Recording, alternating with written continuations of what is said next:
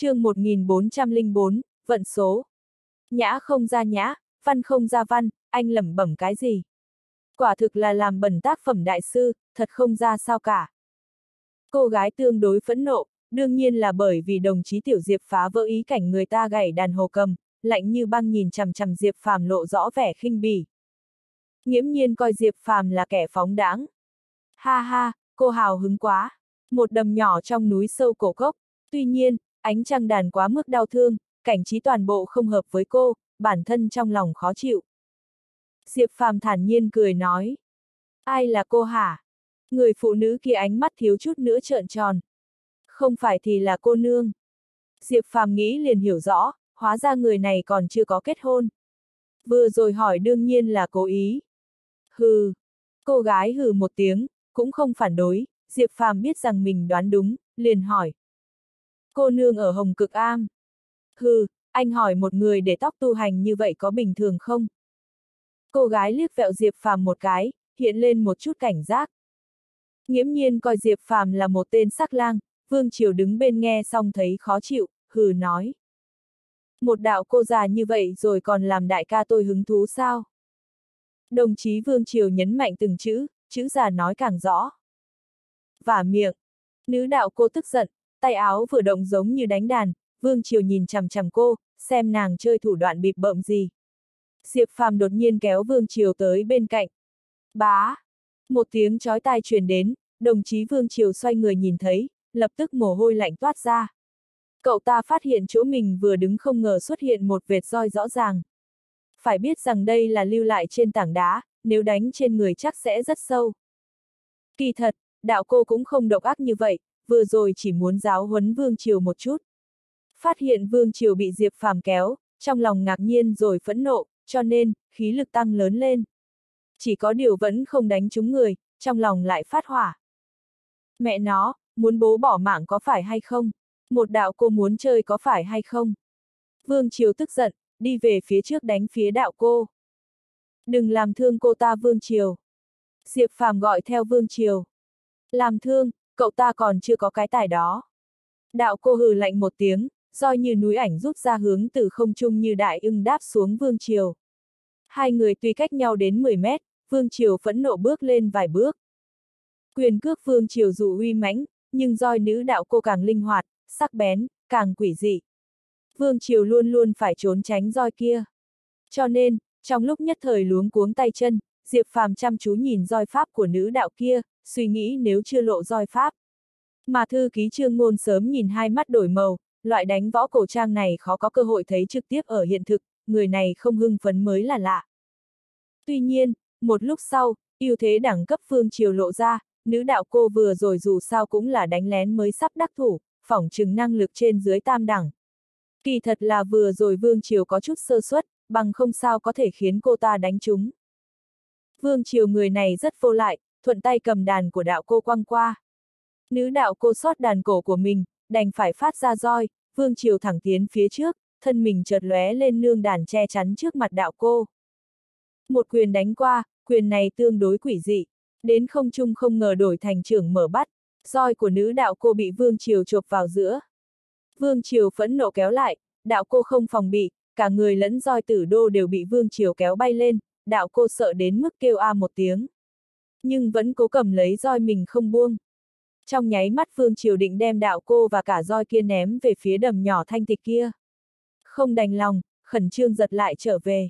Tuy nhiên, lại không đành lòng để đạo cô rơi trên tảng đá, giơ tay ôm vào lòng. Buông ra anh là đồ háo sắc. Đạo cô sợ tới mức kêu lớn, hai chân đấm đá loạn. Háo sắc, cô nói có phải hay không? Tôi vương triều đời này chưa từng vậy, nếu thanh danh bị cô làm ô uế, vậy cứ làm vậy đi, ha ha ha. Vương triều cười gượng, một phen sờ soảng, sờ nắn một hồi mới buông đạo cô ra. Tôi đánh chết anh. Trong hốc mắt đạo cô chứa nước mắt, lại dơ roi lên. Cô nàng, nhìn rõ rồi hãy đánh, hừ. Vương Triều đột nhiên mặt nhìn chằm chằm đạo cô kia, nữ tử thực bị Vương Triều hung hăng dọa một phen. Vương Triều trước kia lăn lộn giang hồ, gương mặt thật giống ma đầu lạnh lùng, nữ tử không khỏi lùi một bước, phát hận nhìn chằm chằm Vương Triều. Đi thôi Vương Triều, viên minh đại sư chờ sốt ruột. Diệp Phàm mất hết hứng thú, nói xong xoay người đi. Vương Triều hướng đạo cô kia hừ nói. Tôi là Vương Triều, làm việc ở Cục Công an Cổ Đình. Bất cứ lúc nào xin đến chỉ giáo. Nói xong đi theo Diệp Phàm. Xếp Diệp, Hồng Cực Am này có vẻ hơi có lai lịch. Vương Triều nói. Có lẽ vậy. Diệp Phàm gật gật đầu. Không lâu sau thấy một tòa tháp cổ màu xanh, ngói màu xanh, toàn bộ tĩnh an tự đều sơn xanh lá mạ bên trong. Quang cảnh đẹp đẽ u tĩnh lạ thường, thảo nào sinh ra trạng nguyên. Tiểu sư phụ, viên minh đại sư ở đâu? Vương Triều hỏi. Chủ trì đợi đã lâu, biết hôm nay ở tỉnh có khách quý đến chơi. Tiểu hòa thượng chào cung kính, liếc mắt nhìn Diệp Phàm một cái nói. Ba người vào trước viện. Diệp Phàm đốt hương quyên tặng 10.000 tiền công đức, Vương Triều cũng cúng mấy ngàn, Trương Ngôn sờ sờ túi tiền, đau lòng nhét mấy trăm vào trong. Sân sau tòa một nóc trên lầu. Viên minh đại sư đã vào tuổi cổ lai hy, một lão hòa thượng nhiều nếp nhăn, dưới hàm dâu dài một thước, màu xương trắng. Diệp thí chủ ấn đường ửng đỏ, không lâu sẽ có vận may. Lời đầu viên minh đại sư đúng là nịnh người, lộ ra chân tướng lừa tiền giả thần giả thánh của hòa thượng. Cảm ơn đại sư nói lời tốt lành. Diệp phàm thản nhiên cười gật gật đầu, trong lòng nghĩ tôi không quyên tặng 10.000 tệ thì có khi sẽ nói ấn đường màu đen, vận đen sắp đến cần hóa giải. Tín tắc linh, bất tín tắc mê dã. Hòa thượng viên minh cười cười. Ồ, đại sư nói là về phương diện nào? Diệp phàm thản nhiên hỏi. Trời đất có vận, người chia mấy vận, tài vận, quan vận, sắc vận, khí vận. Số phận là cái rất phức tạp, nhất thời không nói rõ được. Tuy nhiên, người làm quan, thường lấy vận làm quan làm chính. Lão Hòa Thượng sẽ không lại nhải về vận làm quan của trưởng ban diệp. Tuy nói đau khổ thật lớn nhưng thường xuyên mây tan gặp trăng. Về phần tài vận, trưởng ban diệp là cao nhân, cũng có con đường phát tài bình thường. Mà sự vận áp dụng ở trưởng ban diệp khá thích hợp. Theo chân mày của trưởng ban diệp, lão hòa thượng cảm thấy trước mắt cậu có chuyện gì phức tạp khó giải quyết mà phiền muộn. Viên Minh thản nhiên nói. Diệp Phàm vừa nghe, thật là có điểm đúng. Lời nói viên minh tuy rằng hàm hồ, đây là thủ đoạn thường dùng của nhóm giả thần giả thánh. Nhưng vừa lúc lại hợp tâm sự của mình, vì thế cười nói. Sự vận, có lý. Không biết sự vận của tôi khi nào có thể đúng như lời đại sư nói mây tan thấy chăng? Không lâu nữa đâu. Viên Minh cười nói. Đại sư, tính an tự đối diện với Hồng Cực Am tương đối xa, xem như hàng xóm, hẳn là biết một ít tin đồn về trạng nguyên tầng cùng cô nàng Yến Tu chứ. Diệp Phàm chuyển đề tài. Trạng Nguyên đã từng ở bản tự khổ luyện đọc sách, chuyện của anh ta thật ra tôi có nghe chủ trì đời trước nói qua một ít. Tuy nhiên, thí chủ vì sao phải biết việc này? Là do tò mò hay bởi vì cái gì khác? Viên minh đại sư rất hiểu lòng người, phỏng chừng đã đoán được một chút gì đó. Tò mò. Diệp Phàm quả quyết khẳng định, gật gật đầu. Ha ha. Viên minh cười cười, liếc mắt nhìn Vương Triều một cái nói. Cục trưởng Vương đã tới vài lần rồi. Lần thứ hai, lão hòa thượng, nơi này của ông quang cảnh không tồi, đi chơi một chút mới có lợi cho sức khỏe. Chúng ta làm công an phải thường xuyên rèn luyện thân thể, không được lười nhác. Vương Triều cười nói. Ôi! Viên Minh đột nhiên thở dài, liếc mắt một cái nói. Phó trưởng Ban Diệp, trước kia ở ngư đồng chỉ huy công an phá án phải không? Có một thời gian như vậy, thảm án đá chính là do Phó trưởng Ban Diệp khi còn đảm nhiệm bí thư đảng ủy công an phá án và bắt giam. Vương Triều Tranh trả lời trước, cảm thấy lão hòa thượng hôm nay có chút quái dị. Vậy là tốt rồi, lão hòa thượng trước khi chết có thể thấy một nhân tài của đất nước như Phó trưởng Ban Diệp đúng là sống không uổng. Viên Minh Đại sư đột nhiên cảm động nói. Đại sư có phải có chuyện gì phức tạp hay không, cùng có chuyện phiền gì bên trong giống bản nhân không? Theo lý thuyết đại sư là người cõi tiên, không nên bị hồng trần thế tục làm phức tạp. Diệp Phàm xem tướng thuật cảm giác trong lòng viên minh có chuyện. Người sống trên đời, nói muốn cách xa hồng trần dễ hơn làm. Chúng ta mỗi ngày muốn ăn cơm, củi gạo dầu muối dù sao cũng phải cố, Tính an tự có trên trăm người phải sống, chân chính không thể cách xa hồng trần. Tuy nhiên, lão hòa thượng hôm nay muốn nhờ phó trưởng ban diệp một việc. Vẻ mặt viên minh thận trọng nói. Đại sư nhờ việc chắc chắn có chút khó làm, bằng không, sớm đã làm được. Diệp Phàm nói, liếc mắt nhìn viên minh một cái. Tôi có một chuyện không rõ, đại sư vì sao cho rằng tôi nhất định sẽ đồng ý. Ha ha, cảm giác thôi. Viên Minh cười cười. Được được, cảm giác hay lắm. Liền hướng về phía đại sư, cảm giác, việc này tôi quản. Diệp Phàm vỗ vỗ tay, có chút thoải mái. Viên thông, quỳ xuống trước phó trưởng ban Diệp. Viên Minh đột nhiên hướng vào một hòa thượng đứng bên cạnh, nói. Thông một tiếng, viên thông quỳ xuống, miệng nói. Phó trưởng ban Diệp, nhà tôi có oan tình lớn. Đây là... Diệp Phàm liếc mắt nhìn viên thông một cái, ánh mắt cũng nhìn chằm chằm viên minh đại sư. Năm năm trước, thôn Lưu Dương có một dòng suối nhỏ. Thế núi rất dốc, cấp trên đột nhiên cho người tới, nói là phải xây dựng trạm thủy điện. Nếu phải xây dựng, phải làm ngập thôn Lưu Dương. Thôn Lưu Dương chỉ có trên 100 người, đến 20 hộ. Sao có thể lý luận với cán bộ chính phủ? Người trong thôn không chịu, chính quyền địa phương liền phái công an bắt người, bắt hơn 10 thanh niên. Nhóm dân thôn không có cách nào, đành phải rời đi. Cấp trên vốn đồng ý cấp mỗi hộ 20.000 tệ tiền bồi thường đất. Tuy nhiên, nhóm thôn dân đi rồi chỉ lĩnh được 2.000. Phó trưởng ban diệp, với giá hàng hóa cao như ngày nay, 2.000 tệ có thể làm cái gì? Đáp được cái nền là cùng. Viên thông vốn tên Lưu Bảo, cha là Lưu Nhất Đầu. Ông chết sống không chịu đi, lại nhó tới thôn Lưu Dương. Ôi! Đại sư nói tới đây thở dài. chương 1405, Sư Mẫu. Gã liếc nhìn Diệp Phàm một cái, lại nói. Khi cùng mấy cán bộ công an rằng co nhau rơi vào khe suối, mấy vị công an kia trơ mắt nhìn không hề đi cứu ai cả. Lưu nhất đầu không biết bơi, nên chết. Lưu bảo đến kêu oan, không ngờ lại bị bắt. Lúc đó cấp trên nói là muốn đưa anh ta đi lao động giáo dục, bởi vì lúc ấy gã chỉ mới 5 tuổi. Sau khi tôi kể lại mọi chuyện thì về lại chùa, từ đó đi với tôi. Sau nghe ngóng, mới biết được trạm thủy điện Lưu Dương nho nhỏ này do mấy ông chủ tư nhân góp vốn. Mà lúc ấy phó bí thư địa ủy cổ đình, đương nhiệm chủ tịch địa khu trương vận cũng có cổ phần. Cổ đình âm thầm hùn vốn với vài cán bộ ủy ban nhân dân địa khu, hình như mấy vị trưởng ban thủy điện, trưởng phòng đất đai. Hơn nữa, thôn Lưu Dương thôn sớm đã ngập nước, bọn họ chuyên môn đem danh nghĩa làm đường quốc lộ cho trạm thủy điện Lưu Dương, rồi lại lấy danh nghĩa xây đường quốc lộ cho thôn Lưu Dương kiếm về hơn 3 triệu. Vì Lưu Dương dù nhỏ, nhưng trước đây cũng có mấy lão hồng quân. Tên tuổi vì cách mạng của họ cũng giúp thôn được lợi, trợ giúp nhân dân khu giải phóng cũng giúp họ sống hạnh phúc hơn. Tuy nhiên, khoản tiền này dân thôn Lưu Dương không được một đồng, một phần thì sửa đường của trạm phát điện, còn phần khác chẳng biết đi đằng nào. Người dân thôn Lưu Dương vốn chân thật, cái chết của Lưu Nhất Đầu càng làm người ta chẳng dám hé răng.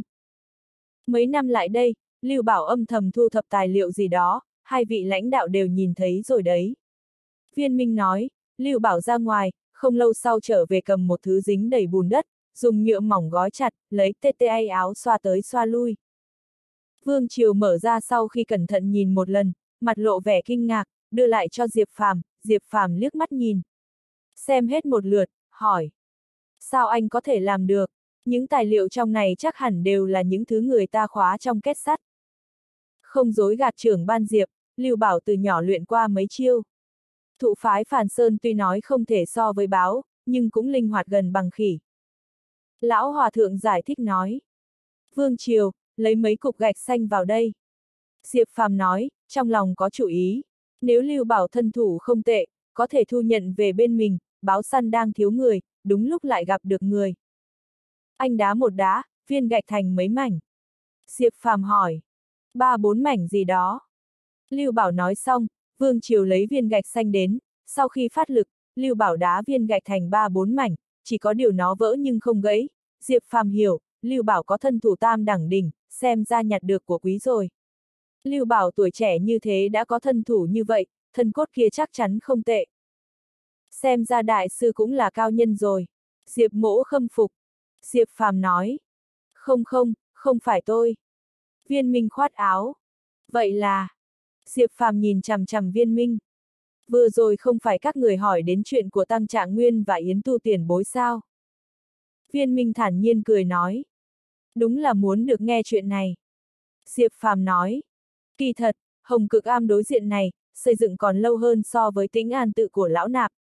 Mấy trăm năm trước, trụ trì Hồng Cực Am họ Yến. Còn Ni Cô Yến Tu mà tăng chiêu trạng nguyên thích kỳ thật chính là đồ đệ của trụ trì đại sư lúc đó. Sau này có tình cảm với Tăng Chiêu, nhưng cuối cùng hai người không được ở cạnh nhau. Yến Tu trở về am làm chủ am, tuy nhiên, nghe nói đổ đệ Yến Tu Yến song song rất có danh tiếng, sư phụ lão nạp từng một lần nhìn nữ thí chủ kia đánh một roi xuống đã đánh bể khối đá lớn hình vuông rộng 7-8 mét. Viên Minh nói đến đây mặt còn lộ vẻ khâm phục, Vương Triều không kìm nổi thầm nói. Cần phải có khí lực lớn bao nhiêu chứ? Là thật đó, trụ trì đời trước sẽ không nói lung tung đâu, ông ấy là người rất nghiêm túc. Lão Hòa Thượng giải thích. Vậy hiện nay chắc hồng cực am kia vẫn còn có cao nhân chứ? Diệp Phàm hỏi. Vừa rồi hình như chỉ thấy một người để tóc tu hành. Có vẻ tiếng đàn cũng không tệ. Vương Triều nói. Ha ha, chắc là cô Yến Thu đấy. Lão Hòa Thượng cười nói. Chị Yến tốt lắm, chị Yến không bao giờ bắt nạt ai. Lưu Bảo đứng bên nói. Sư phụ của Yến Thu là ai? Diệp Phàm hỏi. Một đạo cô trung niên họ Tô, cô ấy cũng để tóc tu hành. Nghe nói cô ấy chính là một trong đồ đệ của Yến Phi Phi. Viên Minh nói. Họ Tô. Diệp Phàm suýt chút nữa hét lên giọng khẩn trương hỏi. Đại sư biết cô Tô cô đó rốt cuộc tên gì không? Ha ha trước kia tôi chỉ nghe thấy chủ am Yến kêu cô ấy là Tiểu Tô, cái khác, không tiện hỏi. Viên Minh lắc lắc đầu. Đúng lúc này, bên ngoài truyền đến tiếng nổ thình thịch. Toàn bộ tính an tự đều run một chút. Không lâu, nghe thấy một giọng nữ hét lên. Nhanh ra đây, ăn một roi của bản cô nương rồi nói sau. Là Yến Thu, sao lại thế này? Lão Hòa Thượng vội vàng đứng lên, cười khổ nói với Diệp Phàm. Cô nàng Yến Thu cái gì cũng tốt, đừng ai chọc phải cô ấy thì cô ấy tốt lắm, còn ai mà chọc cô ấy thì phiền toái rồi. Hai vị thí chủ không phải mới trêu chọc cô ấy đấy chứ. Luyện mấy quyền. Vương Triều cười nói, Hào không thèm để ý, đi theo Diệp Phàm ra ngoài. Bên ngoài đứng hai người con gái, người chỉ vào cửa chùa hét lên chính là Yến Thu, bên cạnh còn có một đạo cô trung niên, khoảng 40 tuổi, cũng để tóc tu hành. Khuôn mặt mịn màng, lông mi dài, hai mắt nhìn qua rất xuất thần, tư sắc có thể coi là trên bậc trung. Tuy nhiên, khí chất trên người đạo cô này làm người ta động long. Cô gái, không sợ không gã được chồng à. Vương Triều liếc mắt nhìn Yến Thu một cái, lạnh lùng châm chọc nói. Tôi phỉ vào, tôi không đem lấy chồng, tôi là người tu đạo. Yến Thu phẫn nộ nói, nhổ mấy cái về phía Vương Triều. Không lấy chồng thì cạo sạch tóc đi, để tóc dài làm gì? Cô gái nhỏ, chứng tỏ cô Xuân Tâm chưa diệt, nếu Tâm đã chết còn giữ 3.000 sợi tơ phiền não sao? Nếu còn giữ chứng tỏ cô còn có Xuân Duyên, còn tu cái nỗi gì? Vương Triều nói rất rõ ràng, lập tức làm cô nàng suýt tức đến mức vẹo mũi. Để ý đến anh làm gì chứ? Bản cô nương thích vậy đấy. Yến Thu nghẹn họng, miệng lưỡi trơn chu nhỉ, cậu tên gì? Đạo cô trung niên hừ giọng nói với Vương Triều. Không phải mới nói với cô nàng kia rồi à, tôi là Vương Triều, công tác ở Cục Công an địa khu. Vương Triều hừ nói. Cục Công an có thể tùy tiện ức hiếp mọi người vậy sao? Huống chi, anh đường đường là một cục trưởng, không ngờ lại ức hiếp một cô gái yếu ớt, trong lòng anh còn có liêm sỉ không? Chẳng lẽ thói đời bây giờ đã đến mức này rồi sao? Đạo cô trung niên tức giận, chẳng biết Hiến Thu đã lắm mồm gì trước mặt cô. Ha ha! Diệp Phàm đột nhiên mỉm cười, nói. Cô chính là cô Tô.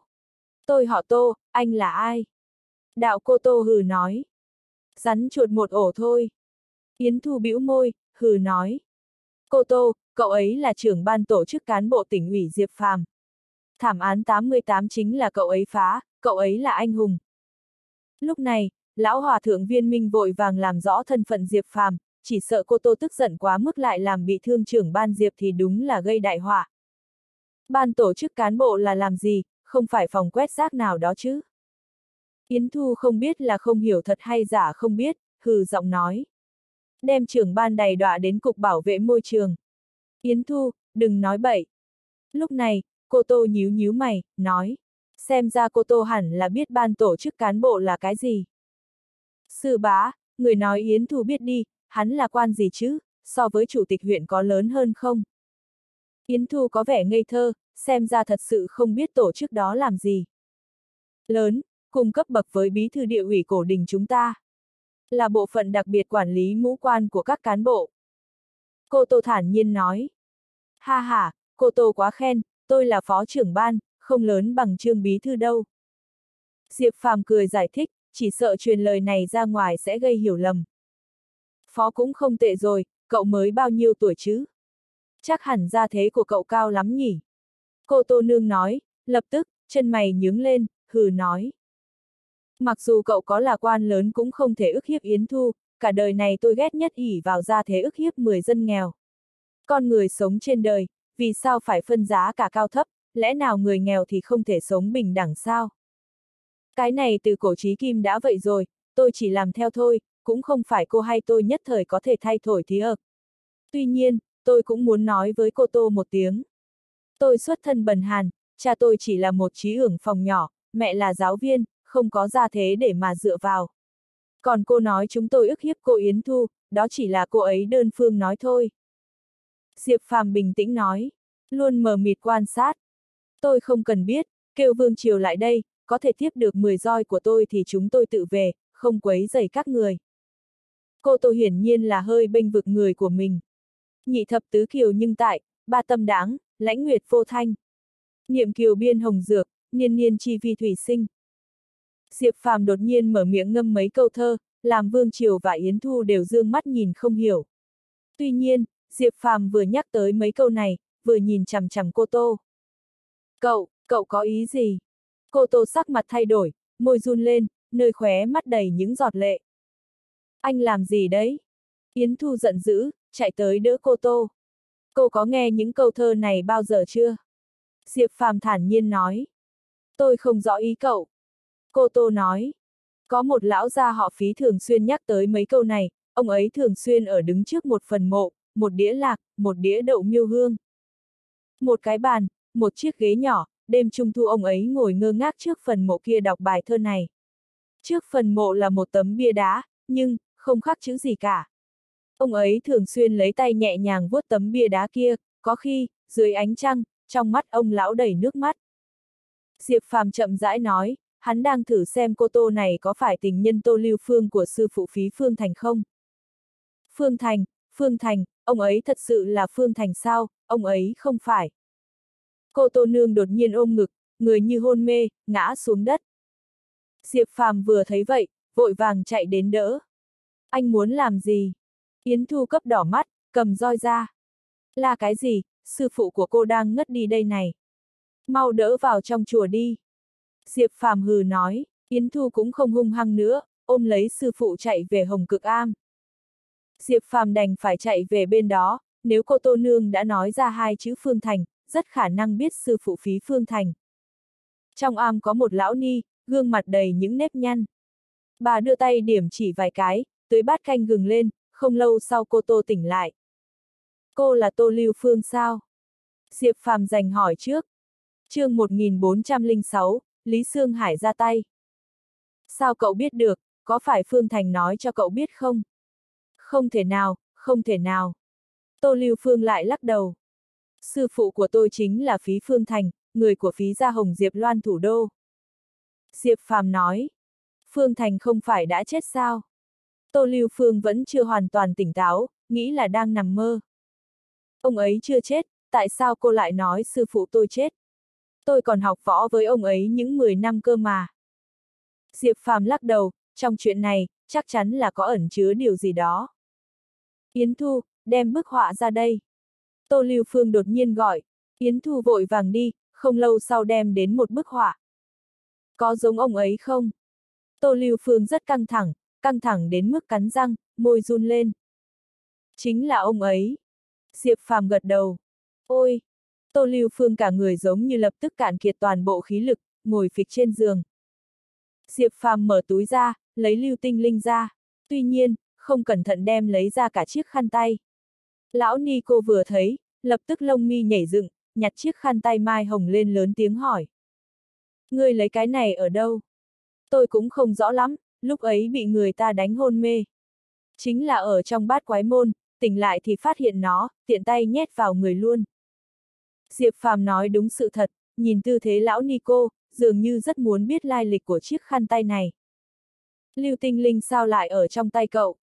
Tô Lưu Phương hỏi. Là tôi phỏng chế, lúc ấy trong tay viên viên có nguyên vật của thứ này. Nghe nói là căn cứ huyết trích tử thanh triều cải trang. Diệp Phàm nói, viên viên là đồ đệ tôi nhất thời vui vẻ thu nhận, hai, bây giờ cũng sắp hai mấy rồi. Tô Lưu Phương thở dài, lại hỏi, nờ Phương Thành hiện ở đâu? Không rõ lắm, năm năm nay tôi chưa gặp ông ấy. Diệp Phàm lắc đầu, không về phí ra. Tô Lưu Phương hừ nói, người của phí gia cũng đang tìm ông ấy, vốn tôi không biết tên sư phụ. Sau này gặp gỡ đại bá phí Thanh Sơn, ông ấy nhận ra võ công của tôi. Cùng nhau nói chuyện, mới biết được sư phụ Phương Thành. Sau này có đến phí gia, biết rõ việc này. Diệp Phàm nói, người thanh niên, trả lại cho cậu, giữ cho kỹ nhé, đừng để mất. Lão Ni cô đưa khăn tay hoa mai thận trọng trả lại cho Diệp Phàm. Lưu Phương, con cũng đau khổ nhiều năm rồi, đi tìm anh ta đi. Các con cũng không nhỏ, anh ta cũng đã 60 rồi. Lão Ni cô nói. Sư phụ, con đi tìm với người. Yến Thu nói. Con đi làm gì, Lưu Phương đi có việc. Lão Ni cô hừ nói. Không đi thì không đi, có gì hay đâu. Yến Thu hừ một tiếng, chu miệng. Sư mẫu, sao lúc nãy người lại nói sư phụ của con đã chết, trong chuyện này không phải có hiểu lầm gì chứ? Khi con đến phí gia, thấy người của phí gia cũng nói đến việc này với vẻ mặt chua xót. Diệp Phàm hỏi dò. Sau này cậu hỏi Phương Thành đi. Tô Lưu Phương không muốn nói đến việc này. Được rồi. Diệp Phàm gật đầu bất đắc dĩ, chuyện của thế hệ trước bậc làm tiểu bối như Diệp Phàm cũng không tiện hỏi. Trong chuyện này chắc chắn có gì đó phức tạp, tuy nhiên, sao lại quấy nhiễu đến hai người tô phí. Cậu dẫn tôi đến chỗ Phương Thành ở, có lẽ có manh mối.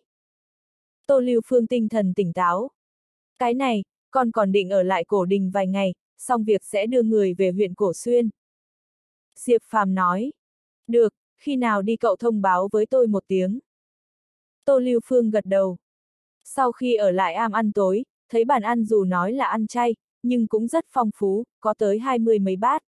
Nghe nói ni cô của Hồng Cực Am cũng không nhiều, tổng cộng lại hết cũng chưa tới 20 người. Trở lại cổ đình, Diệp Phàm lập tức dặn dò Vương Triều âm thầm điều tra chuyện khe suối Lưu Dương. Dưới sự trợ giúp của Lưu Bảo, chỉ trong mấy ngày đã điều tra rõ sự tình. Trạm phát điện khe suối Lưu Dương đích thật là chủ tịch địa khu đương nhiệm Trương Vận Lai hợp đồng một đám người tự khai thác, phát triển. Những chuyện như vậy ở Trung Quốc là chuyện bình thường, cán bộ âm thầm đầu tư chút tiền để kiếm tiền cũng bình thường. Hơn nữa, lấy danh nghĩa cán bộ nắm cổ phần cũng có rất nhiều. Những chuyện thế này quốc gia cũng chỉ mắt nhắm mắt mở, chỉ cần không làm gì tổn hại quá lớn cho dân chúng là được. Dù sao, cán bộ cũng có thể tự kiếm thêm cho mình chút trợ cấp, thì cũng có thể giảm phát sinh những phần tử tham ô. Tuy nhiên, này, dính đến chết người thì không còn là chuyện nhỏ nữa. Hơn nữa, Diệp Phàm muốn gọi Lưu Bảo vào báo săn, đương nhiên muốn được như vậy thì phải giúp Lưu Bảo giải quyết xong chuyện này trước. Bằng không, Lưu Bảo trong lòng không phục, làm sao chịu vào báo săn được. Đương nhiên, Diệp Phàm đã có kế hoạch rồi, đưa Lưu Bảo tới tỉnh thành. Đầu tiên Diệp Phàm đem chứng cớ đến nhà Triệu Sương Sơn. Bởi vì trước đó đã hỏi thăm rõ, Trương Vận Lai này Triệu Sương Sơn cũng chẳng ưa gì. Có lẽ, việc này còn có thể giúp được cho Triệu Sương Sơn. Quả nhiên, Triệu Sương Sơn sau khi xem xong đập tay xuống bàn, hừ nói. Coi trời bằng vung. Bí thư Triệu, ngài xem, việc này. Diệp Phàm đang nghe chỉ thị. Giao cho Trần Bố Hòa, cứ theo trình tự mà làm việc. Triệu Sương Sơn hừ nói, Diệp Phàm bước ra cửa. Sáng hôm sau, Vương Triều tới văn phòng Trần Bố Hòa. Trần Bố Hòa sau khi xem xong cũng không phát biểu ý kiến gì, chỉ hỏi. Vương Triều, việc này là cậu phát hiện sao? Không phải, là trưởng ban Diệp đến cổ đình muốn thực hiện điều tra nghiên cứu. Sau đó chúng tôi đi tĩnh an tự, còn Lưu Bảo con trai của người bị hại Lưu Nhất Đầu đang ở tại tĩnh an tự, được viên minh đại sư cứu giúp. Viên minh muốn nhờ chúng tôi kiểm chứng việc này, cho nên, trưởng ban Diệp đã nhận. Vương Triều biết, Trần Bố Hòa đang thăm dò. Nếu việc này là do mình điều tra ra, thì còn phải chờ thương thảo. Dù sao, việc này cũng dính đến một chủ tịch địa khu, hơn nữa, lại là địa ủy lớn như cổ đình. Người này ở tỉnh chắc chắn có chỗ dựa, Trần Bố Hòa phải suy nghĩ phân lượng của chuyện này một chút. Nếu là Diệp Phàm ra tay, thế thì chuyện này chắc chắn Diệp Phàm đã thông báo cho Triệu Sương Sơn. Hiện nay Diệp Phàm không ra mặt, bảo Vương Triều lại đây. Kia chắc chắn là cấp trên đã đáp ứng xét xử việc này rồi. Trần Bố Hòa suy nghĩ một chút đã hiểu rõ mọi việc. Gọi Lưu Bảo tới đây, lập tức thành lập tổ chuyên án xét xử việc này. Trần Bố Hòa hạ quyết định, hơn nữa, lập tức tới văn phòng bí thư đảng ủy công an Dương Chí Sa báo cáo công việc. Dương Chí Sa vừa nghe, cảm thấy việc này rất lớn. Lập tức cầm tài liệu vào văn phòng Triệu Sương Sơn, cho nên, gói tài liệu lớn Diệp Phàm cung cấp này lại chuyển tới tay Triệu Sương Sơn. Triệu Sương Sơn sau một lúc giả bộ lật xem, nhíu mày, lập tức kêu phó bí thư Diệp Đông phân công quản lý ủy ban kỷ luật đến. Diệp Đông xem qua xong, cùng Dương Chí Sa nhìn Triệu Sương Sơn, đương nhiên đang đợi chỉ thị. Lập tức xét xử, coi trời bằng vung. Triệu Sương Sơn hừ nói. Trong tỉnh lập tức thành lập tổ điều tra do Ủy ban kỷ luật tỉnh và Sở Liên hợp lại. Lưu Bảo, cậu cũng biết, chuyện của Trương Vận tới sự đề cập rất lớn. Gã đường đường đại diện cho địa ủy, quyền cao chức trọng. Bình thường cũng chẳng ai dám dính vào mất chuyện này. Diệp Phàm vẻ mặt nghiêm túc, nói. Tôi biết, trước kia tôi đi kiện đều bị áp giải trở về. Lưu Bảo đã trải qua việc này, cũng biết được một số quan hệ lợi hại. Việc này, Thủy Châu có một chi bộ đội tên báo săn, chuyên trừng trị những người này. Diệp Phàm nhân cơ hội tung ra chủ đề chính, thằng nhãi này cảm giác mình cực kỳ giống con sói đang đóng giả bà ngoại lừa cô bé quàng khăn đỏ. Tôi đi tìm bộ đội báo săn để kiện. Lưu Bảo không chút do dự, nói. Cậu không vào được, báo săn là bộ phận đặc trùng. Diệp Phàm lắc đầu. Vậy, vậy phải làm sao? Lưu Bảo bối rối. Thân thủ của cậu là tam đẳng đỉnh, trong bộ đội báo săn bộ đội tất cả quan quân đều là cao thủ. Nếu cậu nhập ngũ trở thành một thành viên của họ, cậu nghĩ xem, bọn họ còn có thể không giúp cậu sao? Diệp Phàm nói. Việc này, tôi phải hỏi lại đại sư đã. Lưu Bảo nói, gọi điện thoại, không lâu sau quay lại nói là đại sư đã đồng ý. Rèn sắt khi còn nóng, Diệp Phàm lập tức gọi Tề Thiên tới. Sau một hồi thẩm tra chính trị, kiểm chứng, Lưu Bảo vinh dự nhập ngũ. Tề Thiên đưa Lưu Bảo tới báo săn Thủy Châu nhận việc, ba ngày sau đổi quân trang xong thì trở lại Việt Đông. Lưu Bảo lấy thân phận trung úy báo săn yêu cầu tỉnh Việt Đông điều tra rõ cái chết của Lưu Nhất Đầu cha mình. Còn thủ trưởng báo săn đại tá Trương Cường lấy danh nghĩa báo săn viết đơn thỉnh cầu, Triệu Sương Sơn càng đầy đủ lý do, ngay cả băn khoăn của Trần Bố Hòa cũng giảm đi không ít. Một tháng sau, chuyện Lưu Bảo được giải quyết xong. Đại diện địa ủy cổ đình, Chủ tịch địa khu Trương Vận Lai được điều đến một phòng nhỏ ở tỉnh Dưỡng Lão, hơn nữa, còn bị đảng đảng ghi tội xử phạt nặng. Những cán bộ có liên quan cũng bị xử phạt. Đương nhiên, những chuyện này tầng cao của Việt Đông cũng không mổ xẻ quá nhiều, mục tiêu của Triệu Sương Sơn là Trương Vận Lai, y đã ngã rồi, Hà Mễ ngã thế nào là chuyện tiếp theo. Hai người Trần Bố Hòa và Vu Trí Hải do Ủy ban kỷ luật tỉnh phái xuống đi gây sức ép. Còn Vương Triều lại một lần nữa có biểu hiện xuất sắc nên càng ngồi vững trên ngai vàng cục trưởng cục công an địa khu cổ đình. Sau khi Diệp Phàm tuần tra ba địa khu không lâu, tỉnh ủy có sự điều chỉnh nhỏ trong bộ máy của ba thành phố cấp 3. Chuyến tuần tra của Diệp Phàm kỳ thật chỉ có là một phát súng hư ảo.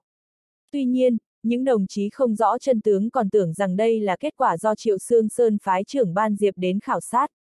Giữa sự hư ảo đó, uy tín Diệp Phàm tự nhiên tăng cao. Nháy mắt đã đến tháng 8 nóng nực, nhiệt độ của Việt Đông có thể nướng được người. Buổi tối trong ngày lễ thành lập quân đội, một ngày đặc biệt. Diệp Phàm về báo săn Thủy Châu, cùng bộ máy tầng cao của báo săn và lãnh đạo tổ nòng cốt thứ 8 tập trung làm lễ. Sau khi Mã Thượng Trí chết, bộ máy báo săn tương đương vững vàng. Trương Cường dần dần nắm báo săn trong tay, Diệp Phàm cũng yên tâm nhiều. Sau này không cần thiết cả ngày chú ý báo săn.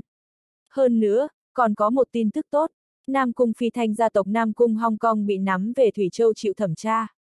Vốn việc này phải thương lượng với cảnh sát Hong Kong mới có thể giải quyết, tuy nhiên, báo săn luôn có biện pháp.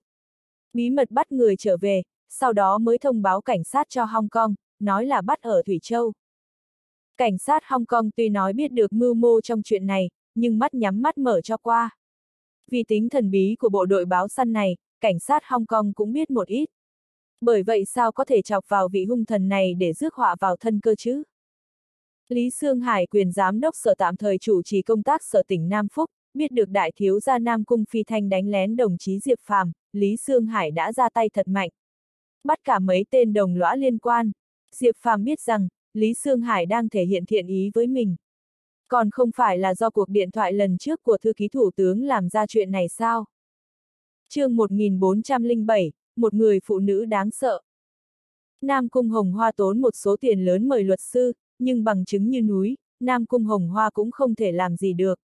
Nam Cung Hồng Hoa xài tiền như nước, cũng kiếm được vài quan lớn ra mặt xin sỏ hộ. Tuy nhiên, thái độ Lý Sương Hải cứng rắn chưa từng có, chỉ buông một câu căn cứ theo pháp luật mà nghiêm trị. Anh, anh hãy cứu giúp Phi Thanh, em chỉ có một thằng con trai, về sau chuyện Nam Cung ra em sẽ không bao giờ. Quản nữa. Nam Cung Hồng Hoa tìm anh trai là chủ tịch hội đồng quản trị Nam Cung Hồng Sách nói những lời này. Gã cũng cùng đường rồi, cuối cùng đành xuất ra quân cờ rời khỏi cuộc cạnh tranh quyền lực gia tộc, hy vọng Nam Cung Hồng Sách có thể nói với Diệp Phàm một câu, dàn xếp một chút. Phi Thanh phạm tội chủ mưu giết người, chú bảo tôi phải đi nói thế nào đây? May là trưởng ban Diệp mạng lớn còn sống. Chú nói thử xem, trưởng ban Diệp sẽ chịu nể mặt tên muốn giết mình sao? Nam Cung Hồng Sách vẻ mặt ngưng trọng, cũng rất bất đắc dĩ. Bất kể thế nào, cũng đi thử. Em đồng ý bỏ ra 50 triệu để dàn xếp chuyện này. Nam Cung Hồng Hoa cắn răng nói. Vậy được rồi, tôi có thể đưa chú đi gặp trưởng ban Diệp, được hay không chú tự mình làm chủ. Việc này tôi thật sự không giải quyết được. Nam Cung Hồng Sách bị ép vào thế bất đắc dĩ, dù sao cũng là anh em ruột, đành phải cầm điện thoại lên. Nghe nói Diệp Phàm đã về tới Thủy Châu, Chủ tịch Hội đồng Quản trị Nam Cung Hồng Sách cùng em trai Nam Cung Hồng Hoa suốt đêm chạy tới Thủy Châu. Hội sở Hoàng Tái. Trưởng ban Diệp, mấy năm cô gặp, càng ngày càng phát đạt nhỉ. Ha ha. Nam Cung Hồng Sách cười nói. Chủ tịch Hội đồng Quản trị không phải cũng thế sao? Diệp Phàm cười nói, liếc nhìn Nam Cung Hồng Hoa một cái không thèm thể ý đến gã. Ha ha ha, cũng vậy. Hai bên đều mỉm cười. Trưởng ban Diệp, phi thanh trẻ người non dạ, làm ra những chuyện động trời, xin anh hãy tha thứ một chút. Hai bên ngồi xuống hàn huyên trong chốc lát, Nam Cung Hồng sách ngượng ngùng, nói. Trẻ người non dạ, anh ta còn lớn hơn cả tôi đấy, lẽ nào anh ta mà cũng chưa lớn sao? Diệp Phàm lạnh lùng hừ nói. Việc này chẳng lẽ đến một đường sống cũng không có sao? Trưởng ban Diệp, dù sao anh cũng còn sống đúng không nào? Trung Quốc chúng ta có câu oan gia nên giải không nên kết. Lần này đến, Nam Cung gia chúng tôi có thành ý muốn giải quyết chuyện này. Nam Cung Hồng Hoa có chút mất thể diện của triệu phú. Cái đó còn phải xem là chuyện gì. Diệp Phàm thản nhiên nói, liếc mắt nhìn Nam Cung Hồng Hoa một cái. Đổi lại lúc ấy là ông, ông sẽ bỏ qua cho hung thủ sao? May là tôi còn sống, nếu như tôi chết có phải là chết uổng không? Vậy trưởng ban Diệp muốn thế nào mới có thể bỏ qua cho Thanh Phi một lần? Nam Cung Hồng Hoa giọng điệu dần dần có chút cứng rắn, mạnh mẽ hơn, Nam Cung Hồng Sách ngồi một bên nhíu mày. Không có thể nào buông tha cho anh ta, cứ theo pháp luật xử lý, nên làm cái gì thì làm cái đó. Tối nay tôi nể mặt chủ tịch Nam Cung nên đến đây. Bằng không, tôi sẽ không gặp ông đâu. Diệp Phàm lạnh lùng hừ nói. 50 triệu, 50 triệu anh sẽ buông tha phi thanh chứ. Nam Cung Hồng Hoa cầm chi phiếu ra, gã tin tiền có thể giải quyết được. Trên đời này chẳng lẽ có cán bộ Trung Quốc nào mà lại không thích tiền. Nam Cung Hồng Hoa tin vào tín điều của mình. Ha ha, 50 triệu, là nhiều lắm sao? Diệp Phàm thản nhiên nói xong liếc nhìn Nam Cung Hồng Hoa một cái, hừ nói. Đừng nói 50 triệu, cho dù là 500 triệu, Nam Cung Phi Thanh nên xử lý thế nào thì vẫn xử lý thế đó. Trưởng ban Diệp, việc này, anh xem có thể nhẹ nhàng một chút không? Chủ tịch Nam Cung cảm thấy mất mặt, khó khăn lắm mới mở miệng nói được một câu. Chủ tịch hội đồng quản trị tôi coi ông như bạn nên mới bằng lòng đến đây. Nếu ông thực sự nói như vậy, thì có lẽ bạn cũng chẳng làm được nữa. Diệp Phàm lạnh giọng nói. Hai. Nam Cung Hồng Sách thở dài, không nói gì nữa. Nếu phải tuyệt giao với Diệp Phàm, ông ấy cũng rất tiếc. Dù sao, năng lượng của Diệp Phàm ông ấy cũng có biết một chút, loại cao nhân này có cầu cũng không được, làm sao có thể quăng đi được chứ. Tôi thấy chuyện này không nên làm khó trưởng ban Diệp nữa, phi thanh, nó gieo gió thì gặt bão vậy. Không phải con anh nên chắc chắn anh sẽ nói như vậy rồi, Nam Cung Hồng Sách, phi thanh là cháu ruột của anh đấy. Tình máu mủ anh vứt hết đi đâu rồi. Nam Cung Hồng Hoa phẫn nộ chừng mắt nhìn anh trai. Tôi có việc phải đi trước đây chủ tịch hội đồng quản trị, gặp lại sau. Diệp Phàm lễ phép gật đầu, đứng lên quay người đi. Họ Diệp kia, trên đời này không phải chỉ có mình anh là cao thủ đâu. Nam Cung Hồng Hoa lạnh lùng nói, có ý uy hiếp. Diệp Phàm chậm rãi xoay người lại nhìn chằm chằm Nam Cung Hồng Hoa, một đôi mắt lạnh lẽo nhìn thẳng vào gã. Tay đột nhiên cử động, một tiếng soạt nhẹ vang lên, Nam Cung Hồng Hoa cảm giác ra đầu run lên, hoảng sợ đưa tay sờ soạng, sắc mặt lập tức cực kỳ khó coi. Bởi vì cái đầu bóng loáng chỉ có vài cọng tóc mỏng manh của gã đã bị cạo một mảng lớn từ bao giờ. Không ai có thể uy hiếp được tôi, bao gồm ông. Nếu Nam Cung Hồng Hoa ông không sợ bị diệt đi một hệ, thì ông cứ xuất chiêu đi. Diệp Phàm thản nhiên bỏ lại một câu, xoay người bước đi. Trương Cường nhìn Nam Cung Hồng Hoa, đột nhiên đến gần Nam Cung Hồng Hoa, nhẹ nhàng gõ xuống bàn nói. Báo săn Thủy Châu hẳn là ông có nghe nói đến rồi nhỉ, tôi Trương Cường chính là thủ trưởng tối cao báo săn. Có thể nói với ông thế này, thủ trưởng báo săn tiền nhiệm thiết chiêm hùng đương nhiệm thứ trưởng Bộ Công an, là anh em kết nghĩa của trưởng Ban Diệp. Còn Trương Cường tôi là anh em tốt của trưởng Ban Diệp. Hôm nay nói lời này ở đây, nếu ông dám can đảm ra tay đánh lén trưởng Ban Diệp. Vậy ông cứ chờ mà đi nhặt xác Nam Cung Phi Thanh, báo săn là bộ đội thế nào, muốn thu thập một người, ha ha, chắc hẳn ông cũng rõ.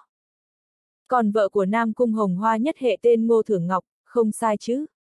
Ngoại trừ đứa con Nam Cung Phi Thanh, ông còn một cô con gái nhỏ tên Nam Cung Thanh Thanh, hiện đang học tại California, Mỹ.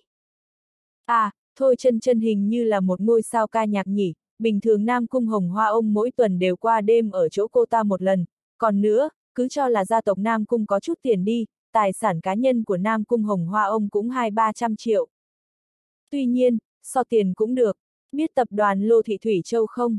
Ha ha, đại công tử của tập đoàn Lô Thị chính là em trai kết nghĩa của trưởng ban Diệp. Nếu phải so tiền đi nữa, cũng đập chết được ông. Còn nếu muốn so về thế giới ngầm hả, đỗ ra thành phố Phổ Hải có lẽ ông cũng biết nhỉ, lần trước, ha ha, trưởng ban anh tôi nói một câu, đỗ ra đã xảy ra động đất. Ông có thể đi hỏi thăm việc này xem có thật hay không nhé. Hứ, tự cao tự đại. Trương Cường có thể nói ra hết chân tướng của Nam Cung Hồng Hoa, Nam Cung Hồng Hoa mặt từ màu gan lợn chuyển sang tím bầm. Thôi chân chân chính là bổ nhí Nam Cung Hồng Hoa thầm bao, báo săn người ta cái gì cũng đều điều tra rành mạch rõ ràng.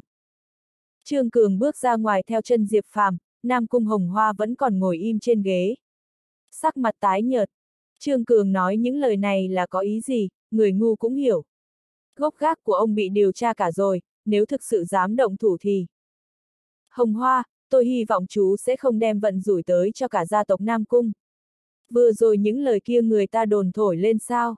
Tôi nghĩ không phải, Diệp tiên sinh chính là cao nhân, người cậu không phải không biết thân thủ của hắn. Người ta hắc bạch hai đường đều có thể chơi được, chúng ta lấy cái gì để đấu với người ta?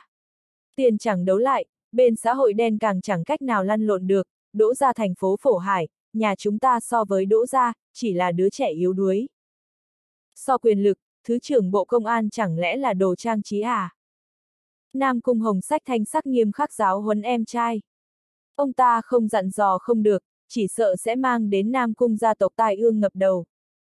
Thôi vậy, cái gì cũng có số mạng cả. Nam Cung Hồng Hoa lúc này rất đau khổ, trong phút chốc đã già hẳn đi. Trương Cường, cậu uy hiếp ông ta. Diệp Phàm cười nói. Không có, chúng ta là cán bộ quốc gia, sao có thể làm chuyện đó. Em chỉ nói sự thật, nói đạo lý, đem những cái có thể bày ra được thì bày ra cho lão ta thấy. Chắc hẳn, lão ấy không dám có chút hành động gì đâu. Cái loại người không biết thức thời này, không lòe hắn là không được. Lòe một sự thật thì hắn sẽ thông thôi, thông được một cái thì trăm cái khác cũng sẽ thông. Trương Cường cười gượng một tiếng. Ha ha! Diệp Phàm thản nhiên mỉm cười thở dài. Lão già đáng thương. Ngày 5 tháng 8, Diệp Phàm vừa mới trở lại Việt Đông, đã là buổi tối.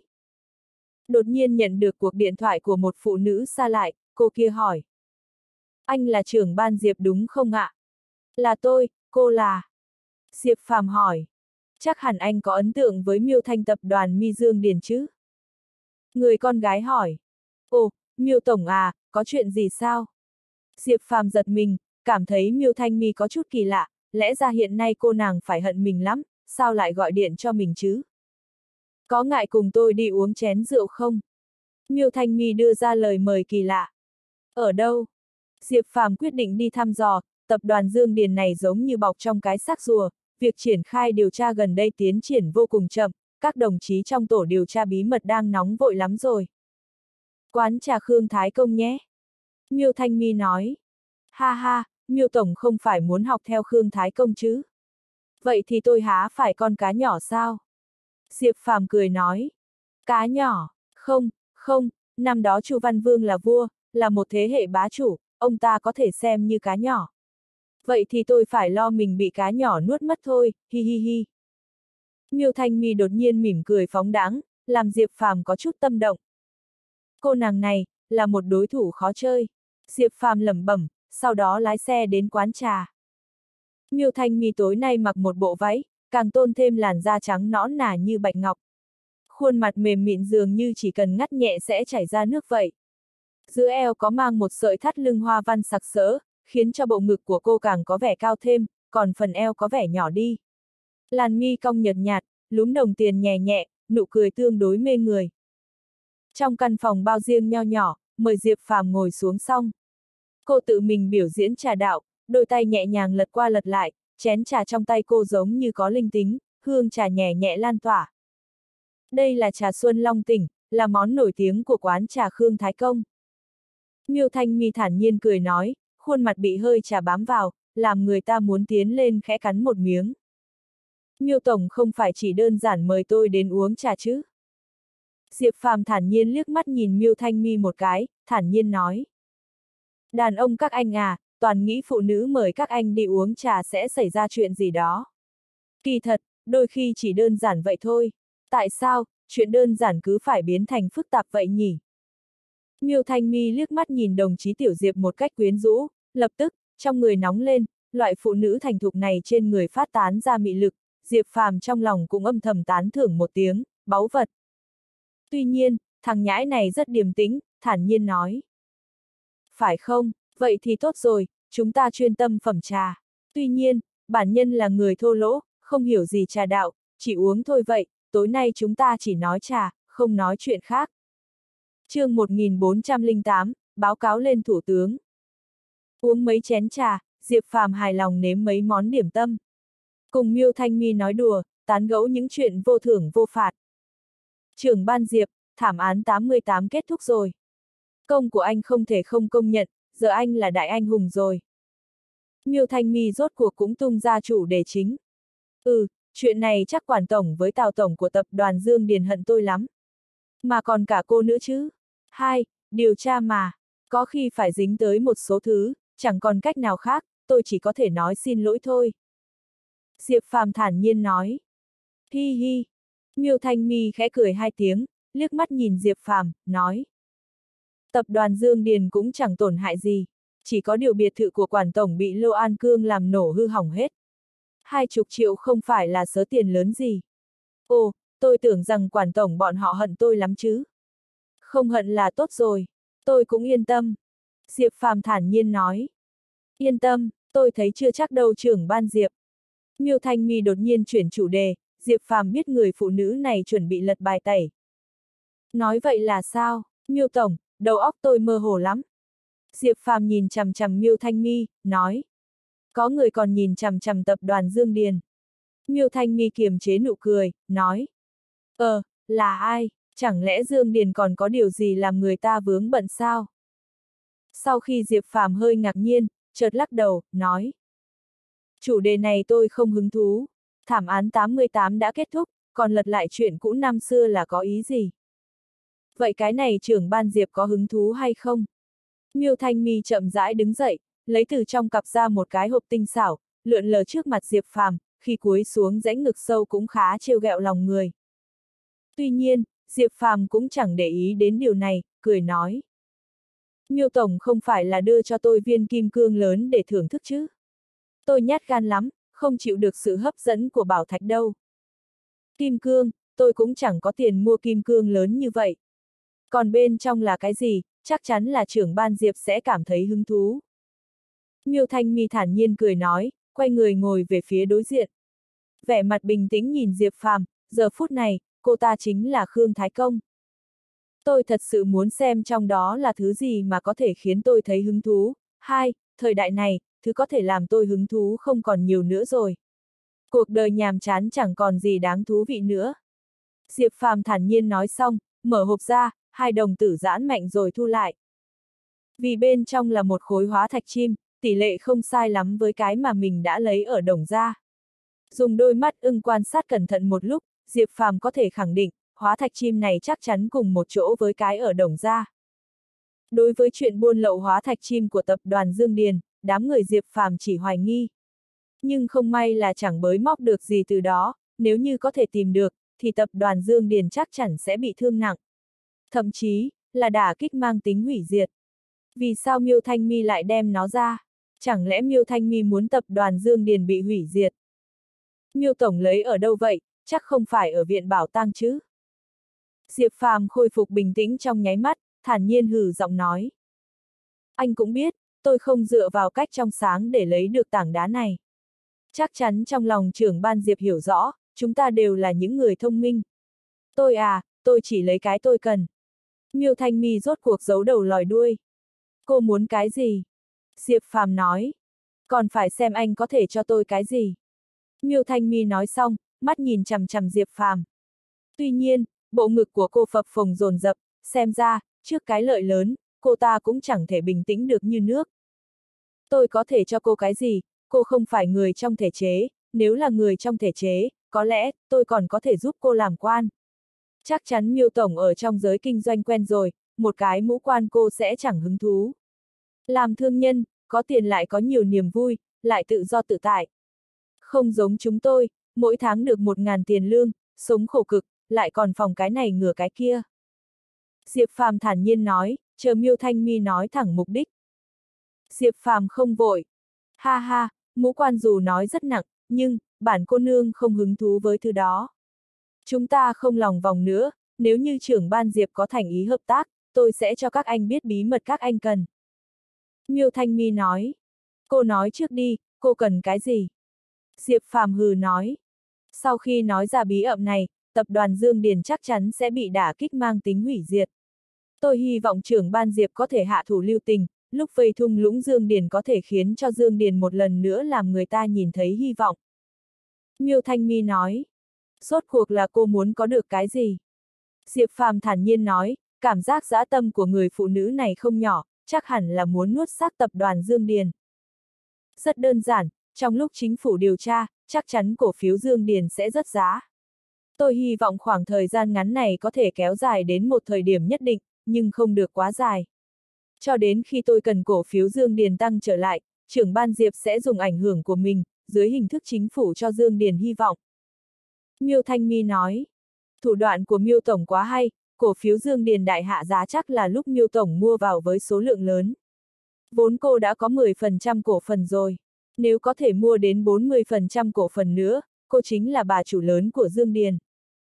Hơn nữa, cô còn là anh hùng, cứu vớt Dương Điền lúc hiểm nguy. Sau khi cô khống chế hoàn toàn cổ phần Dương Điền, đó là thời điểm cần chúng tôi Red Eye. Lấy hình thức chính phủ ủng hộ Dương Điền, dùng những chính sách nhất định làm cho người ta thấy được hy vọng ở Dương Điền. Cho đến lúc này, Dương Điền đã ra khỏi khó khăn. Còn cô mua cổ phiếu với giá thấp nhất, nội trong vài tháng giá trị số cổ phiếu ấy đã tăng vài lần. Không cần đến một năm, chắc hẳn Dương Điền đã là của Miêu Tổng. Hơn nữa, Miêu Tổng nhẹ nhàng kiếm được mười mấy triệu, ha ha, tôi nói có đúng không? Diệp Phàm thản nhiên nói. Trưởng ban Diệp còn nói là không điều tra Dương Điền, ngay cả chuyện tôi nắm 10% cổ phiếu của Dương Điền anh cũng biết, vậy có cái gì mà anh không biết? Kỳ thực, tập đoàn Dương Điền là tập đoàn hình thức lớn, nếu như thực sự bị lỗ vốn thì cũng chính là tổn thất của toàn tỉnh Việt Đông. Anh nghĩ xem, công nhân viên chức của Dương Điền có trên 10.000 người. Dương Điền hủy diệt, vấn đề cơn ăn của hơn 10.000 này sẽ khiến chính phủ các anh đau đầu. Miêu Thanh Mi tôi tuy nói có kiếm được chút tiền trong đó, nhưng, so với các anh, tôi cũng giúp các anh giải quyết vấn đề việc làm cho 10.000 người. Hơn nữa, các anh cần bí mật, tôi cần một chút ủng hộ của các anh. Chỉ là thuận theo nhu cầu thôi, không thể nói ai lời ai lỗ đúng không nào. Miêu Thanh Mi nói những câu này, mí mắt chẳng giật chút nào. Ngược qua đảo lại, cô nàng đã trở thành nhà doanh nghiệp giúp đỡ chính phủ.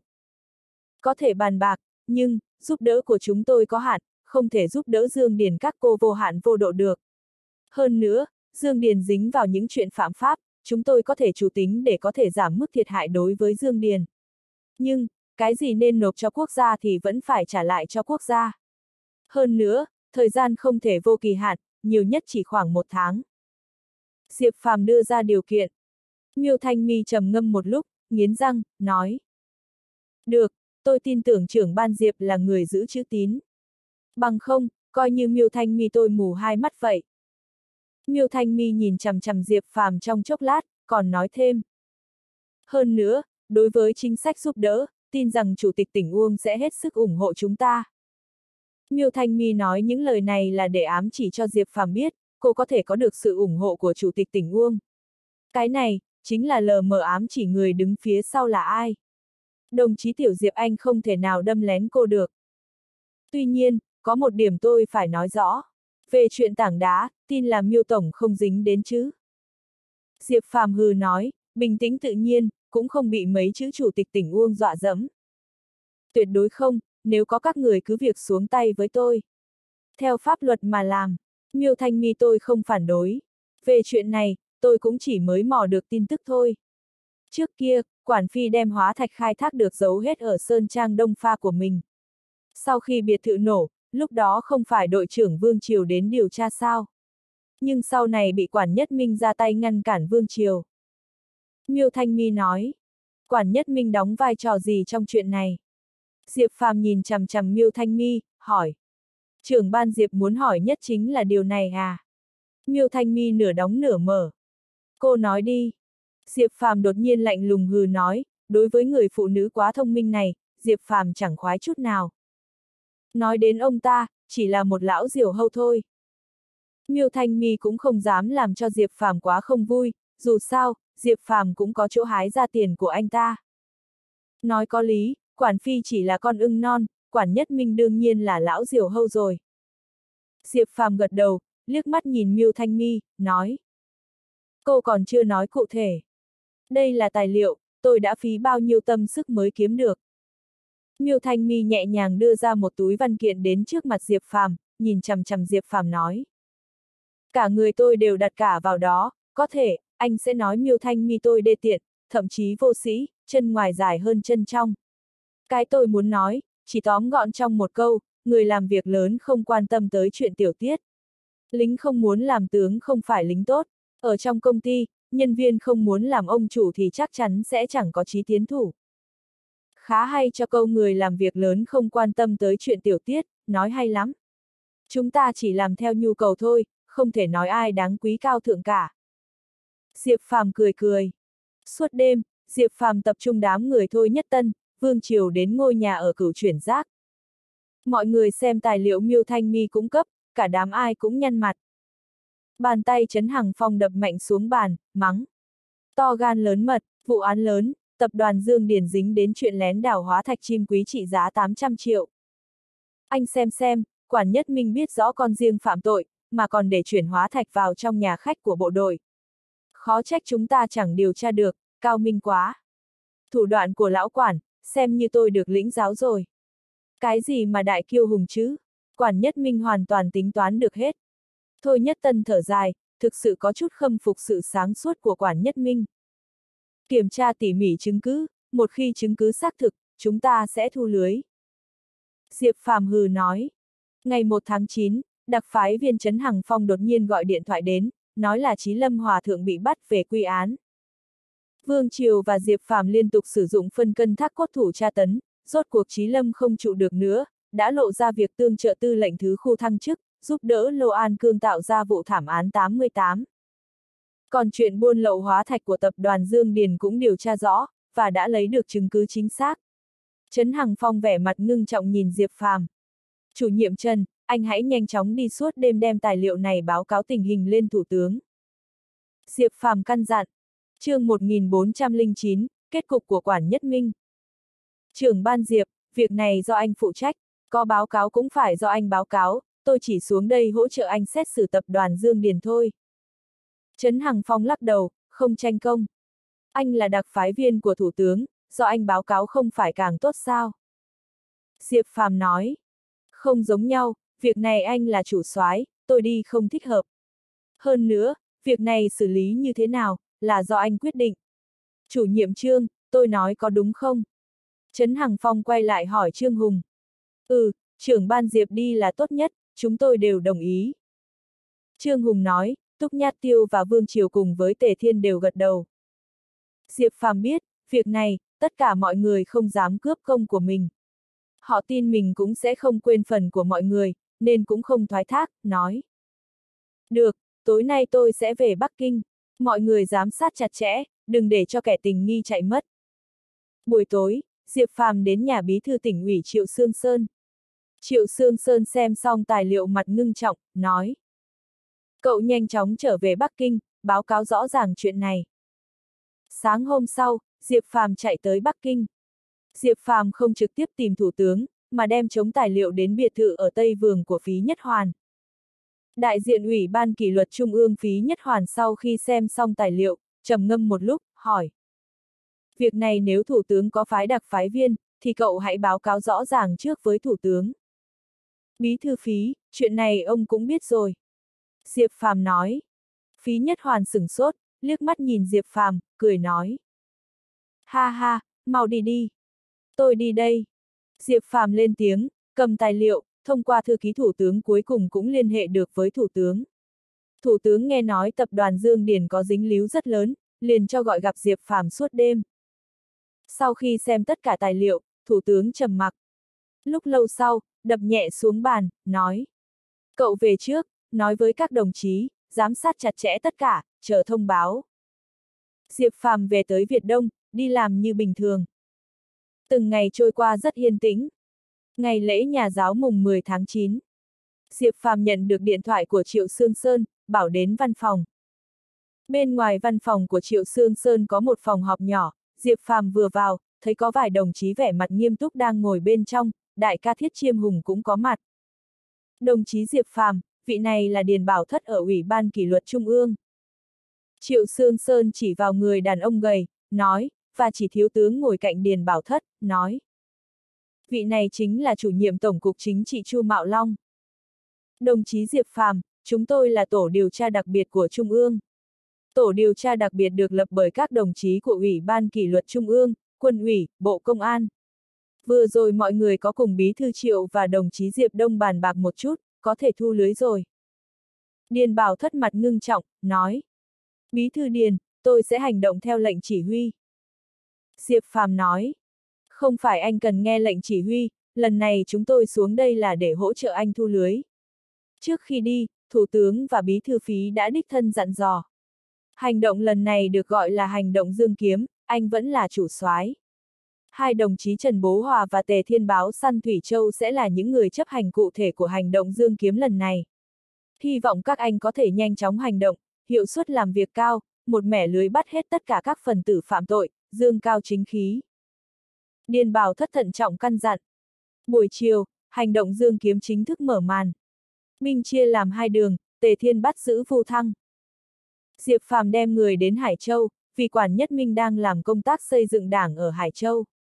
Khi Diệp Phàm đến Đại hội thành phố Hải Châu, quản nhất Minh đang dõng rạch phát biểu tư tưởng đoan chính cổ vũ các đồng chí, thái độ công tác đoan chính, tác phong đảng đoan chính, muốn làm tốt công tác xây dựng tác phong đảng trong sạch hóa bộ máy chính trị, tư tưởng phải vượt qua thử thách, tác phong phải kiên cường, tất thảy đều phải dựa vào đảng. Phó đội trưởng trung đoàn cảnh sát hình sự tỉnh đồng chí Phó Ba đứng bên ngoài nghe suýt chút nữa nôn mửa. Miệng hừ nói. Nói hay nhỉ, chó Nhật, toàn là hạng tham tiền mà còn lớn họng. Trong thể chế có không ít những cán bộ như vậy. Phó Bí Thư Thường vụ Ủy ban kỷ luật tỉnh đồng chí Vu Trí Hải lạnh lùng hừ nói. Liếc mắt nhìn thấy Diệp Phàm, quản nhất minh hơi ngạc nhiên. Sau đó còn phát hiện đám người Vu Trí Hải, Phó Ba, quản nhất minh trong nháy mắt mặt mày hơi tái đi. Thằng nhãi này cố gắng bình phục tinh thần, tay trái hung hăng khưa khưa trên đài diễn thuyết. Nhưng, Diệp Phàm phát hiện, chán quản nhất minh đã toát ra rất nhiều mồ hôi. Bí thư quản, nhận được chỉ thị của bí thư triệu, gọi ông trở về chủ trì công tác tổ chức của ban tổ chức cán bộ tỉnh ủy. Khóe miệng Diệp Phàm hơi cong lên, như đang cười, hoặc là đang châm biếm. Tôi.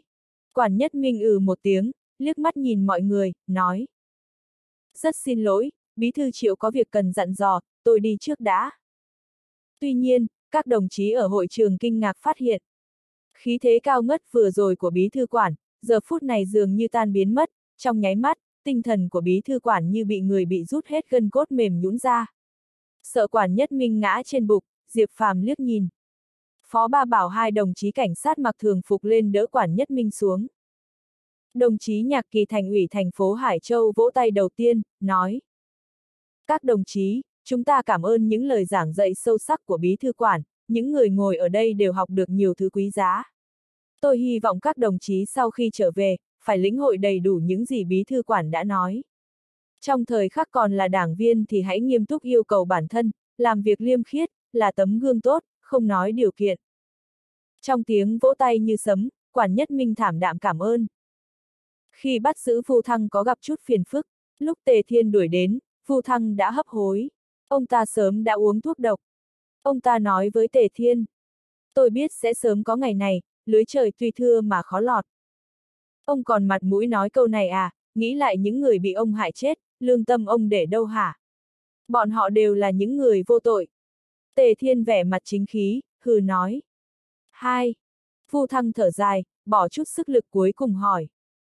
Quản nhất minh thế nào? Tôi không cam lòng, đời này, tôi còn chưa thắng được ông ta. Ông ta với ông chẳng khác gì mấy đâu, trưởng ban Diệp đã dẫn người đi Hải Châu, chắc hẳn hiện giờ cũng đã bắt được rồi. Tề Thiên Hừ nói. Vậy là tốt rồi, vậy là tốt rồi. Phu Thăng đột nhiên hét lên. Ha ha ha. Sau khi cười to ba tiếng, bên miệng Vu Thăng máu chảy đen xì. Tự gây nghiệp chướng, không thể sống nữa. Túc Nhất Tiêu đứng bên cạnh lắc đầu, có chút cảm thán. Cùng với quản nhất minh xuống ngựa, là một đám tôm tép cũng nổi lên mặt nước. Thành viên tầng cao của tập đoàn Dương Điền xỉu chút nữa là bị tước hết. Đương nhiên, Miêu Thanh Mi thì chẳng hề bị kêu đi thẩm vấn. Người phụ nữ này rất giàu hoạt, sớm đã đem chứng cứ gì đó lau chùi sạch rồi, chẳng có gì cớ gì để bắt được cô ta. Cùng với việc thẩm vấn vụ án, sự thật dần nổi lên mặt nước. Điều tra được hóa thạch từ nơi treo biển nhà khác quân khu. Hóa ra địa cứ khai thác hóa thạch nằm ngay dưới tòa lầu tổng bộ của mỏ Dương Điền, thực sự là rất bí mật, khó trách đám người Diệp Phàm chẳng thể bài điều tra được chỗ khai thác hóa thạch. Vương Triều không khỏi cảm thán nói. Lục soát toàn bộ ngư đồng, không thể tưởng tượng được là nó lại nằm ngay dưới chân mình. Đời này, nói không chừng, quản phi đúng là một thiên tài. Đáng tiếc là lại đi sai đường. Bằng không, tập đoàn Dương Điền đúng là có thể hướng ra thế giới, đáng tiếc. 2. Có người đầu óc lệch lạc quá, chẳng thể nào đi được trên con đường chính đạo. Con người, không thể quá tham lam. Diệp Phàm lắc đầu, có chút tự diễu. Vẻn vẹn vài ngày, cổ phiếu tập đoàn Dương Điền đã rớt, giảm hơn 50%, hơn nữa, còn ở trên một đoạn đường lở đất, ắt hẳn tập đoàn Dương Điền đi đời rồi. Cổ phiếu của Dương Điền, có khả năng sẽ trở thành phế liệu. Phó Chủ tịch tỉnh Lâm Phong cũng rất lo lắng, tập đoàn Dương Điền là tập đoàn lớn được xếp số 1 trong toàn tỉnh, sự trưởng thành của nó ảnh hưởng trực tiếp đến Lâm Phong, hơn nữa Lâm Phong là Phó Chủ tịch thường trực tỉnh, giúp đỡ Chủ tịch tỉnh Uông Chính Tiền nắm mặt kinh tế là nhiệm vụ của ông. Dương Điền đổ chắc hẳn sẽ đem đến cho tỉnh ủy và ủy ban nhân dân tỉnh một loạt những phiền phức. Không cần nói những chuyện khác, chỉ nói đến hơn 10.000 người thất nghiệp là đã đủ gây sức ép cho tỉnh ủy và ủy ban nhân dân tỉnh. Chất phóng xạ bắn ra thì cũng ảnh hưởng đến vấn đề ăn uống của mấy chục ngàn người. Tuy nhiên, Tổ điều tra Trung ương vẫn còn đóng quân tại Việt Đông, lúc này là thời kỳ cực kỳ quan trọng, Lâm Phong chỉ có thể lo lắng xuông chứ không dám rét ai. Sợ vì chuyện này mà làm cấp trên nổi giận thì phiền phức. Tuy nhiên, nhìn thấy giá cổ phiếu tập đoàn Dương Điền chỉ còn 3 phần lúc ban đầu. Lâm Phong rốt cuộc không ngồi yên, ông đích thân đến tìm Diệp Phàm, vì, lần này Diệp Phàm là chủ soái của tổ liên hợp điều tra. Nếu Diệp Phàm có thể ra mặt trợ giúp nói với cấp trên mấy câu, có lẽ tập đoàn Dương Điền có khả năng được cứu sống. Chứ cứ để chuyện này phát triển thêm, Dương Điền sẽ sụp đổ. Trưởng ban Diệp, chuyện điều tra tôi không hỏi, đó là phạm chủ công tác của các anh. Chỉ có điều, hiện trạng của tập đoàn Dương Điền các anh cũng rõ, không thể kéo dài thêm nữa, kéo dài thêm Dương Điền sẽ đổ thật. Sáng nay Chủ tịch tỉnh Uông cũng có chút lo lắng, tập đoàn Dương Điền là doanh nghiệp lớn ở tỉnh chúng ta. Có tầm quan trọng không thể thiếu trong việc phát triển kinh tế. Lâm Phong sau khi ngồi xuống, trà còn chưa kịp uống, nói thẳng. Tuy kết giao giữa ông và Diệp Phàm ngày càng thâm sâu, hai người cũng đã cùng bước chân lên một thuyền, cho nên, nói chuyện cũng rất thoải mái. Chuyện này tôi cũng đang lo lắng, tuy nói tôi làm công tác tổ chức. Nhưng tôi biết một doanh nghiệp lớn mà sụp đổ ảnh hưởng lớn đối với chính phủ, đặc biệt là chuyện này lại do Phó Chủ tịch tỉnh Lâm phụ trách. Tôi có nói với các đồng chí tổ điều tra, bọn họ cũng tỏ vẻ sẽ chiếu cố trong việc điều tra tập đoàn Dương Điền. Diệp Phàm nói, không thể kéo dài thêm nữa, đợi cấp trên điều tra xong, thì Dương Điền tiêu rồi, sao còn cứu sống được. Lâm Phong nhanh chóng cau mày, nhìn Diệp Phàm, nói thêm.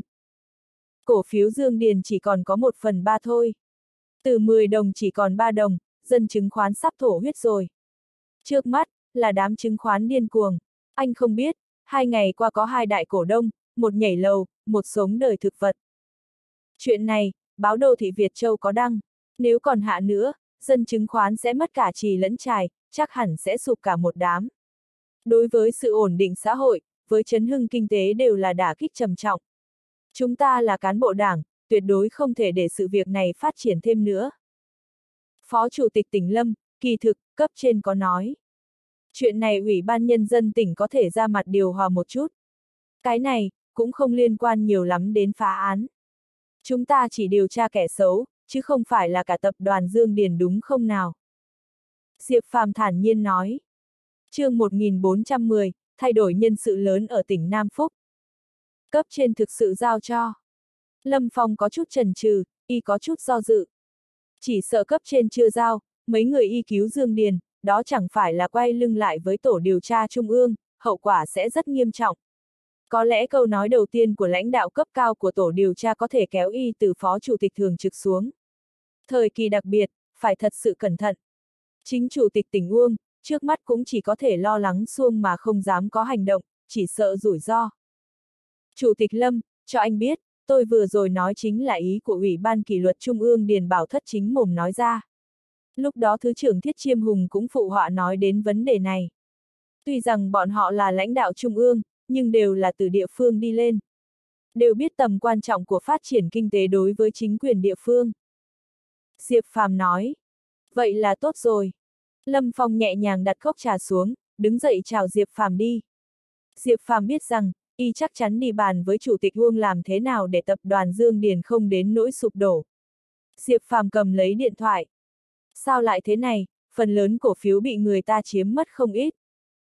Miêu Thanh Mi một phụ nữ lớn tuổi, mặt mày nhăn nhó hướng về phía một người đàn ông trung niên nói.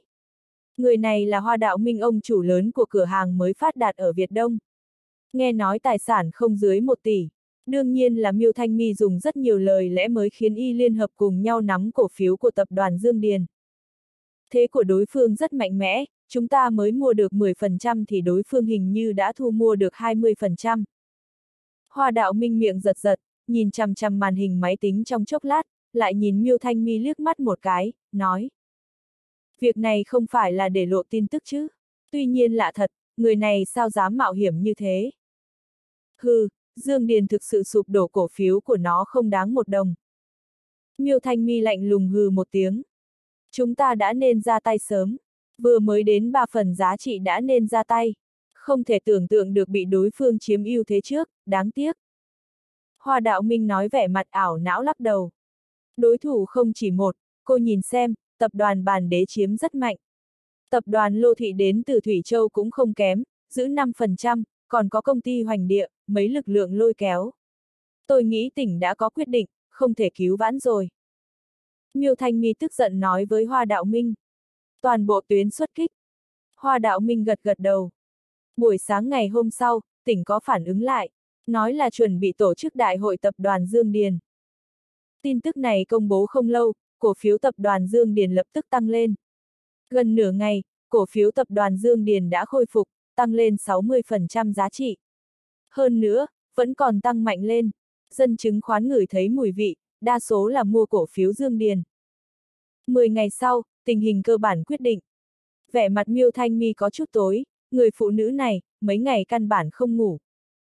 Tổng Giám đốc Miêu, nói riêng về cổ phần, chúng ta liên hợp cũng có 3 phần, hẳn là cổ đông lớn nhất của Dương Điền.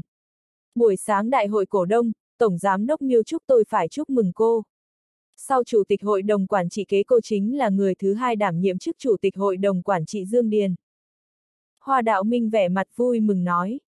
May mắn chúng ta ra tay, tập đoàn bàn đế và tập đoàn lô thị hình như tác động chậm không đủ. Có lẽ là không tự tin không dám bỏ sức mới làm cho chúng ta đoạt được ưu thế.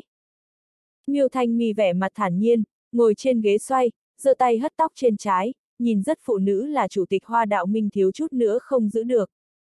Tuy nhiên, Hoa Đạo Minh biết rõ, người phụ nữ này hoàn cảnh rất thần bí, nhà cô hình như cùng chủ tịch tỉnh Uông chính tiền có quan hệ gì đó. Thậm chí, Hoa Đạo Minh đoán, khả năng Miêu Thanh Mi chính là người bí mật của chủ tịch Uông. Đối với người bí mật của chủ tịch tỉnh, Hoa Đạo Minh không dám hồ đồ có suy nghĩ gì khác. Tổng Giám đốc Miêu, đại hội cổ đông đã bắt đầu rồi, chúng ta có phải là nên xuất phát?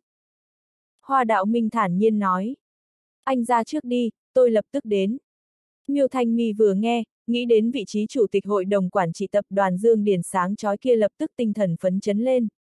Hoa Đạo Minh đi trước, tất nhiên là chừa chút thời gian để Miêu Thanh Mi trang điểm. 10 giờ sáng, tập đoàn Dương Điền tổ chức đại hội cổ đông. Phòng hội nghị trong trụ sở tập đoàn Dương Điền đã chuẩn bị sẵn sàng.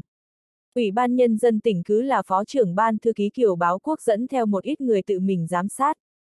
Miêu Thanh Mi vẻ mặt tươi cười, cùng mấy người hoa đạo minh chậm rãi đi vào phòng họp. Cổ đông cũ và cổ đông mới của tập đoàn Dương Điền đều nhiệt liệt vỗ tay. Tránh văn phòng tập đoàn Dương Điền Lý Tân Tống vốn là người của Miêu Thanh Mi. Trước tiên có được tin tức, y cầm lấy mic nói. Hoan nghênh Chủ tịch Hội đồng Quản trị Tập đoàn Dương Điền Mim phát biểu. Lập tức trong phòng hội nghị vỗ tay như sấm dậy. Trưởng ban thư ký Kiều, anh là lãnh đạo ủy ban nhân dân, mời ngồi. Miêu Thanh Mi hiểu rõ lễ nghĩa, lúc này không vì thắng cuộc mà choáng váng đầu óc, lễ phép mời Kiều Báo Quốc ngồi vào vị trí chủ tịch hội đồng quản trị. Dù sao, Kiều Báo Quốc là đại diện cho chính phủ và đất nước.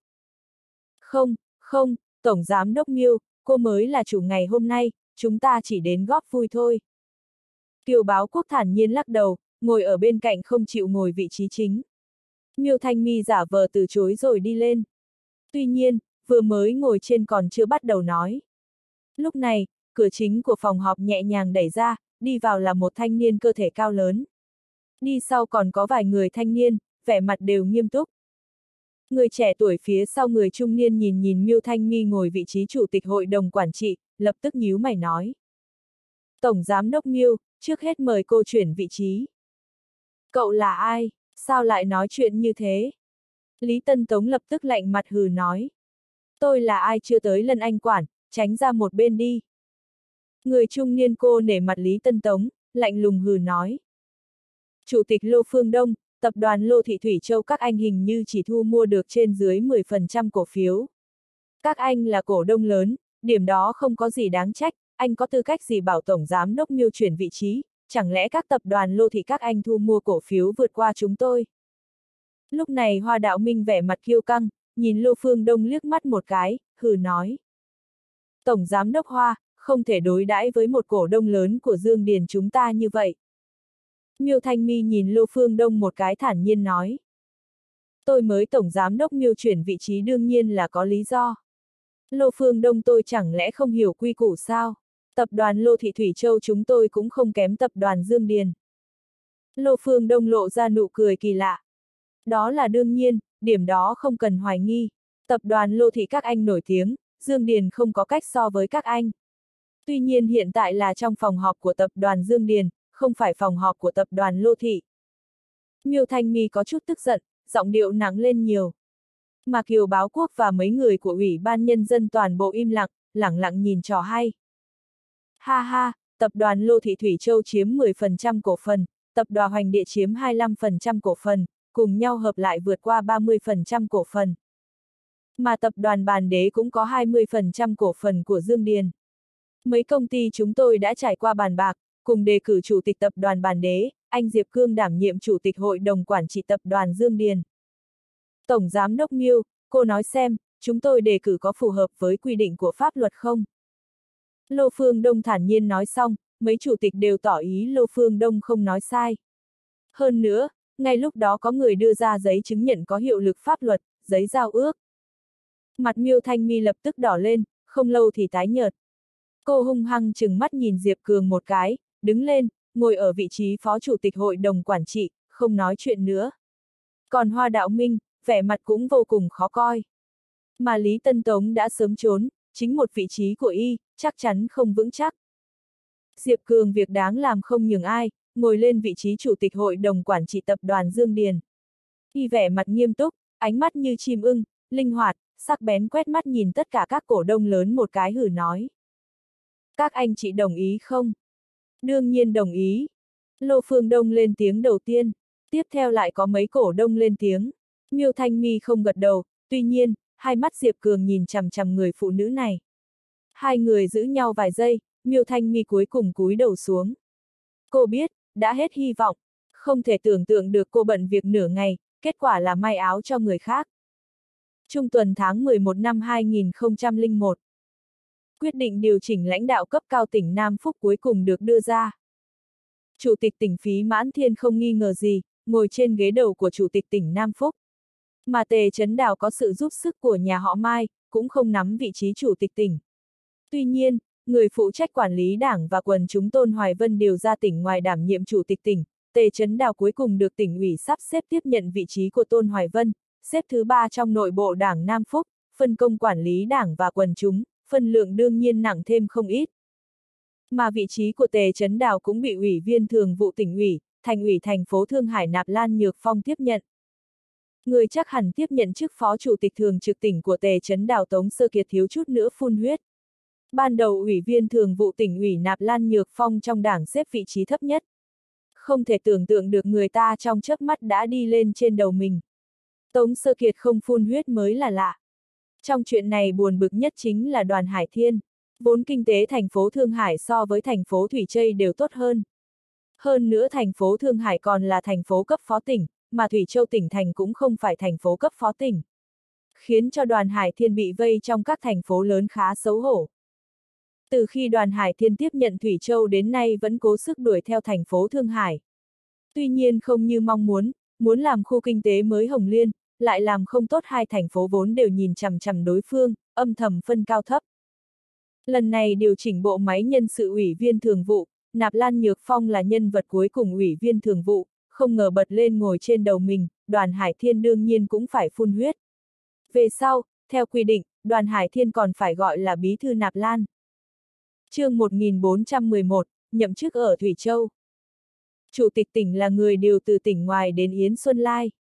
Nghe nói là tới từ nhà họ Yến ở Bắc Kinh, người cầm lái của bọn họ chính là Phó Thủ tướng Yến Vân. Khắp nơi đều chú ý, chờ xem phí mãn thiên nhà họ phí và Yến Vân nhà họ Yến hai người vật tay sốt cuộc là gió đông thổi bạt gió tây hay là gió tây thổi bật gió đông. Khắp nơi đều mỏi mắt mong chờ. Điều chỉnh bộ máy tỉnh Nam Phúc điều chỉnh qua chưa đến một tháng, trung tuần tháng 12, Diệp Phàm nhận được điện thoại của phí nhất độ, nói là cha anh ta bảo Diệp Phàm đến gặp, Diệp Phàm không biết là vì chuyện gì, xin nghỉ đi Bắc Kinh. Phí Nhất Hoàn tiếp Diệp Phàm ở biệt thự Tây Vườn. Phí Nhất Độ đích thân đến sân bay đón Diệp Phàm, lái xe thẳng đến Tây Vườn. Biệt thự Tây Vườn là nhà nước cấp cho cán bộ, có thể ở lại đây là cán bộ cao cao, ít nhất cũng là cấp phó nhà nước nghỉ hưu. Hơn nữa phải thực chức, chứ không bao gồm những người hưởng chế độ đãi ngộ cấp phó quốc, hoặc là cấp phó quốc gia chui trong gầm cầu cũng chưa có cách đến chỗ này. Ở trong này, canh phòng nghiêm, tuy nhiên, có phí nhất độ dẫn đường, cũng thuận lợi vào biệt thự. Phí nhất độ trực tiếp dẫn Diệp Phàm vào phòng phí nhất hoàn, Diệp Phàm đã hiểu phí nhất hoàn có chuyện quan trọng nói với mình. Bình thường lãnh đạo đồng ý tiếp anh trong phòng làm việc, đều là nói chuyện nghiêm túc quan trọng. Hơn nữa, có thể đi vào phòng làm việc trong nhà lãnh đạo, phận lượng của anh trong cảm nhận của lãnh đạo đương nhiên cũng nặng lên. Lần trước phá thảm án 88 Diệp Phàm khéo léo tặng nhà họ phí một đại ân tình. Cho nên phí nhất hoàn cũng chia một ly canh, khiến cho y một uy tín khá cao trong đảng, vô hình chung cũng tăng thêm việc y chính thức trở thành nhà lãnh đạo quốc gia. Phòng làm việc của phí nhát hoàn có phong cách cổ kính, tất cả ghế đều là đồ gỗ cổ. Không có ghế xoay thoải mái hay những đồ hiện đại.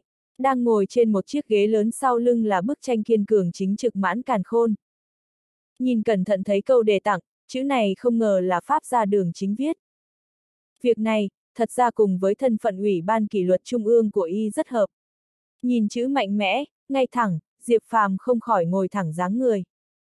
Phí Nhất Hoàn nghi Diệp Phàm kể rõ quá trình điều tra thảm án 88 xong, lại hỏi một chút tình hình Việt Đông. Về sau, Phí Nhất Hoàn bắt đầu nhắm mắt dưỡng thần, Diệp Phàm biết y tự hỏi cái gì, xem ra việc này có liên quan đến chính mình. Cũng không quấy dày, im lặng chờ một trong chín người đứng đầu của đất nước lên tiếng. Nghe nói cậu không muốn ở ban tổ chức cán bộ. Phí Nhất Hoàn hỏi. Việc này, thật sự là đúng thế, ban tổ chức cán bộ tuy nói quyền lực nhiều, nhưng tôi muốn làm việc gì đó thực tế. Cụ thể một chút, là việc thực tế. Diệp Phàm vẻ mặt đứng đắn, ngồi thẳng lưng, nói. Làm công tác tổ chức không phải thực tế sao? Phí Nhất Hoàn nghiêm mặt, hừ nói. Cũng là thực tế nhưng phạm vi rất nhỏ. Tôi muốn không gian lớn hơn để phát huy, cả ngày làm công tác tổ chức nhân sự phức tạp, rất phiền lòng. Diệp Phàm nói, tuyệt đối không sợ. Phí Nhất Hoàn không nói, nhắm hai mắt. Tuy nhiên, đầu ngón tay y cũng nhẹ nhàng gõ trên bàn, phát ra âm thanh cóc cóc rất nhỏ. Về Nam Phúc đi thôi. Phí Nhất Hoàn đột nhiên mở mắt nói ra một câu. Được, tôi thật sự muốn trở về. Diệp Phàm gật đầu nói. Cậu đi đi. Phí Nhất Hoàn khoát tay áo, Diệp Phàm nhẹ nhàng ra ngoài, Phí Nhất Độ chờ ở phòng khách. Sau khi trở lại Việt Đông, trong lòng Diệp Phàm vẫn khá buồn bực. Phí Nhất Hoàn cũng không chỉ thị về Nam Phúc đến địa phương nào, làm Diệp Phàm luôn đoán Phí Nhất Hoàn sẽ sắp xếp cho mình vị trí gì. Nhoáng một cái đến Tết Nguyên đán năm 2002. Sau khi nghỉ về vừa mới đi làm Diệp Phàm nhận được thông báo, ban tổ chức cán bộ trung ương đến sát hạch hắn.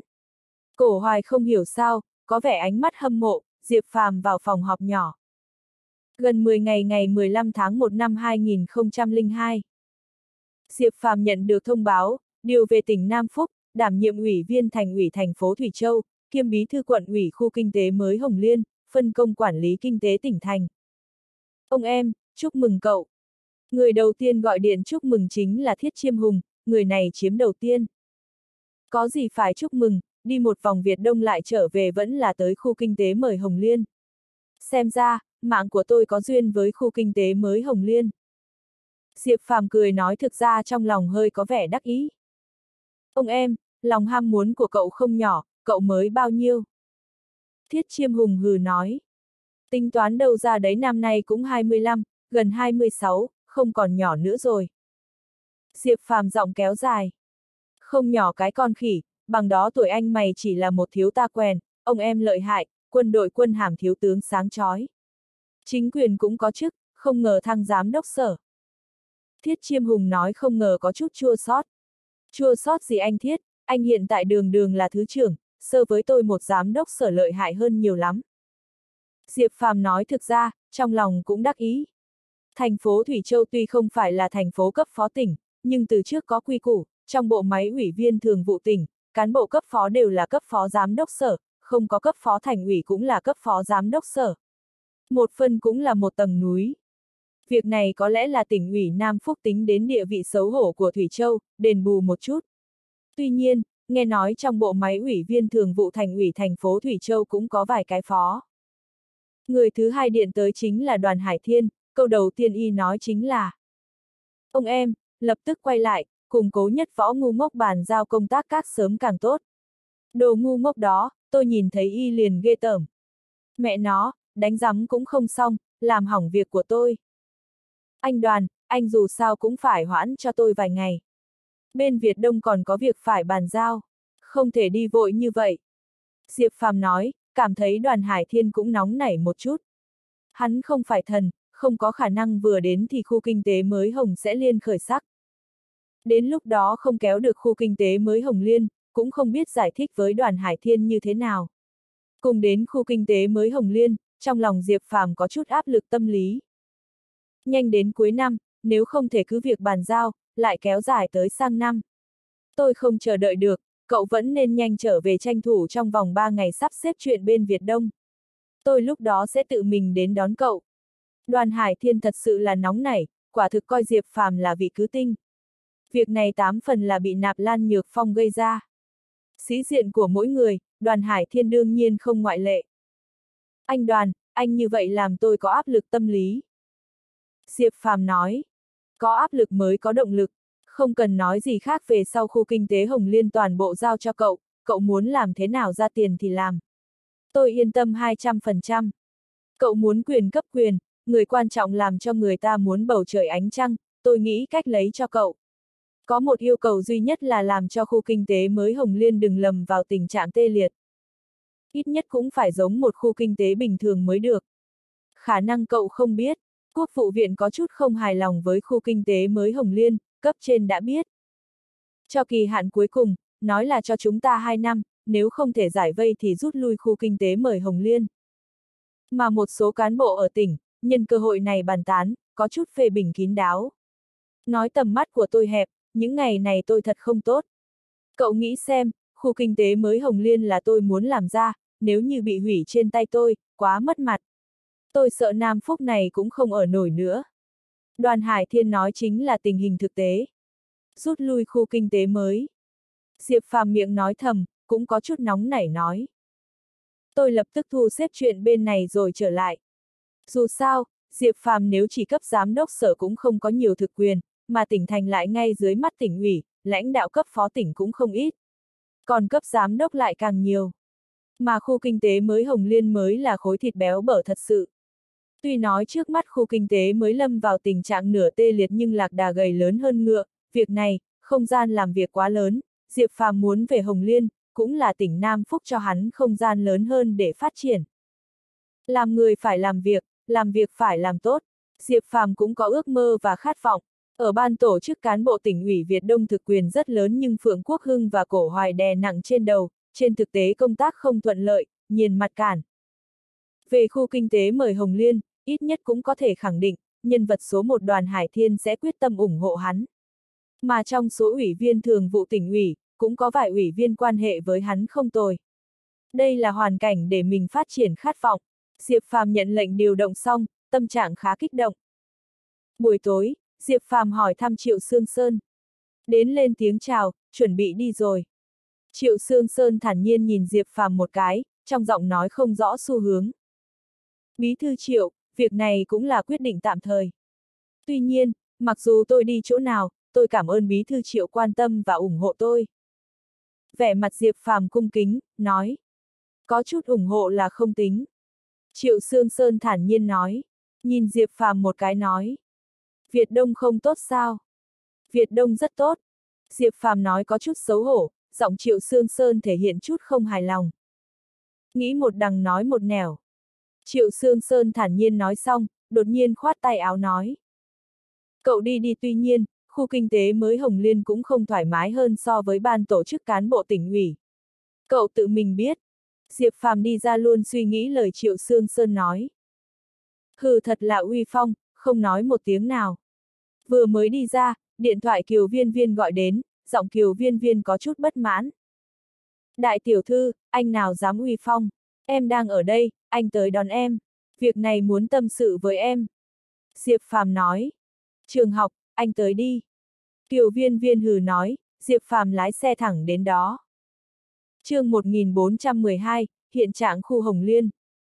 Từ xa thấy Kiều Viên Viên đứng ở cổng trường, mặc áo choàng màu đen, tóc dài bay nhẹ nhàng trong gió, trông rất hấp dẫn, lập tức làm cho nhiều người qua đường chú ý. Viên viên, đừng nóng giận, việc này hẳn là em đã sớm biết, còn không nói với anh. Diệp Phàm mỉm cười nói. Em không biết, ba không nói với em. Và lại, anh là một cán bộ cấp sở, căn bản là khó lọt vào mắt ba em. Việc này không tới tay ba em giải quyết. Kiều viên viên nói ra lời này. Ha ha. Diệp Phàm cười gượng một tiếng, nói. Đúng đúng là anh là một cán bộ cấp sở đương nhiên không thể được trưởng ban Kiều để trong mắt. Một cục trưởng của ban tổ chức cán bộ trung ương cũng có thể quyết định cho anh. Biết sức nặng của chính mình rồi sao? Tuy nhiên, em chỉ sợ một số người tự cao tự đại, nghĩ đất nước này này là của riêng hắn, rồi cũng có lúc sẽ ngã đau thôi. Kiều viên viên lườm Diệp Phàm một cái, thái độ dịu đi rất nhiều, về sau có chút chua xót, hừ nói. Là đại tiểu thư Phượng quan tâm chứ gì. Biết anh không đến nhờ em, Phượng tiểu thư người ta lợi hại chẳng những chuyển vị trí cho anh, còn trả cho anh trước anh muốn, hừ hừ, có phải không? Thì ra là thế, Diệp Phàm trong lòng giật mình Kiều Viên Viên đang ghen, tuy nhiên Diệp Phàm không muốn giải thích, nếu nói là nhà họ phí tác động càng phiền toái. Hắn cứng rắn kéo Kiều Viên Viên vào xe, Kiều Viên Viên hét lên. Anh muốn làm gì? Đó là vì Diệp Phàm không có cách trả lời cô, cô cho rằng Diệp Phàm trột dạ muốn nói sang chuyện khác. Anh bạn, muốn đánh có phải không? Buông cô giáo Kiều ra. Lúc này chắc là bạn đồng nghiệp của Kiều Viên Viên, một người thanh niên đứng bên cạnh chạy lại chỉ vào Diệp Phàm quát. Liên quan gì đến anh, tôi nói chuyện với vợ tôi, anh đứng cạnh nói linh cái gì? Diệp Phàm tức giận, khá khó chịu, đẩy người thanh niên một cái người thanh niên thiếu chút nữa ngã xuống đất. Mẹ nó, dám đánh tôi. Người thanh niên nổi giận, một quyền hướng vào Diệp Phàm thân thủ khá nhanh nhẹ. Đừng ra tay, anh ấy là.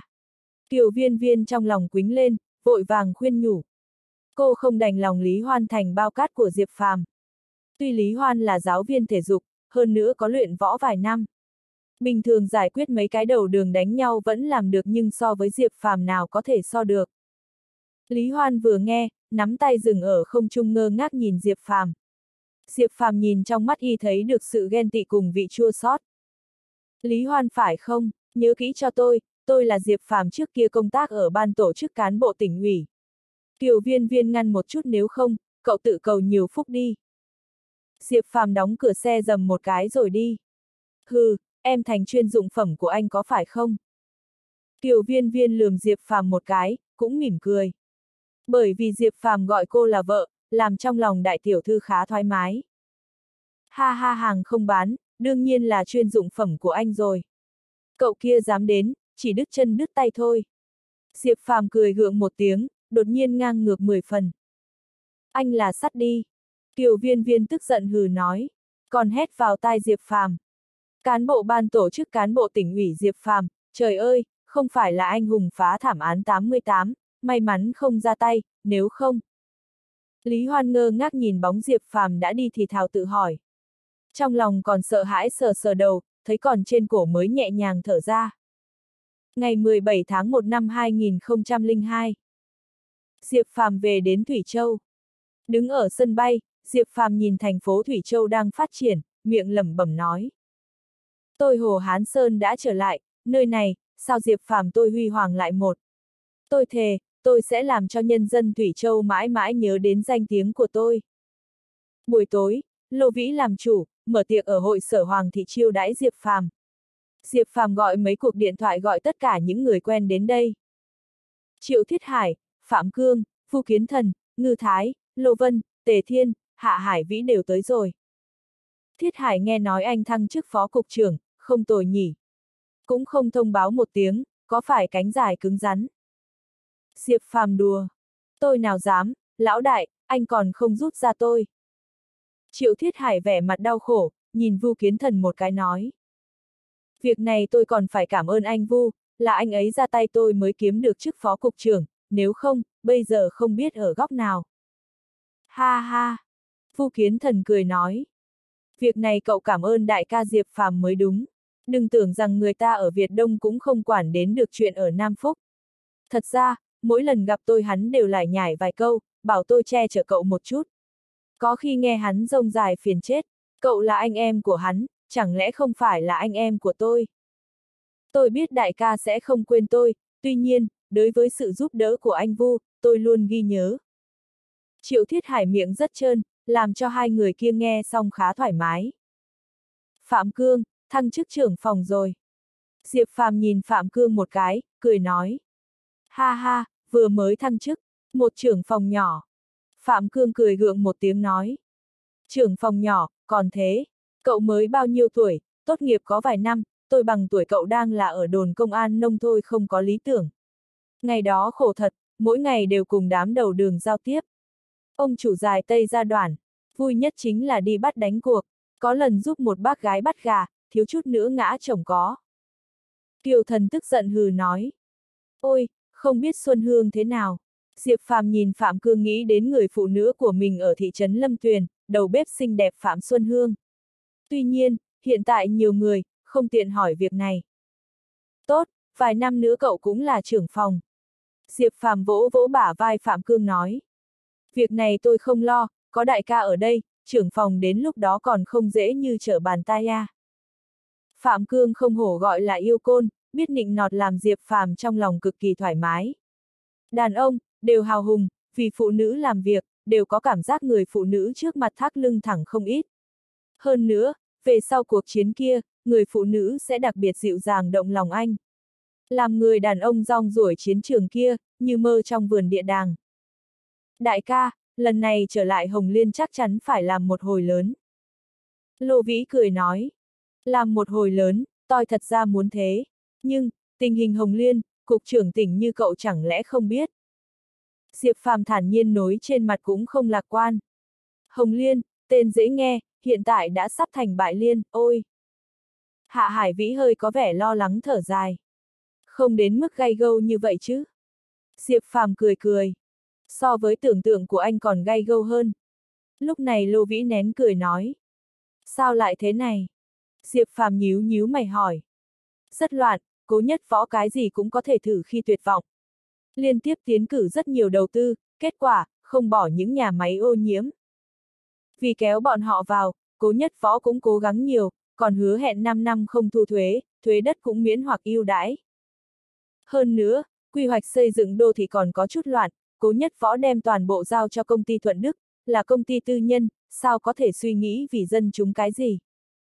Trong mắt bọn họ chỉ có lợi ích, kết quả là nhà mới xây dựng đường phố cũng lung tung lộn xộn, căn bản là bất hợp lý. Không được nhất chính là bờ sông Hồng Liên bị các nhà máy ô nhiễm nghiêm trọng gây rối loạn. Dòng sông Hồng Liên hiện đều thành bãi rác. Lô Vĩ thở dài nói. Đúng vậy, mẹ kiếp, lần trước tôi đến một tiểu khu gần bờ sông Hồng Liên phá ná. Không nghĩ thiếu chút nữa rơi xuống sông. Triệu Thiếu Hải cam giận nói tục. Ban ngày, cậu là người sống, sao lại rơi xuống sông? Thiết Hải cậu không phải càng sống càng thụt lùi chứ? Diệp Phàm căn bản không tin lắc lắc đầu. Anh Diệp không tin có phải không? Khi nào anh đi thử xem? Triệu Thiết Hải cười trộm một tiếng. Rốt cuộc chuyện gì thế này? Diệp Phàm nhíu nhíu mày hỏi. Sao lại thế? Chỗ đó sông khá hẹp, chắc chí còn lại 20 phân đến 1 mét chiều rộng. Kết quả, đều bị rác của các khu bên cạnh chiếm hết, sông đều là tầng tầng rác rưởi, túi nhựa, hộp thức ăn nhanh, cái gì đều có. Căn bản là nhìn không thấy sông. Tôi lúc đó tưởng là đống rác, cũng không để ý, dẫm lên. Đi vài bước, bị lún chân xuống mới biết. May mắn người đi sau hô to một tiếng bằng không, thật đúng là rơi vào sông thối đầy rác rưởi. Triệu Thiết Hải nói đến đâu còn bảo mình xui xẻo. Còn có cá không, con rán thật ra thành đôi. Phạm Cương cười cười. Không phải rất được đoàn Hải Thiên quan tâm sao? Diệp Phàm có chút không rõ, hỏi Lô Vĩ. Có quan tâm được suốt không, có nhiều việc phải làm, sao có thể đến thăm. Và lại, việc này là chuyện riêng của cố nhất võ, người chỉ huy chỉ quản súng, không thể đến chuyện cấp đạn cũng lo. Thế thì cần cố nhất võ làm gì? Thêm nữa chủ tịch thành phố Thủy Châu Chu Sâm Mộc cũng là người mạnh mẽ, cứng rắn, đoàn Hải Thiên tuy là ủy viên thường vụ tỉnh nhưng, Chu Sâm Mộc cũng xứng đáng là cán bộ cấp phó tỉnh. Đoàn Hải Thiên không phải sống thoải mái. Hơn nữa trong mắt tỉnh ủy dù sao cũng phải e dè. Hạ Hải Vĩ nói xong, buồn nhấp chén rượu. Buổi sáng ngày hôm sau Diệp Phàm đến ban tổ chức cán bộ tỉnh ủy báo tin. Trưởng ban Lô Minh Châu tự mình tiếp Diệp Phàm, giải thích công việc hỏi Diệp Phàm khi nào thì đi xuống. Diệp Phàm nhìn đồng hồ, nói là nếu có thể đi lập tức đi xuống.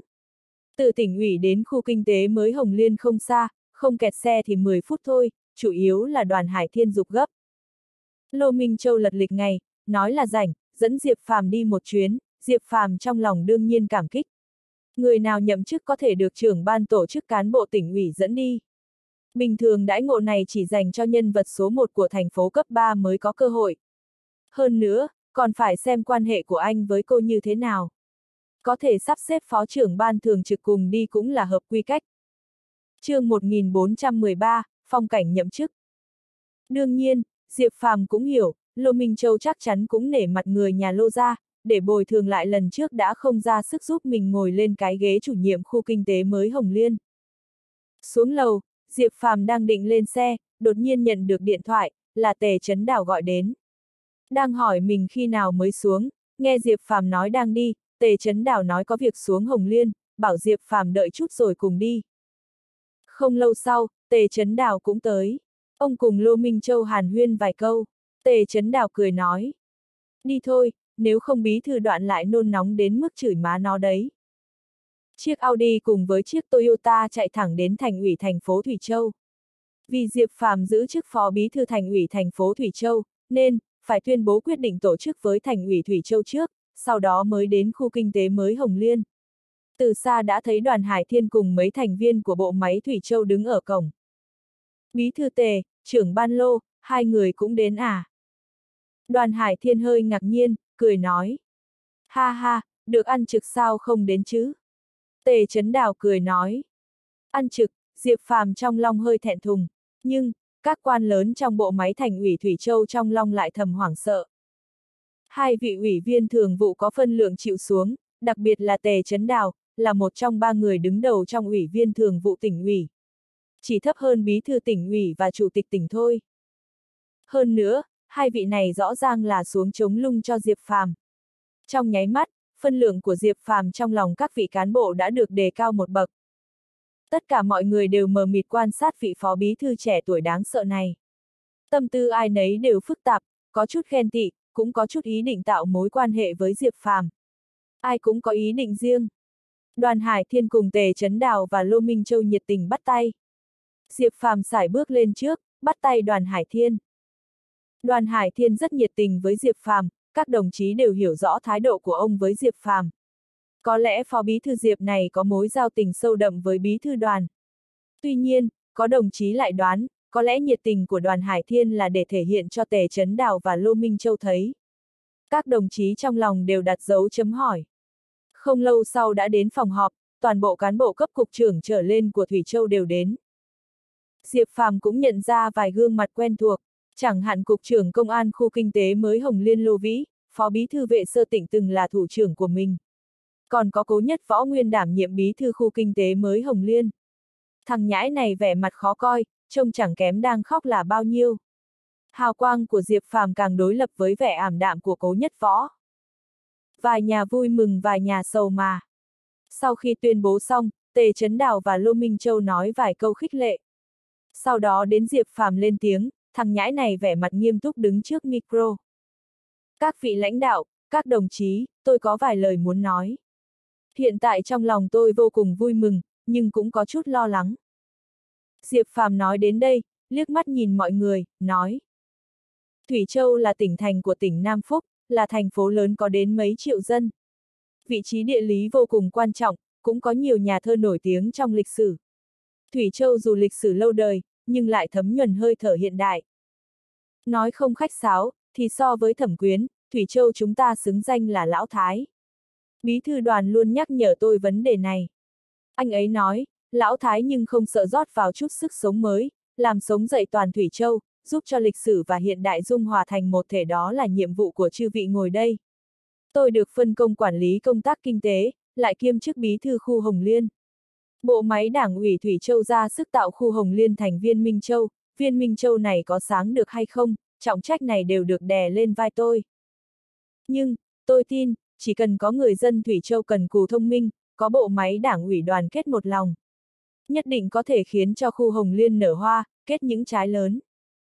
Tề chấn đào vỗ tay đầu tiên, lập tức cả phòng họp tiếng vỗ tay như sấm, kéo dài không dứt. Buổi chiều sau khi tiến lãnh đạo tỉnh ủy, giữa trưa cũng không nghỉ ngơi, đoàn Hải Thiên và Diệp Phàm chính thức nói chuyện. Diệp Phàm, đúng như cậu đã nói, gánh nặng đè lên vai cậu. Khu Hồng Liên có nở hoa kết quả hay không, trọng trách toàn bộ đều đè lên vai cậu. Thủy Châu là tỉnh thành, bên dưới có 6 khu, 2 thị xã, 6 huyện, tổng cộng có 14 khu hành chính. Dân số 8 triệu người, dân bản xứ có 4 triệu. Ngoài ra nhân khẩu lưu động chắc hẳn không dưới 6-7 triệu. Ở tỉnh thành có 6 nội khu, khu Hồng Liên các cậu đặc biệt hơn một chút, là đơn vị cấp phó giám đốc sở, cao hơn so với 5 khu khác nửa cấp. Về nhân khẩu, khu Hồng Liên có khoảng 1 triệu 200 nhân khẩu, các khu khác, nhiều nhất chỉ có chưa đến 800 ngàn nhân khẩu. Ít nhất là khu Đài Tây chỉ có hơn 400 ngàn nhân khẩu. Đó là vì khu Hồng Liên được sát nhập từ ba khu Thiên Đông, Hoành Đô, Mã Cảng.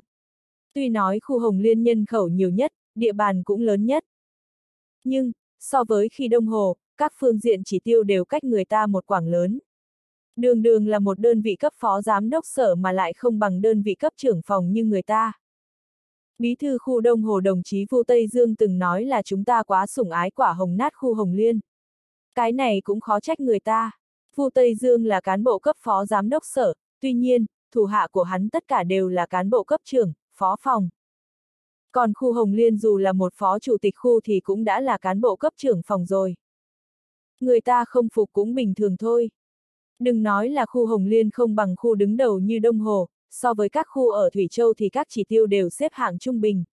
Lại thêm các thị xã cấp dưới cũng xếp hạng quá xa. Em cũng có tìm hiểu qua, khu Hồng Liên hiện tại xếp hạng thứ 8, quả là một việc đáng xấu hổ. Các chỉ tiêu của khu Hồng Liên đúng là hoàn toàn không tương xứng.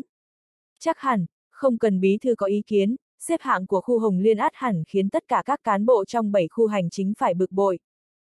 Diệp Phàm vẻ mặt ngưng trọng, nói. Việc này cũng là bình thường, phải ưỡn thẳng lưng, phải thể hiện sức mạnh của mình, chứ nói xuông thì không làm người khác nể được đâu. Thời buổi này, trong thể chế, tất cả đều do số liệu cấu thành. Ánh mắt của mọi người đều nhìn chằm chằm vào mình đấy. Đoàn Hải Thiên nói. Sau đó, Chủ tịch thành phố Thủy Châu đồng chí Đồng Sâm Mộc cùng Diệp Phàm nói chuyện phiếm. Nội dung cũng chẳng khác những gì đoàn Hải Thiên nói là mấy. Chu Sâm Mộc này vẻ mặt bình tĩnh làm Diệp Phàm không thể nào nhìn thấu được tâm tư. Tuy nhiên, trong giọng điệu của Chu Sâm Mộc có thể lờ mờ nhận thấy sự bất mãn đối với khu Hồng Liên, nếu trong hai năm mà khu Hồng Liên không thể nào khởi sắc chắc hẳn sẽ bị tách ra thành ba khu như ban đầu.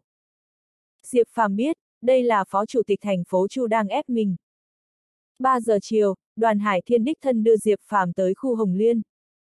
Đồng chí chủ nhiệm khu Hồng Liên Trương Lăng Nguyên đã đem các đồng chí lãnh đạo trong bộ máy khu Hồng Liên đứng ở cổng.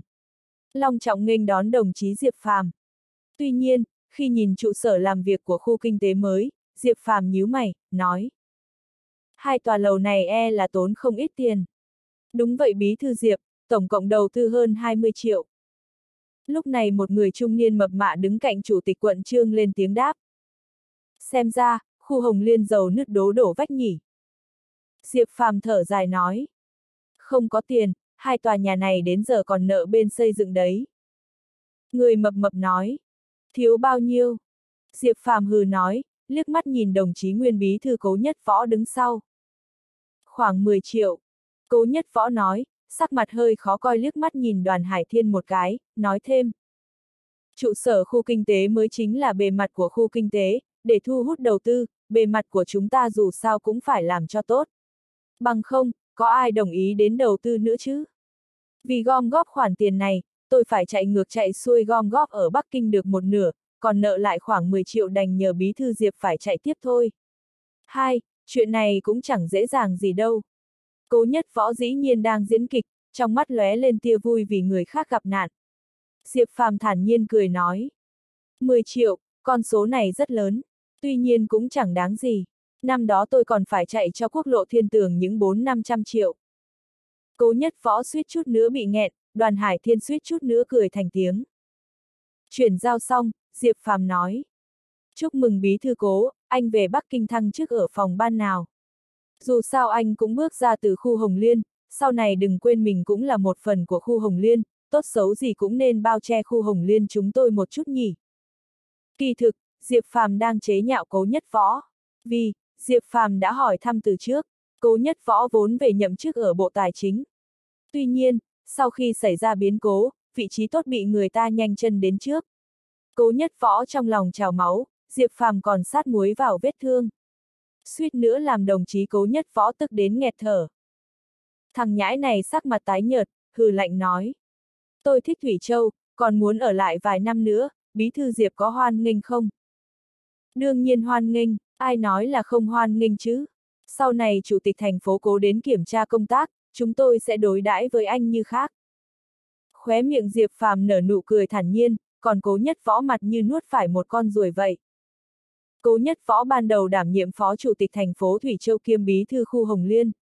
Giờ bị rớt trước bên khu Hồng Liên, chức phó chủ tịch thành phố Thủy Châu cũng không có chữ thường, không nằm trong tầng trung tâm thì có quyền lực quái gì để khoe khoang. Một phó chủ tịch xếp đáy thì đã là cái dám gì. Ngay đến mấy phó bí thư của khu Hồng Liên cũng đều là cán bộ cấp phó giám đốc sở rồi, cố nhất võ lấy ai để ra oai nữa. Mở cuộc họp ở khu Hồng Liên, đoàn Hải Thiên chỉ nói một câu. Tất cả nghe theo chỉ huy của đồng chí Diệp Phàm.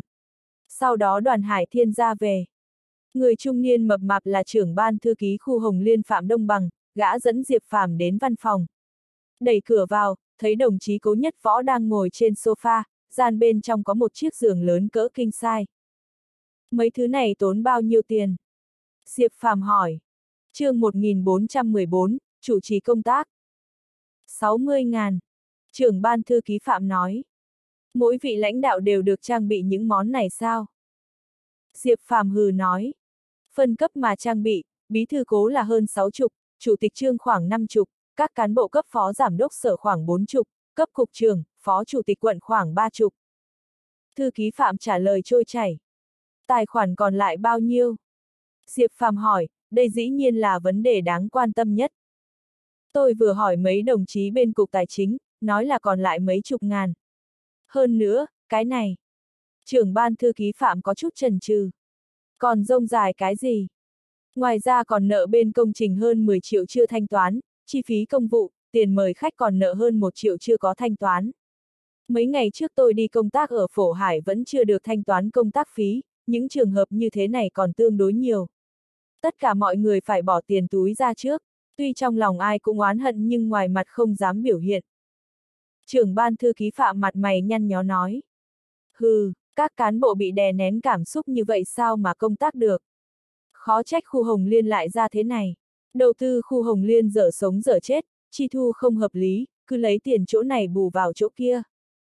Giọng điệu Diệp Phàm ngày càng ngưng trọng. Cái này, hai. Phạm Đông Bằng thở dài một tiếng không nói. Năm ngoái tôi về, nghe nói bên truyền thông Giang Nam đang hợp tác dự án với công ty Hong Kong. Lúc ấy không phải nói sẽ xây dựng một tòa lầu lớn.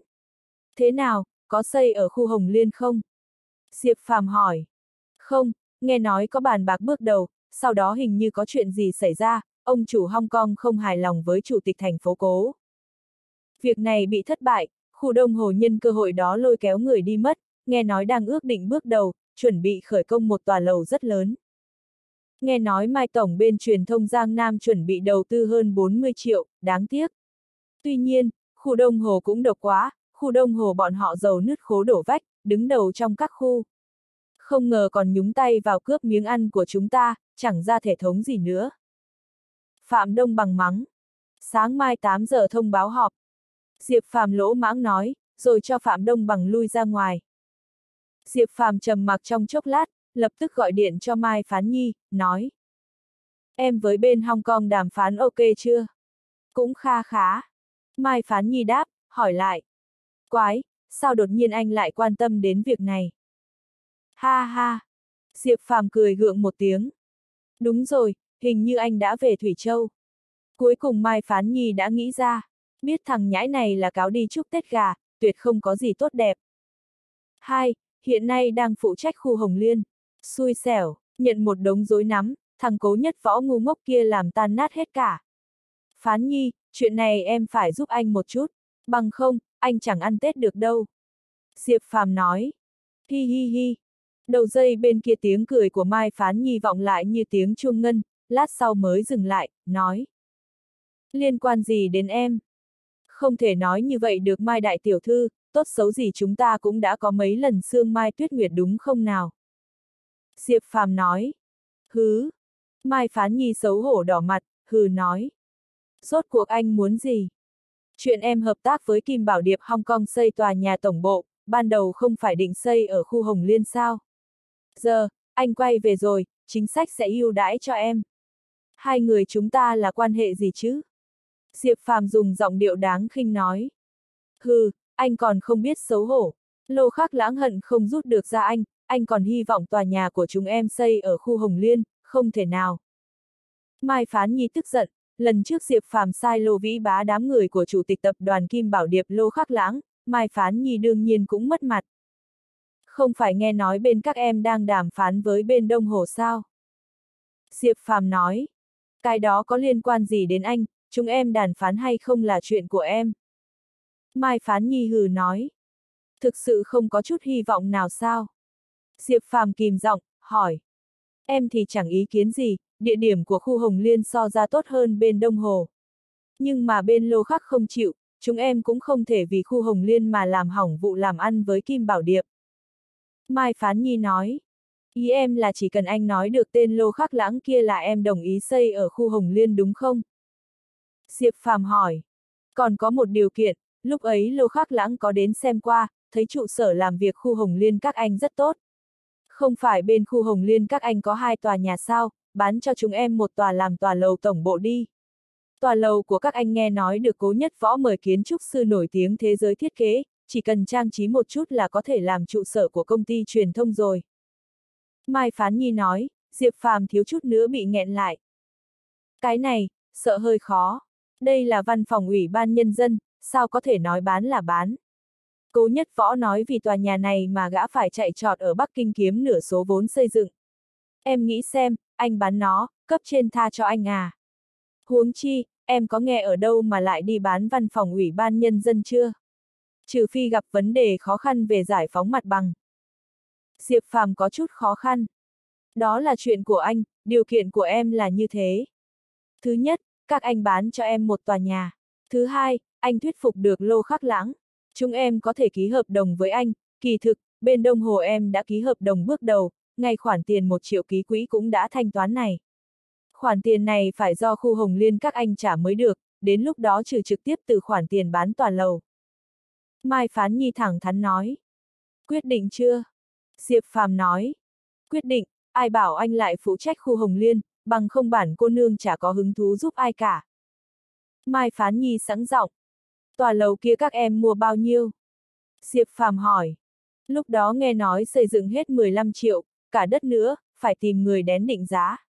Đây là chuyện nhỏ, khó nhất là phải tìm cách khắc phục lô khắc lãng kia. Hơn nữa, không thể làm ảnh hưởng lợi ích truyền thông Giang Nam chúng em. Ngoài ra, chuyện này em khó ra mặt, dù sao em cũng chỉ là phụ trách quản lý truyền thông Giang Nam, tổng công ty là của Mai Gia, không phải của cá nhân em đúng không nào? Mai Phán Nhi nói, cái này anh hiểu, hại ai cũng không được hại em đúng không nào? Diệp Phàm nói, sau khi gác máy, Diệp Phàm ngẫm nghĩ một chút, lập tức gọi cho Trương Cường, bảo gã cho ngươi ở Hong Kong điều tra tập đoàn Kim Bảo Điệp và Lô Khắc Lãng, chỉ cần có khe hở là có thể nắm được tên Lô Khắc Lãng, Diệp Phàm tin là vậy. 7 giờ 50 sáng hôm sau, Diệp Phàm bước vào phòng họp thấy các đồng chí đều đã tới. Liếc mắt nhìn một vòng, thấy vệ sơ tỉnh tuy nói ngoài 30 vẫn thướt tha. Diệp Phàm đảo mắt qua người cô, dường như cô cũng cảm giác được. Tuy nhiên, không lên tiếng, mắt cũng không liếc nhìn. Họp đi. Diệp Phàm gật đầu nói. Đừng thấy khu Hồng Liên chỉ là đơn vị cấp phó giám đốc sở. Chim sẻ tuy nhỏ nhưng cũng có đủ ngũ tạng, bộ máy đảng ủy cũng có 13 thành viên. Ngoại trừ Diệp Phàm là cấp giám đốc sở, phó bí thư Thủy Châu, còn có chủ tịch quận Trương Lăng Nguyên, quận ủy phó Tào Thắng, quân Tần Nghĩa, vệ sơ tịnh đều là cán bộ cấp phó giám đốc sở. Tiếp theo là phó chủ tịch thường trực quận Vương Đại Trung, bí thư địa ủy quận Mã Cảng đồng chí Thái Đình và 8 đồng chí khác đều là cán bộ cấp cục trưởng. Đầu tiên là trưởng ban thư ký Phạm Đông bằng báo cáo sơ bộ về khu Hồng Liên. Sau đó, Diệp Phàm lên tiếng nói. Các đồng chí, hiện nay chúng ta đang nợ bên công trinh 10 triệu. Ngoài ra còn các khoản chi phí khác nợ hơn 1 triệu. Các khoản thu chỉ được hơn trăm ngàn. Dù sao cũng sắp Tết, khoản tiền khất nợ bên công trình không thể kéo dài được nữa. Các công nhân cũng phải về quê ăn Tết, họ còn khó khăn hơn cả chúng ta. Tôi hy vọng mọi người có thể hợp sức, giải quyết vấn đề khó khăn trước mắt. Sau khi nói xong, Diệp Phàm liếc mắt nhìn chủ tịch quận Trương Lăng Nguyên một cái. Trương Lăng Nguyên nhìn Diệp Phàm nói. Bí thư Diệp nói đúng, mọi người ai cũng biết rõ. Các đồng chí ngồi đây cũng có vài xung đột với bí thư cổ. Nhưng, dù sao cũng phải cùng nhau giải quyết vấn đề trước mắt. Đồng chí Thái Đình nói trước đi. Khu kinh tế mới Hồng Liên kỳ thật là từ khu Thiên Đông, quận Hoành Đô và quận Mã Cảng hợp thành. Nghe Trương Lăng Nguyên nói, trong lòng Diệp Phàm sớm đã hiểu. Chắc hẳn cố nhất võ với Trương Lăng Nguyên không hợp, lúc nãy Trương Lăng Nguyên lờ mờ phê phán sự sắp xếp của cố nhất võ không hợp lý nên mới tạo ra khoản nợ hiện nay. Lúc xây dựng hai tòa nhà tôi có đưa đề xuất nhưng bị phản đối, khu Hồng Liên mới thành lập, vạn sự khởi đầu nan. Lúc này càng phải tăng thu giảm chi, đem tiền dùng vào xây dựng đường. Không ngờ các lãnh đạo lại nói phải có bộ mặt bề thế, kết quả thì sao? Nợ đầy đầu, tôi nói từ đầu rồi, khoản nợ này có chia ra mã cảng chúng tôi cũng không gánh vác. Ngôn từ của đồng chí Thái Đình tương đối sắc bén. Quận mã cảng các người có cảng thiên nhiên, mỗi năm thu vào không ít. Các người không gánh chẳng lẽ hoành đô chúng tôi gánh. Lúc này Đinh Mạo Thiên quận hoành đô nói. Vừa nói xong, Diệp Phàm đã nhìn thấy manh mối, chắc hẳn là hai ông anh này cũng không hợp nhau rồi. Kỳ thực, cái này cũng là chuyện bình thường. Đã là ba quận của khu Hồng Liên, đương nhiên có cạnh tranh. Hai ông anh này vừa là đồng sự, cũng là đối thủ, nói chuyện toàn mùi thuốc súng cũng là bình thường. chương 1415, bắt buộc phải trả tiền. Ha ha, Bí Thư Đinh, đừng chỉ nhìn chằm chằm vào cái bến cảng rách nát kia của quận chúng tôi. Nó chỉ là một cải bến cảng nhỏ, chẳng qua chỉ bỏ neo mấy chiếc thuyền nhỏ nghìn tấn hàng mà thôi, như vậy thì có thể chứa được bao nhiêu hàng, thu được bao nhiêu tiền thuế, phí quản lý. Không giống như bên quận Hoành Đô của các ông, thu nhập ngoài lề không ít, phương thất huyền tam, vách đá hồng nham, học đường thuyền chính đều thuộc quận Hoành Đô. Không cần nói đến những thu nhập khác, chỉ riêng tiền vé vào cửa mỗi năm đã là một khoản thu khổng lồ rồi. Nếu nói đến tiền thì các ông cũng có không ít, cái ví tiền chắc cũng căng phồng lên rồi. Thái Đình cũng không phải tay vừa, nhằm đúng mạch kiếm tiền của quận Hoành Đô để đâm dao. Địa bàn của hai vị bí thư đều được ông trời ưu đãi, có các khu du lịch, khu danh lam thắng cảnh, cũng như các bến cảng, chỉ có quận Thiên Đông chúng tôi là nghèo nàn nhất thôi, vừa không có tài nguyên du lịch phong phú, cũng chả có bến cảng để khai thác. Đô thị cũ kỹ, đường phố chật trội, khó sống lắm. Vấn đề tài chính lại càng khó khăn trồng chất, thật ngại không dám nói nữa. Lúc này bí thư quận Thiên Đông là Ngô Thanh Tùng cũng kêu khổ theo. Ba tên này như đang diễn kịch vậy, rõ ràng là không muốn trả số tiền đang nợ. Diệp Phàm thản nhiên nhìn, không hé răng nửa lời, chính là muốn xem xem bọn họ sẽ diễn tiếp như thế nào. Ba vị bí thư, các vị hình như sắp biến thành ăn mày rồi thì phải. Vậy phòng tuyên giáo quận ủy chúng tôi thì nói thế nào đây?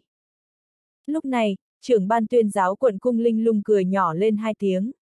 Tuổi tác của người phụ nữ này xem ra cũng không lớn, chỉ tầm 30 tuổi. Bảo dưỡng sắc đẹp cũng không tồi, nhìn rất thời thượng. Nợ tiền thì trước sau cũng phải trả, chúng ta phải cùng nhau hợp sức tìm cách giải quyết vấn đề này trước. Xét trên phương diện thu nhập kinh tế, ba khu của các vị mới là quân chủ lực, các vị không gom tiền, chẳng nhẽ lại kêu ủy ban kỷ luật chúng tôi, đơn vị có chức mà không có miếng, toàn bộ đều dựa vào phòng tài chính cho vay tiền đi trả nợ. Lời của chủ nhiệm ủy ban kỷ luật quận Trịnh Kiện Cương quả thật không sai. Người đàn bà này vẻ mặt nghiêm túc, lời nói ra cũng thẳng thắn, thiếu chút nữa là làm tức nghẹn ba vị bí thư quận ủy. Bí thư Trịnh, sao chúng ta không đi kiếm tiền nhỉ?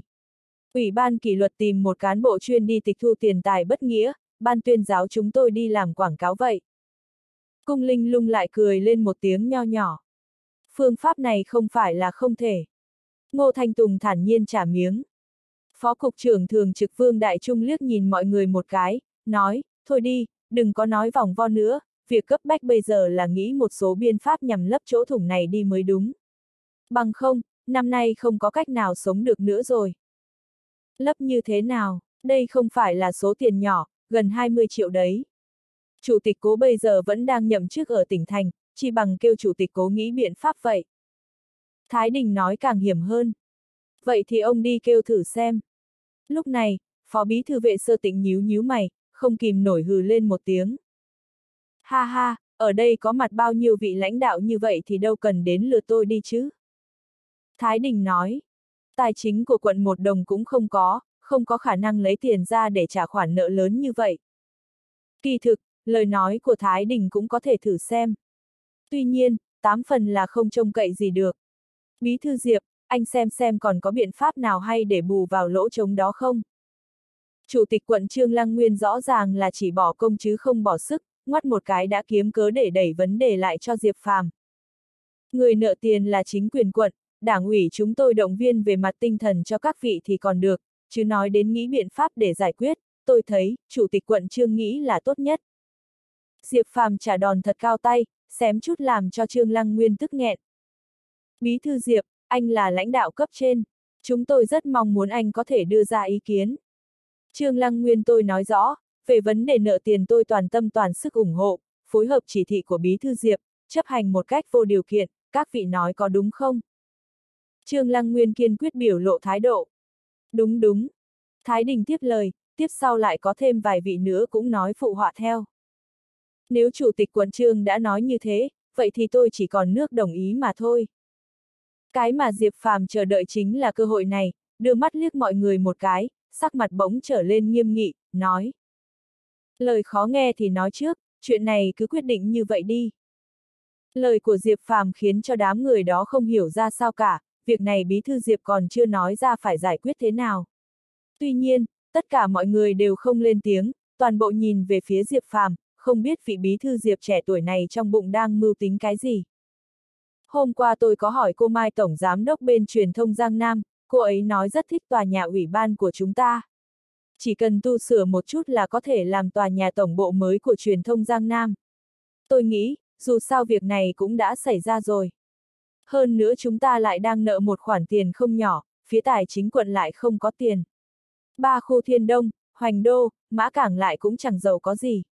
Nếu có thể đem tòa nhà ủy ban chuyển bán lại cho truyền thông Giang Nam, chúng ta chẳng phải có thể trả hết nợ rồi sao? Hơn nữa, nếu bán được tòa nhà này, cũng coi như kiếm lời rồi.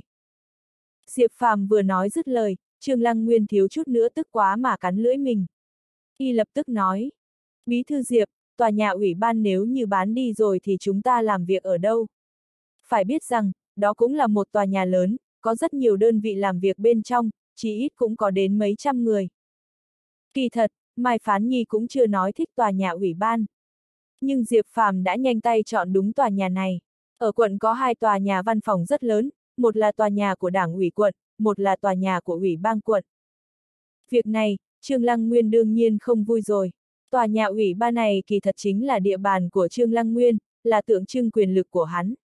Ngay cả địa bàn cũng không có, Trương Lăng Nguyên thể hiện quyền lực của mình như thế nào được. Đồng chí Lăng Nguyên, vừa rồi ông đã nói như thế nào, bây giờ lại muốn lật lọng. Chẳng lẽ đây là biểu hiện tố chất tư tưởng của một đảng viên đảng Cộng sản sao? Diệp Phàm nghiêm mặt, nhìn chằm chằm Trương Lăng Nguyên. Trương Lăng Nguyên cứng họng, vừa rồi y muốn trốn tránh, đùn đẩy trách nhiệm nên mới nói thế, không ngờ trách nhiệm tuy không còn, nhưng quyền lực thì cũng mất vào tay Diệp Phàm. Nếu không tán thành thì đúng là hắn tự mình vả cho mình một cái. Mà những người khác không ai lên tiếng, vì nhiều nhất họ cũng chỉ là không có văn phòng làm việc mà thôi. Việc này tất phải do hắn chủ tịch quận Trương nghĩ biện pháp rồi. Tôi phục tùng chỉ thị của tổ chức.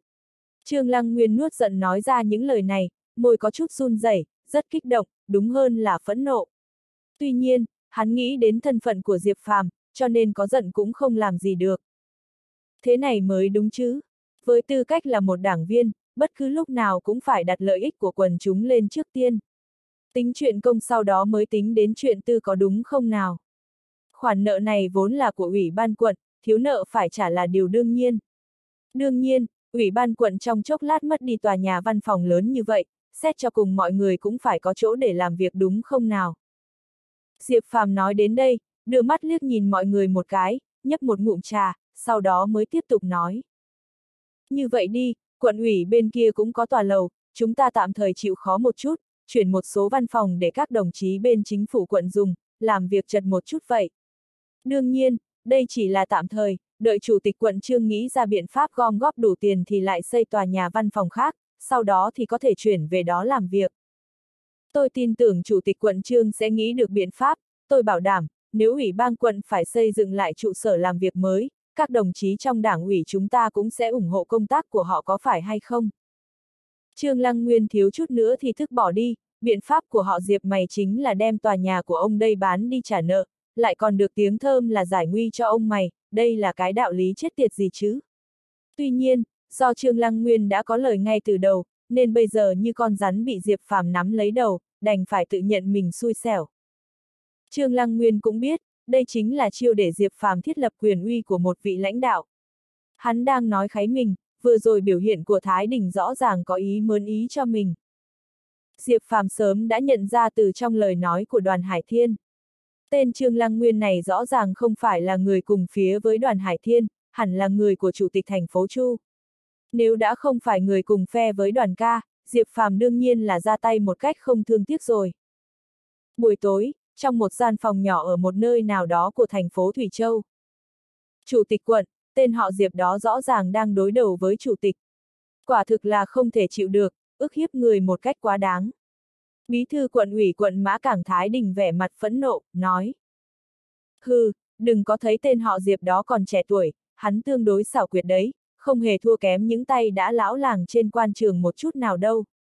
Hắn có bí thư đoàn ủng hộ, lại là ủy viên thường vụ thành ủy, chúng ta có thể làm gì hắn cơ chứ? Tần Nghĩa Cao mày nói. Không riêng gì bí thư đoàn, ông không thấy sao? Bí thư tề và trưởng ban Lô Minh cũng rõ ràng là đến để ủng hộ cho hắn. Trưởng ban tổ chức cán bộ quận ủy Lâm Khải Ca nói. Việc này quả thật có chút kỳ lạ, xem ra, tên họ Diệp này có chút gì đó thần bí. Một cán bộ cấp sở trẻ tuổi như thế, theo lý mà nói, chắc chắn có gì đó không chân thực ở đây. Lô Minh Châu đường đường là trưởng ban tổ chức cán bộ làm sao lại đồng ý đến. Càng kỳ lạ là họ tề kia cũng đến. Tên họ Diệp này bản lĩnh quả không nhỏ. Tần quân nghĩa bất đắc dĩ thở dài. Ha ha, quân nghĩa, ông không đến nỗi nhát gan như thế đấy chứ. Lúc này, Trương Lăng Nguyên cười nhạt một cái. Tôi nhát gan, có đếch gì phải sợ cơ chứ? Chủ tịch quận ông nói, chúng ta phải xuất chiêu gì đó cho tên Diệp đó biết thế nào là lợi hại chứ, đừng tưởng chúng ta là loại dễ ăn hiếp. Ủy viên thường vụ thành ủy thì có làm sao, cũng chả có thêm con mắt hay thêm cái tai nào. Tần quân nghĩa kích động, cách nói giống như của một đứa trẻ con đang giận dỗi. Chủ tịch quận, tôi cảm thấy việc này cũng dễ giải quyết thôi. Bán tòa nhà ủy ban đi, đây là hành động nghịch với đạo trời. Ở cái thể chế này lại có thể phát sinh chuyện hoang đường này sao? Từ trước tới nay đều là súng bắn chim đầu đàn, đã có người dẫm đạp lên quy tắc hình thành chế độ, tự nhiên sẽ có người ra mặt giải quyết hắn. Cho nên, ha ha, vấn đề này không phải có thể làm chút báo cáo gì đó sao? Thái Đình cười gượng một tiếng, tự đắc nhấp một ngụm trà. Hắn tương đối nhàn nhã, tâm trạng không tồi tí nào. Không chỉ có thế, tôi nghe nói vấn đề tòa nhà tổng bộ của tập đoàn truyền thông Giang Nam, đã được ký kết với quận Đông Hồ, ngay cả tiền ký quỹ cũng đã giao một triệu rồi. Phu Tây Dương của quận Đồng Hồ cũng không phải là tay vừa, để giành được tòa nhà truyền thông Giang Nam ngụ tại Đông Đô, Phu Tây Dương đã đặt cược lớn. Lâm Khải ca đột nhiên có chút cười vui vẻ trước thảm họa của người khác. Ừ, nghe cũng có lý. Lần trước đi ngang qua Đông Hồ, tôi có ghé vào xem, lão Vu đã sớm quy hoạch một khu đất lớn, có nhiều hộ ở khu đất đó cứng đầu không chịu chuyển đi, đều bị Vu Tây Dương cưỡng chế. Nghe nói vì thế có người đã ẩm ý đến tận tỉnh ủy thành ủy. Hơn nữa, phòng trừng Vu Tây Dương giai đoạn trước đã đầu tư không dưới 3 triệu tệ cho việc xây dựng cơ sở hạ tầng. Nếu truyền thông Giang Nam đột nhiên bội ước, tất nghĩ họ Vu sẽ chẳng để yên. Đến lúc đó, chẳng phải là có kịch hay để xem sao. Tần quân nghĩa cười gượng một tiếng. chương 1416, ba bà vợ. Không chỉ không ngồi yên đơn giản vậy, Vu Tây Dương cũng là ủy viên thường vụ thành ủy, chứ không phải một đống bùn lầy không có bản lĩnh gì cả. Diệp Phàm chỉ là một phó mới nhậm chức, tuy nói ở đảng xếp hạng cao hơn so với Vu Tây Dương, nhưng, trên thực tế năng lư c uy tín và danh tiếng trong quần chúng, uy tín ở đảng tuyệt đối không thể vượt qua Vu Tây Dương. Vu Tây Dương Thủy Châu vẫn là nhân vật lừng lẫy tiếng tăm, còn nhắc đến Diệp Phàm, thì có mấy người biết chứ. Trương Lăng Nguyên thản nhiên nói, sớm đã có chủ ý rồi. Buổi sáng ngày hôm sau, chó săn Trương Cường gọi điện đến. Khiến Diệp Phàm thất vọng chính là Trương Cường cũng không cung cấp được nhiều tin tức có giá trị liên quan đến Hồng Kông, nhưng lại thám thính ra một tin vô cùng xấu, đó là Phó Tổng Giám đốc Lô Khắc Minh của tập đoàn Kim Bảo Đĩa có khả năng đảm nhận chức vụ Tổng Giám đốc của tập đoàn. Bởi vì nguyên đảm nhiệm chức vụ Tổng Giám đốc tập đoàn Khang Chính Lương đã bị bệnh một năm nay, căn bản là không thể đảm nhiệm chức Tổng Giám đốc tập đoàn, Hội đồng Ban Quản trị tập đoàn Kim Bảo Đĩa hoãn đi hoãn lại, sau cùng, không còn biện pháp nào khác, vì ích lợi công ty, đã bắt tay vào chuẩn bị việc thay người này. Đương nhiên, là đại cổ đông, hơn nữa lại có quan hệ mật thiết với Chủ tịch Hội đồng Quản trị, cho nên muốn hạ bệ Khang Chính Lương là điều rất khó khăn. Tuy nhiên, việc này liên quan đến lợi ích trước mắt của tập đoàn. Chủ tịch Hội đồng Quản trị tập đoàn Kim Bảo Đĩa cũng không có khả năng giúp được gì Khang Chính Lương. Tình cảm là tình cảm, công việc là công việc, Đã hơn một năm Kim Bảo Đĩa không thay người cũng coi như đã tận tâm đối với Khang Chính Lương rồi. Huống chi, Kim Bảo Đĩa còn có rất nhiều các cổ đông lớn khác, nếu những cổ đông này liên kết lại với nhau, thì hậu quả thật sự không thể tưởng tượng nổi. Hội đồng quản trị không thể không suy xét một chút đến đề nghị của những cổ đông này. Sau đó, Diệp Phàm lập tức gọi điện thoại gấp cho Mai Phán Nhi, chứng thật việc này hoàn toàn chính xác. Trong lòng Diệp Phàm có chút lo lắng, nếu Lô Khắc nhậm chức tổng giám đốc tập đoàn, chắc chắn hắn sẽ không đồng ý để tòa nhà truyền thông Giang Nam tỏa tại khu kinh tế mới Hồng Liên. Diệp Phàm suy nghĩ một lát, bèn lái xe thẳng đến chỗ Mai Phán Nhi. Hải đài tiên ảnh được người Thủy Châu gọi là khu xa hoa, vì ở đây có rất nhiều tòa biệt thự to nhỏ với những hoa văn tinh xảo chẳng chỉ tọa lạc trên sườn núi rất dài cạnh sông Minh Giang, cây cối bao quanh, sắc hoa đỏ ngợp, lại cộng thêm biển trời xanh thẳm ngay phía trước, cho nên nơi này mới được gọi là hải đài tiên ảnh. Anh tới rồi, Diệp Phàm bị một bảo an thân hình lực lưỡng chắn ở cửa, nên gọi điện thoại cho Mai Phán Nhi. Không thể tới sao? Diệp Phàm thản nhiên hừ nói. Anh là đại lão gia, có gì không thể tới co chứ, nơi này còn không phải là cái ổ nhỏ của anh sao? Mai Phán Nhi em còn không phải tỷ nữ của anh à, đại lão gia trở về, em dám ngăn cản sao? Mai Phán Nhi cười nói. Được rồi, đại tiểu thư của tôi, anh nào dám coi vị công chúa cao quý như em là tỷ nữ cơ chứ, như thế chẳng phải để ăn đấm sao? Diệp Phàm hừ nói. Ăn đấm ư, anh là đại cao thủ, từ trước tới giờ đều là anh trị người khác, nào có ai dám trị anh. Nghe nói anh về Thủy Châu rất uy phong. Hai ủy viên thường vụ tỉnh còn đích thân hộ tống cậu xuống Thủy Châu, đại danh Diệp Phàm đã lưu truyền khắp Thủy Châu rồi. Có người còn nói. Mai Phán Nhi cười không nói. Nhưng Diệp Phàm lại cảm thấy hứng thú, hỏi. Nói như thế nào? Nói, nói, nói anh là con riêng của một vị lãnh đạo trung ương nào đó. Mai Phán Nhi đắc ý cười không ngừng, đến nỗi Diệp Phàm có thể tưởng tượng ra eo của cô chắc chắn có nguy cơ bị gãy. Tuy nhiên, đối với tin đồn ở Thủy Châu, Diệp Phàm quả thật không còn lời nào để nói. Không ngờ mình lại trở thành con riêng của một vị lãnh đạo nào đó, thật là chả hiểu cái gì với cái gì nữa. Biệt thự của Mai Phán Nhi nằm trên sườn núi dốc, phía trước chính là vách đá dựng đứng, phía sau nương tựa núi lớn, khiến cho người ta có cảm giác giống như một trang viên vậy. Mà chủ nhân của ngôi biệt thự Mai Phán Nhi tiểu thư với mái tóc đen dài, mềm mại, đôi lông mày quyến rũ, cái mũi cao, mặc một áo ngủ màu hồng nhạt đứng ở trước cửa nghênh đón Diệp Phàm đến. Có tiền đúng là sướng thật, xem ngôi nhà này, môi trường này, chật chật, thoải mái qua, hâm mộ quá.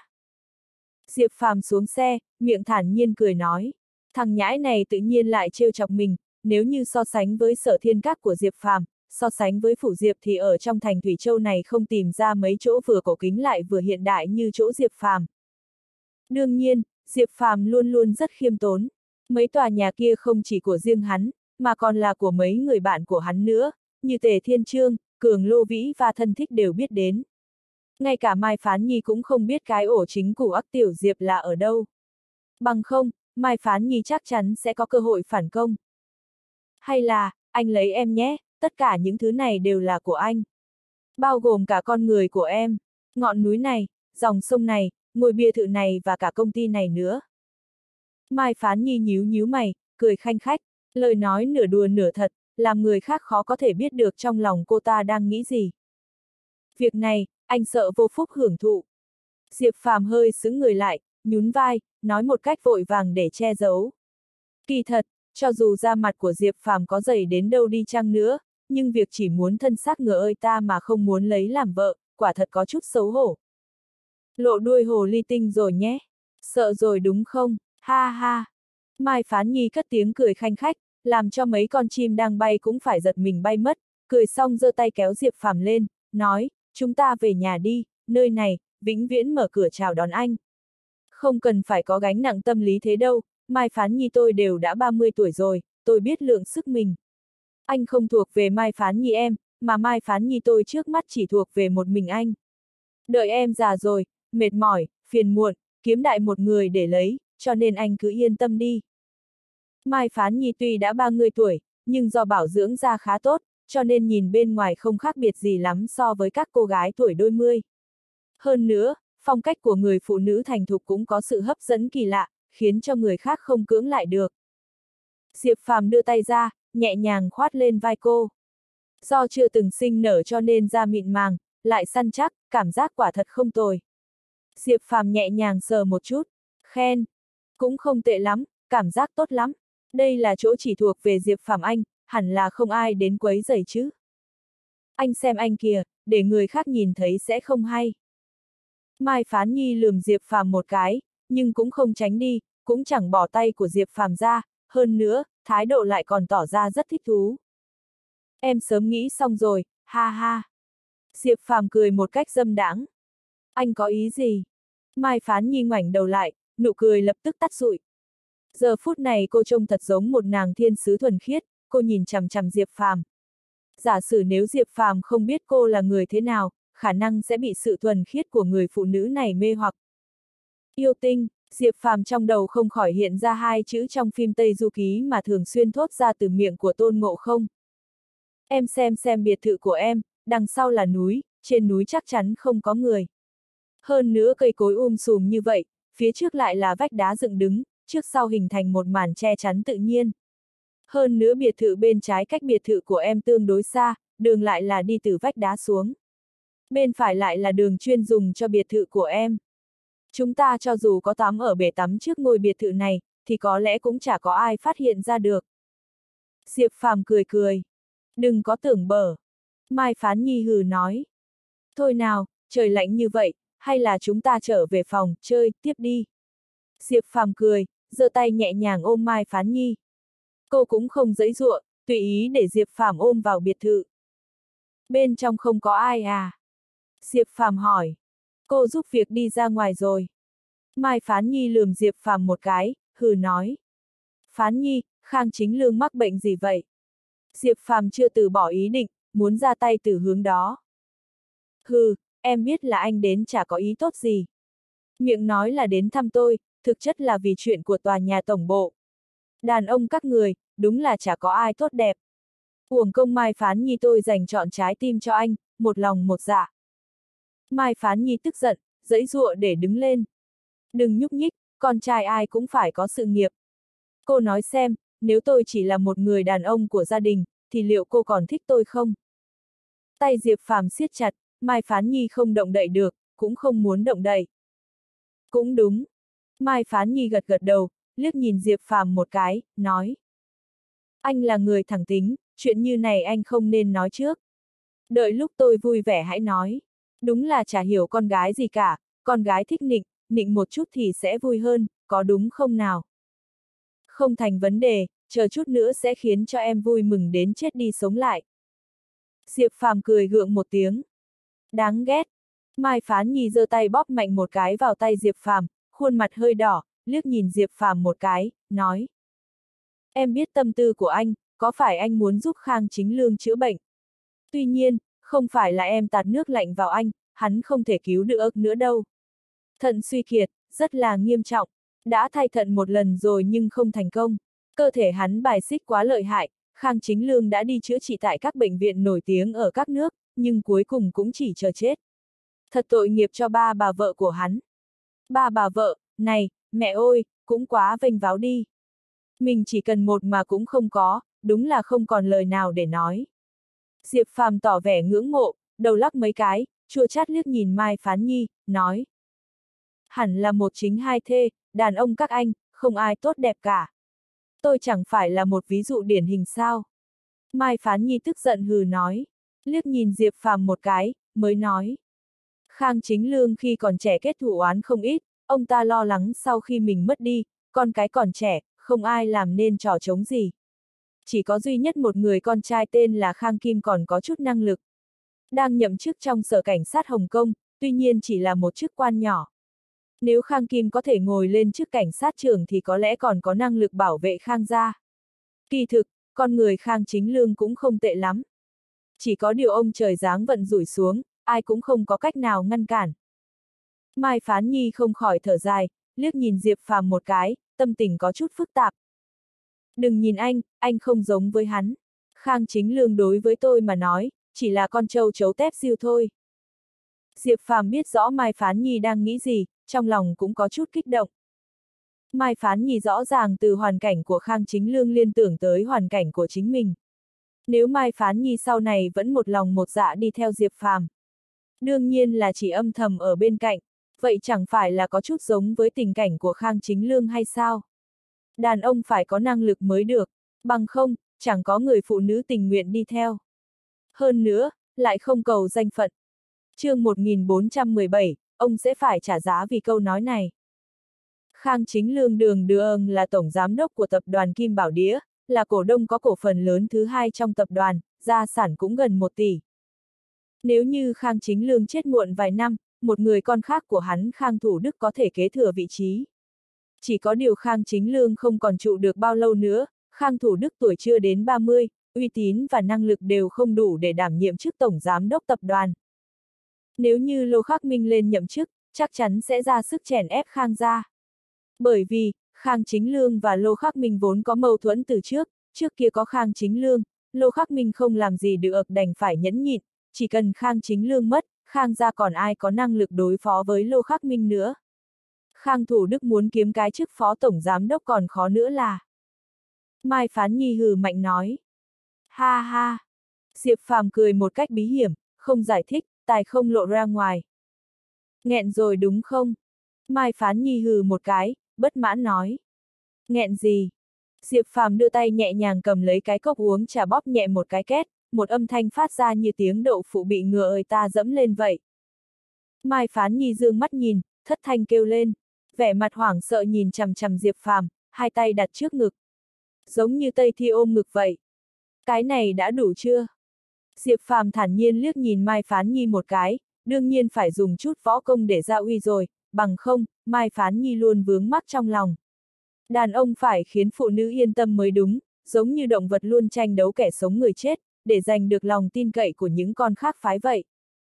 Anh muốn nghe một bài không? Mai Phán Nhi nhẹ giọng nói, nhu mì như nước, dịu dàng đến nỗi có thể khiến trái tim đàn ông phải tan chảy. Đàn một bài đi. Diệp Phàm gật đầu thích thú, cảm giác vô cùng khoái chí. Mai Phán Nhi lượn vào nhà, không lâu sau mang ra một cây đàn cầm cổ. Thử dây xong, cô chăm chú nhìn Diệp Phàm, một lúc sau, một khúc cao sơn lưu thủy vang lên.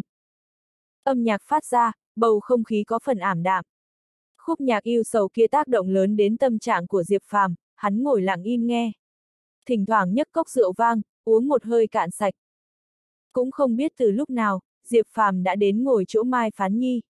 Đầu tiên là ngồi ở bên cạnh, cùng nhau uống cạn một cốc rượu vang. Không lâu sau thì hết hai chai, Mai Phán Nhi vẻ mặt hồng hào, đẹp không thể tả. Cảm giác có một bàn tay luồn vào trong áo ngủ, Mai Phán Nhi cũng không dừng đánh đàn, quay đầu nhẹ nhàng cười. Không lâu sau, áo ngủ cũng bay mất, được vất trên ghế đàn, hai cơ thể dán chặt vào nhau. Tiếng đàn dừng, thay vào đó là những âm thanh khác, tiếng thở rồn rập cùng với tiếng mãnh thú gầm gừ ở đại sảnh.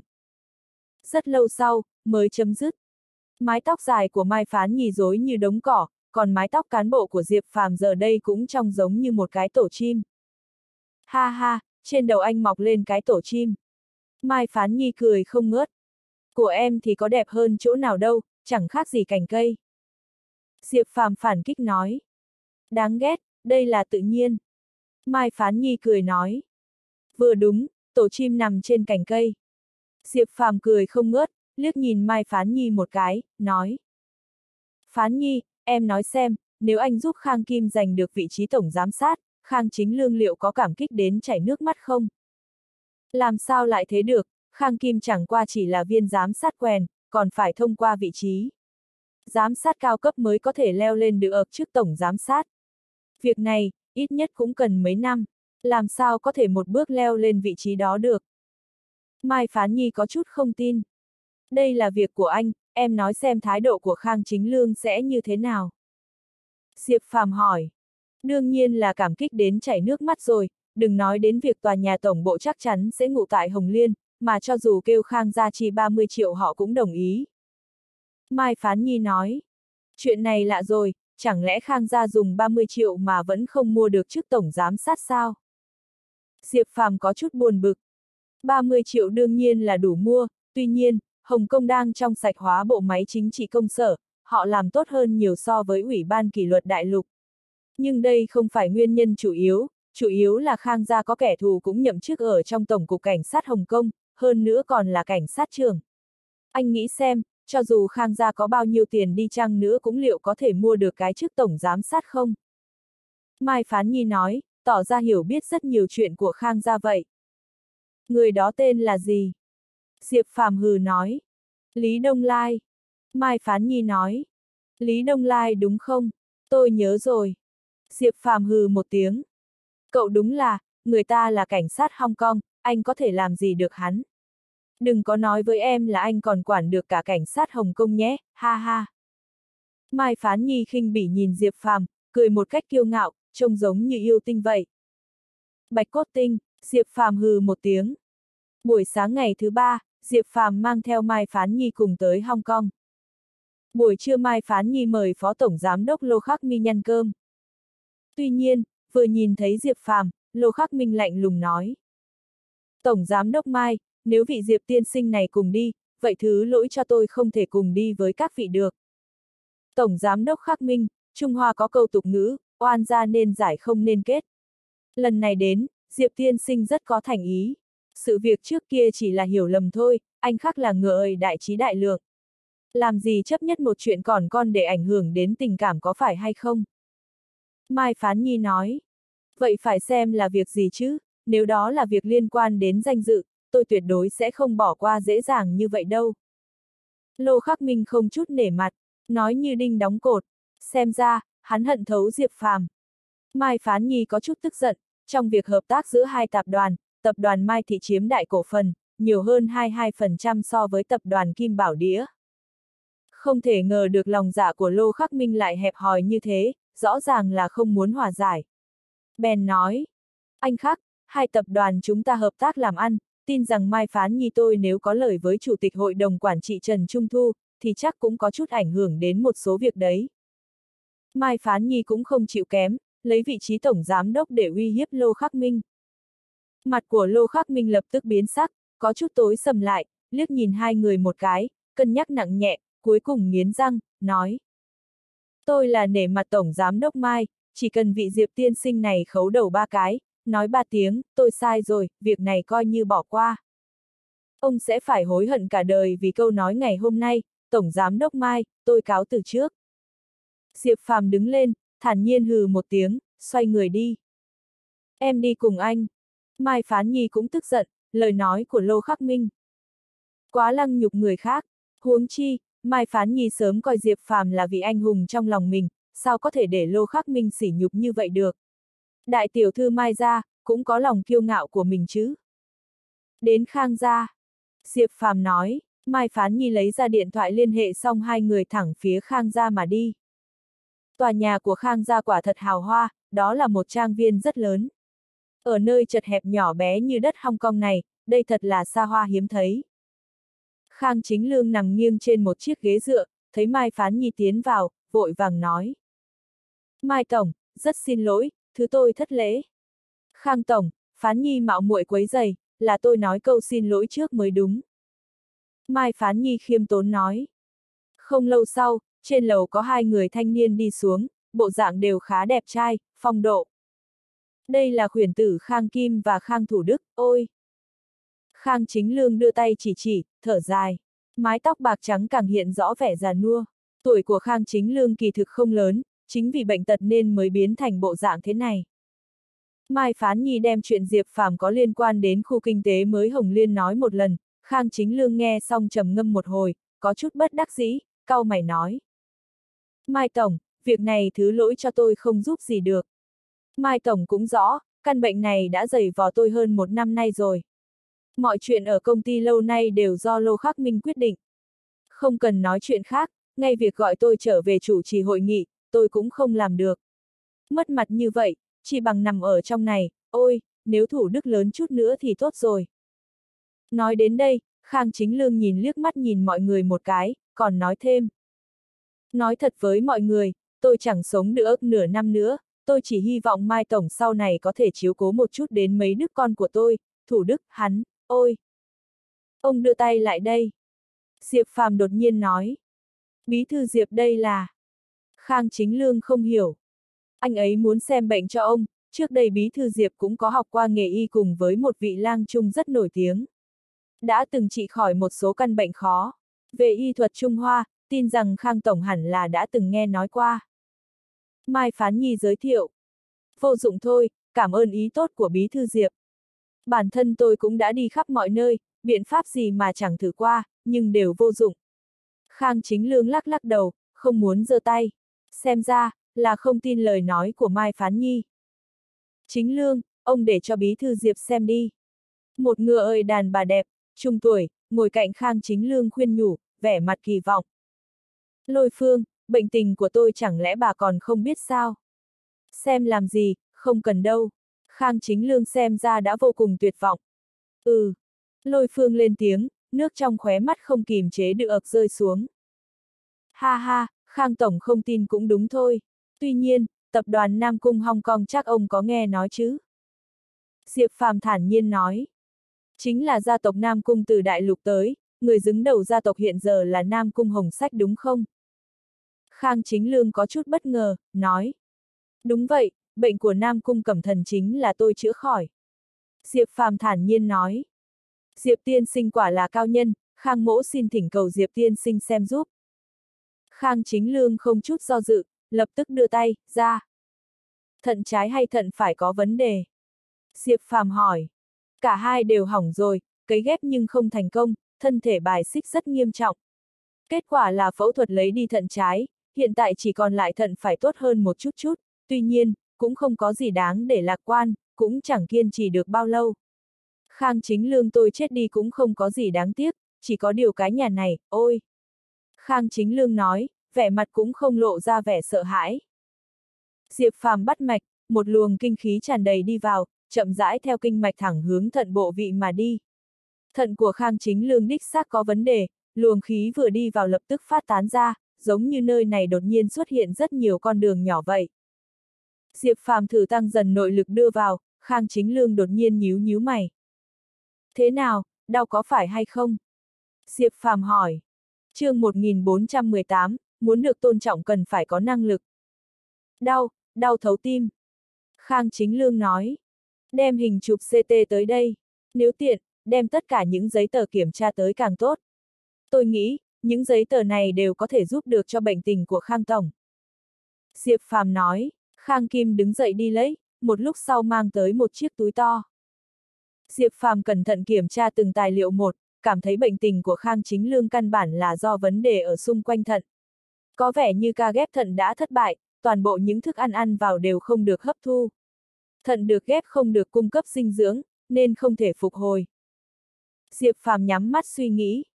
Cả nhà họ Khang nín thở, lặng câm nhìn Diệp Phàm. Mai Phán Nhi còn cho rằng anh ta đang giả thần giả thánh, cũng không nói tiếng nào, trong lòng đã bắt đầu rủa thầm.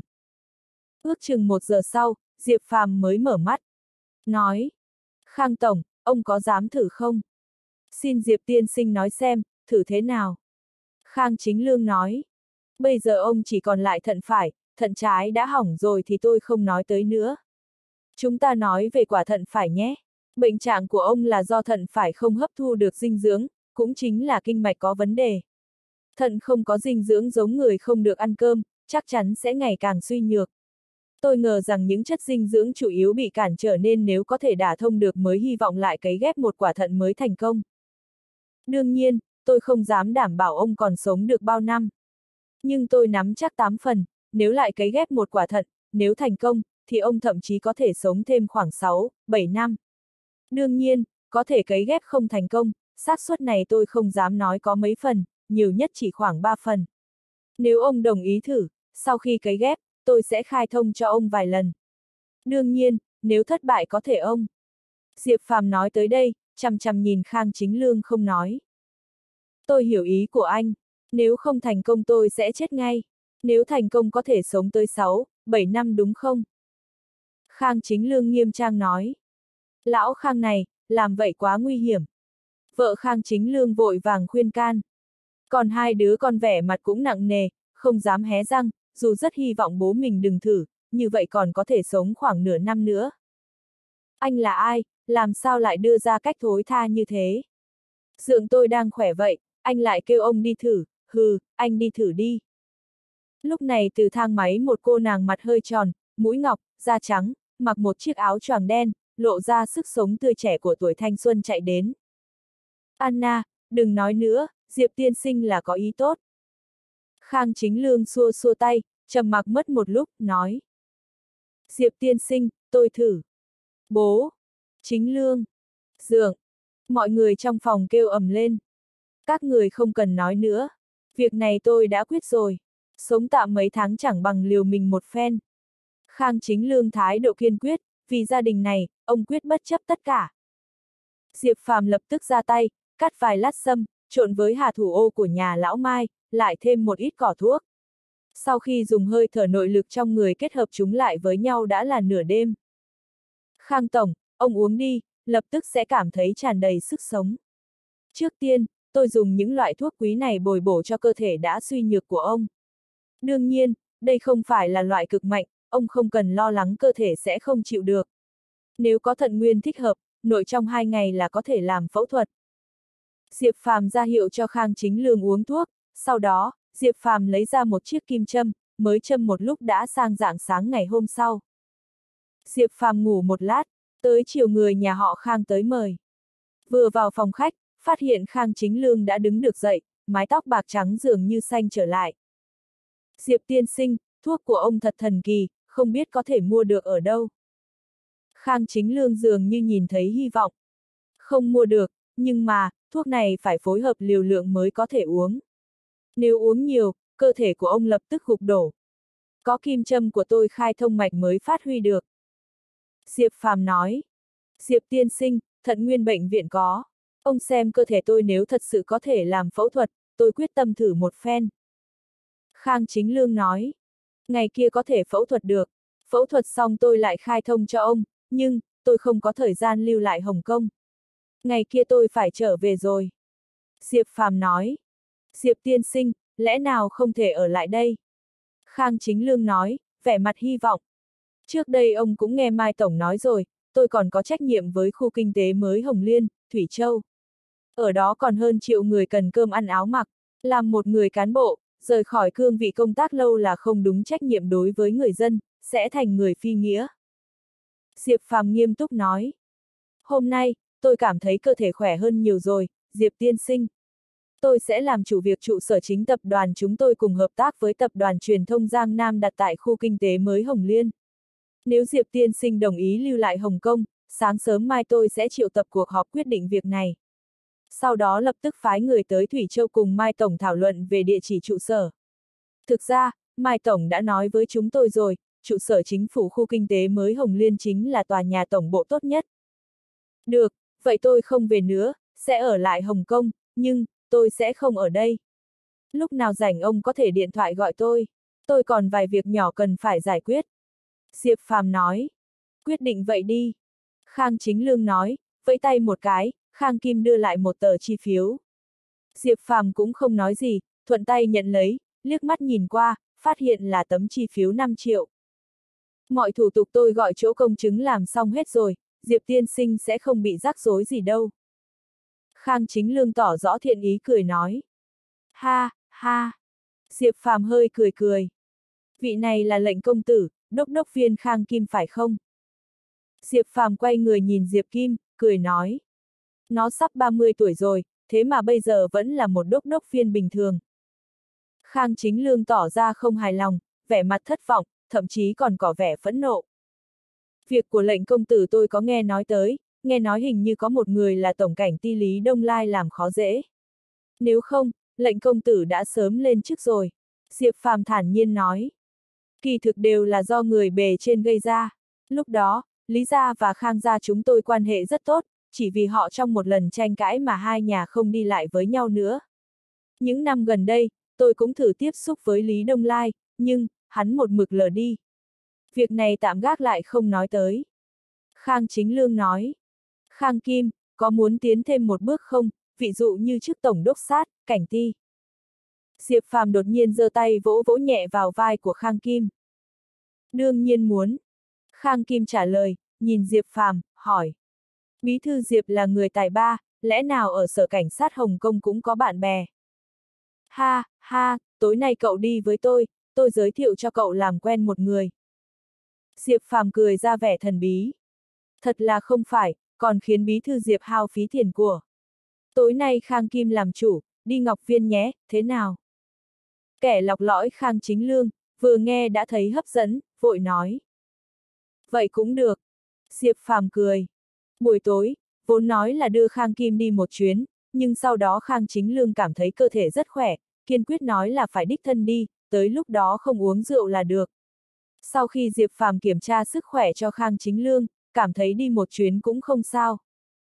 Lúc Trấn Đông Tà đi vào phòng ăn đã được bao trọn, Khang Kim vội vàng hành lễ. Chào trưởng phòng Trần, đốc sát Khang Kim chào ngài. Thân phận bí mật của Trấn Đông Tà là phân trạm trưởng tổ đặc nhiệm số 8 Hồng Kông. Người khác chỉ biết ông là trợ lý cao cấp trưởng phòng sở cảnh sát Hồng Kông. So với chức vị tổng cảnh ti thì cao hơn rất nhiều, chẳng trách Khang Kim phát hoảng mà hành lễ. Anh ta có nằm mơ cũng không ngờ rằng bạn của Diệp Phàm lại có lai lịch lớn như vậy. Ngay cả Khang Chính Lương cũng đứng dậy, mỉm cười chào hỏi trưởng phòng trấn. Ừ. Trấn Đông Tà mỉm cười gật đầu, rồi nhanh chóng bước tới, dùng nghi lễ tiêu chuẩn của cảnh sát chào hỏi Diệp Phàm, miệng nói. Đã từng gặp phó giám sát trưởng Diệp. Nghe cách xưng hô của Trấn Đông Tà khiến cha con Khang ra cảm thấy hơi mơ hồ. Bí thư Diệp rõ ràng là bí thư thành ủy của thành phố Thủy Châu, sao lại biến thành trưởng đốc sát? Dường như sở cảnh sát Hồng Kông cũng chẳng có mấy người có chức danh giám sát trưởng này. Chẳng lẽ là quân hàm của cảnh sát đại lục, dù là cảnh sát đại lục cũng không quản nổi cảnh sát Hồng Kông. Mặc dù Hồng Kông đã về với Trung Quốc, nhưng nơi này vẫn có quyền tự trị cao. Cảnh sát Hồng Kông không phải chịu sự tiết chế của công an đại lục, trừ phi là những việc hai bên có thể hợp tác. Đương nhiên nếu là người của Bộ Công an phái tới thì khác. Ha, ha, có lẽ hai vị không biết. Phó Giám sát trưởng Diệp là Phó Cục trưởng Cục Giám sát nghiệp vụ Bộ Công an, cũng coi là thượng cấp của Đông Tà tôi. Nhưng mà lúc Phó Giám sát trưởng Diệp ở Việt Đông phá thành công vụ thảm án 88. Trong ngành cảnh sát, anh ấy là anh hùng được chúng tôi sùng bái. Trấn Đông Tà cười nói, kỳ thực là nghĩ một đằng nói một nẻo. Hắn kính lễ với Diệp Phàm, đơn giản vì Diệp Phàm là đại soái nòng cốt của tổ số 8. Bằng không, đừng nói Diệp Phàm là phó giám sát trưởng, dù là phó bộ trưởng bộ công an tới, Trấn Đông Tà chưa chắc đã thèm để ý đến hắn. Lại đây, Đông Tà, tới ngồi cạnh công tử Khang Kim của Khang Tổng. Diệp Phàm nhiệt tình giới thiệu. Trong bữa ăn này, hình tượng của Diệp Phàm tăng cao trong mắt cha con Khang gia. Khang Kim từ sự lạnh nhạt lúc đầu mới tiếp xúc với Diệp Phàm, giờ chuyển sang tôn kính. Sự thay đổi này là rất lớn. Sáng hôm sau, Diệp Phàm tới chào Chủ tịch Hội đồng Quản trị Tập đoàn Kim Thế giới Hồng Kông, Thái Đông Quyền tiên sinh. Thái Đông Quyền rất nhiệt tình, nhìn Diệp Phàm cười nói. Trương Ban Diệp làm việc ở Việt Đông có được thuận lợi không? Người dân Việt Đông đều gọi ông là anh hùng, cũng có người gọi ông là Sherlock Holmes của người Hoa. Đó là vì Việt Đông rất gần Hồng Kông nên tin đồn truyền tới cũng nhanh. Diệp Phàm hơi kinh ngạc, rất nhanh cười nói. Không dám nhận, không dám nhận, chỉ là làm được chút việc nhỏ, lại là phận sự, làm sao dám nhận sự tung hô của mọi người như vậy. Hai người han huyên hồi lâu, Diệp Phàm cười nói. Nhưng bây giờ tôi đã không ở Việt Đông nữa rồi. Không ở Việt Đông, vậy Diệp tiên sinh chắc chắn đã thăng chức rồi, thật đáng chúc mừng. Thái Đông Quyền cười nói. Đừng nói tới việc thăng chức, trở về Thủy Châu rồi. Giờ phụ trách toàn bộ mảng kinh tế Thủy Châu, và khu kinh tế mới Hồng Liên. Diệp Phàm nhân cơ hội bắt đầu chủ đề. Vậy vẫn là thăng chức.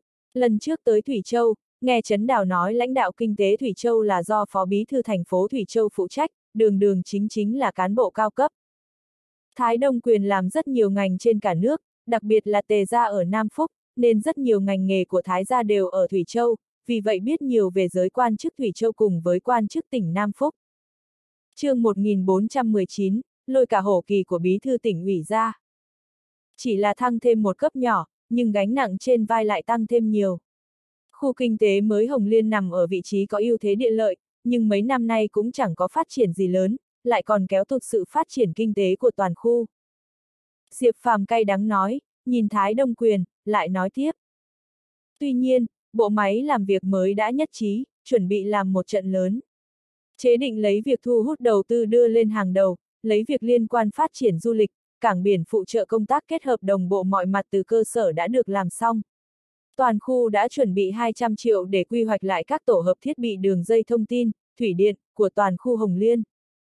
Đương nhiên Diệp Phàm nói bừa như vậy, con số 200 triệu là thuận miệng nói ra. Trên thực tế, bây giờ ngay cả một đồng cũng chưa nhìn thấy. Đương nhiên, về quy hoạch chính thể toàn khu Diệp Phàm đã sắp xếp vệ sơ tịnh, lãnh đạo chuyên môn kiến trúc của thành phố đi làm. Tôi cũng có nghe nói tới khu kinh tế mới Hồng Liên, cũng đi qua y tuyết ở Thủy Châu mấy lần, nhưng nghe nói ở đó làm ăn rất linh tinh vớ vẩn. Vốn kim thế giới cùng với đình đồng của Bảo Đức Lai đã thương lượng xong rồi, chuẩn bị khai thác ngành bất động sản ở Thủy Châu, nhưng lại không tìm được địa bàn tốt. Vị trí địa lý của khu kinh tế mới Hồng Liên rất tốt, chỉ là vì công trình không được đồng bộ. Không có đường, hoặc đường kém. Không có bệnh viện, trường học.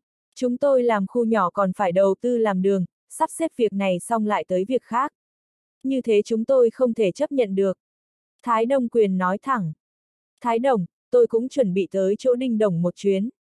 Tôi làm việc theo sự ủy quyền từ khu Hồng Liên, chân thành mời các vị tới Hồng Liên làm khách. Những công trình đồng bộ chưa tốt trước đây tôi không dám mở miệng mời.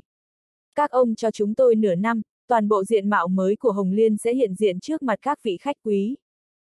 Thái độ Diệp Phàm rất kiên định.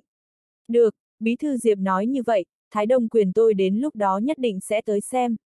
Nếu có môi trường đầu tư tốt, không riêng gì ngành bất động sản, ngay cả ngành khác, như vận tải thương mại chúng tôi cũng suy xét. Thái Đông quyền cũng rất thẳng thắn gật đầu, nhưng mấu chốt là Hồng Liên phải tạo điều kiện có lợi cho họ. Điều này, đối với một thương nhân mà nói là vô cùng quan trọng, thương nhân không kiếm tiền còn gọi gì là thương nhân. Buổi tối, Diệp Phàm tới thăm hỏi Chủ tịch Hội đồng Quản trị Tập đoàn Bảo Đức Lai, Đinh Tăng Thiên. Sau khi được Thái Đông quyền tiếp đãi lại được mời tới phòng khách riêng ngay tại khách sạn Bảo Đức Lai.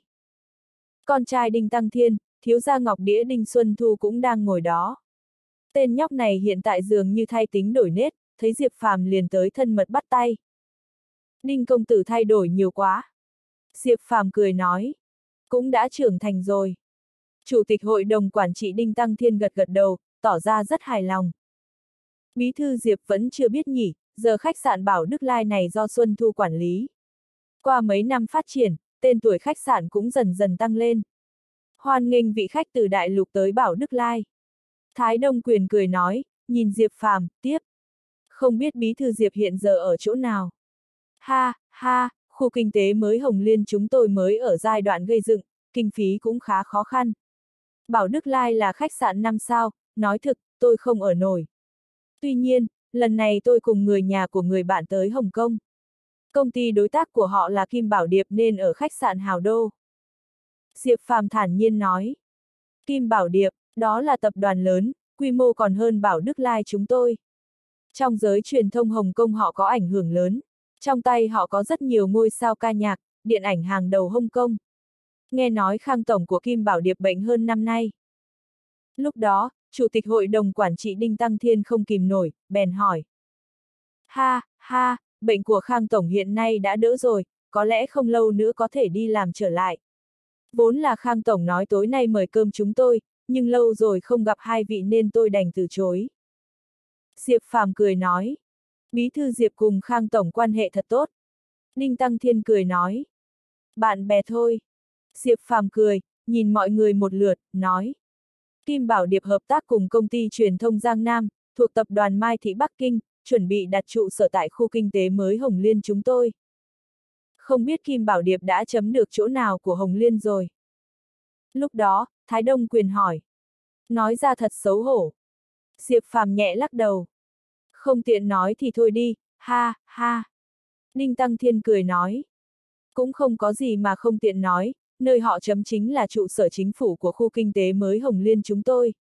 Vị trí trụ sở chính phủ của Hồng Liên tập trung ở khu Thiên Đông, khu Hoành Đô và khu Mã Cảng, cách trụ sở tỉnh ủy không xa, vị trí địa lý gió là đẹp nhất.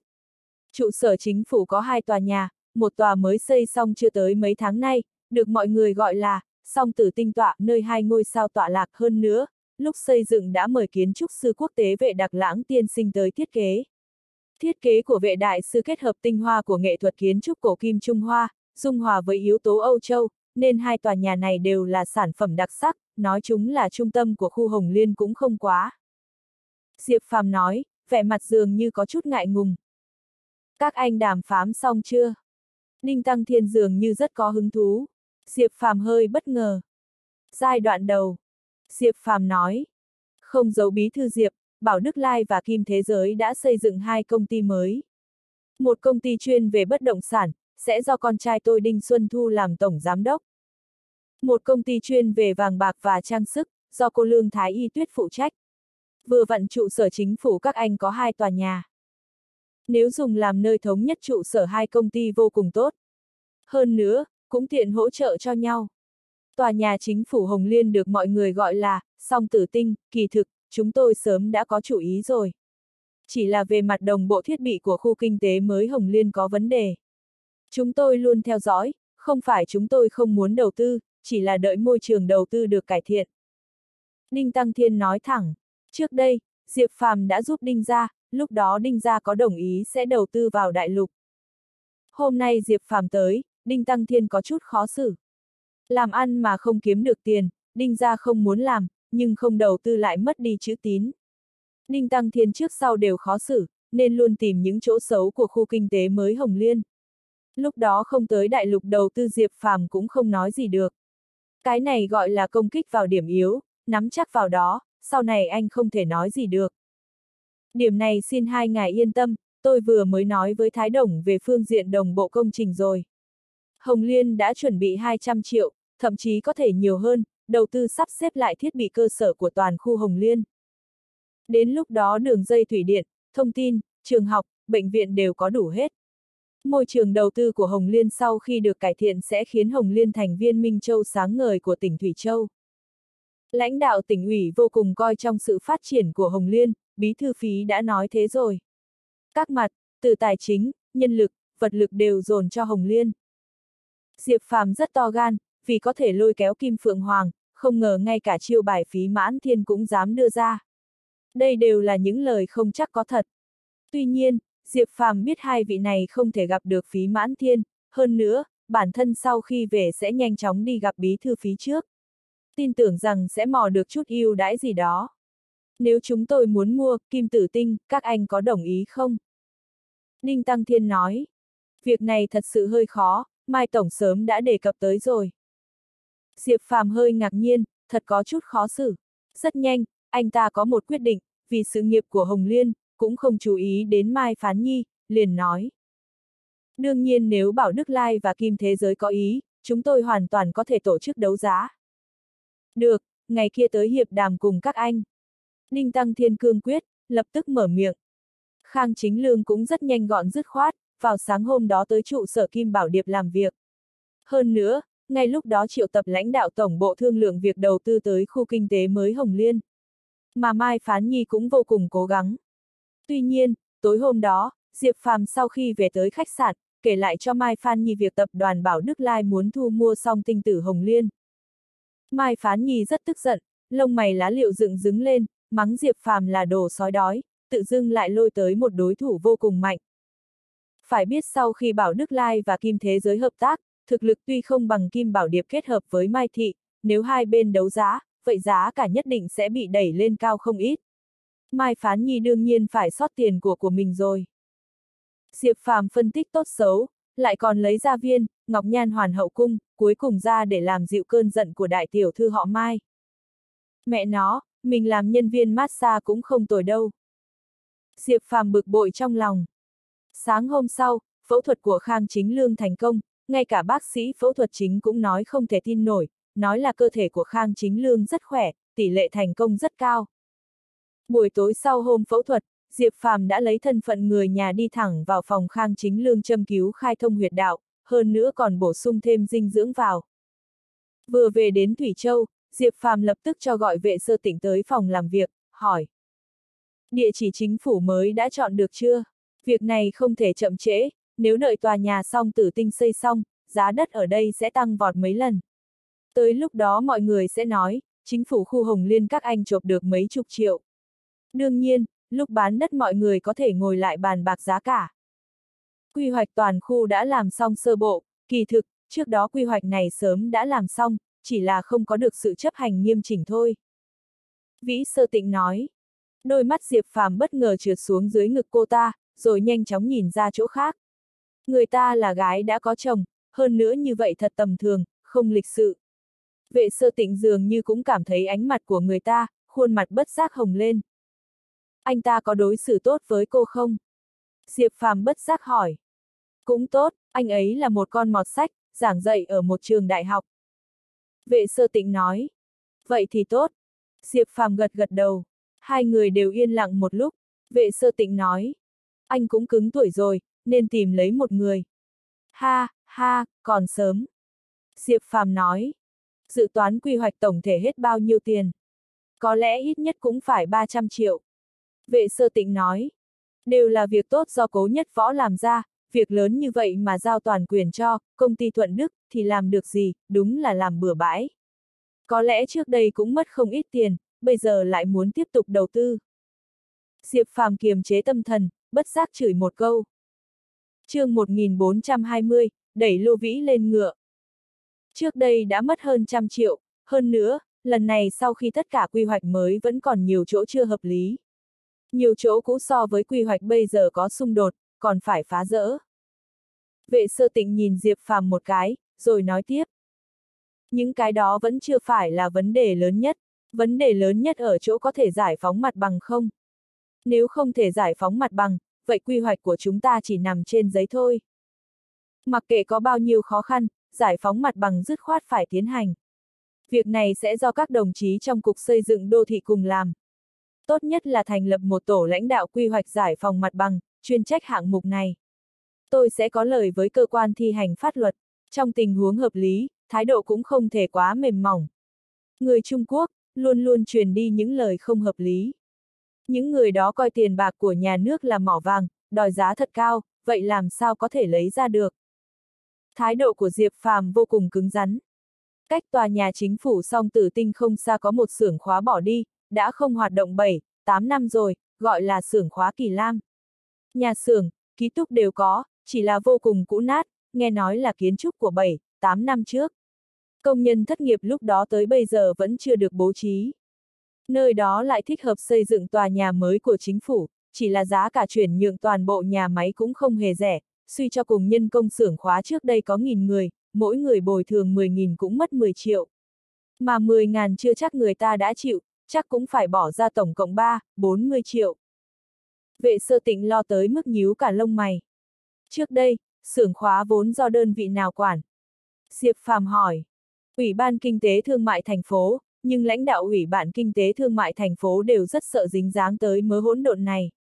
Chúng tôi đã nói chuyện bước đầu với họ rồi, nhưng chủ nhiệm lưu nhất đa của Ủy ban Kinh tế Thương mại luôn rất kín đáo, không muốn nói tới chuyện này. Vệ sơ tịnh nói, không phải là trong đó có trò mèo gì chứ? Diệp Phàm giật mình, hỏi. Điều này không rõ lắm, nhưng nghe nói Lưu Nhất Đa là do chủ tịch thành phố Chu Sâm Mộc một tay để bạt.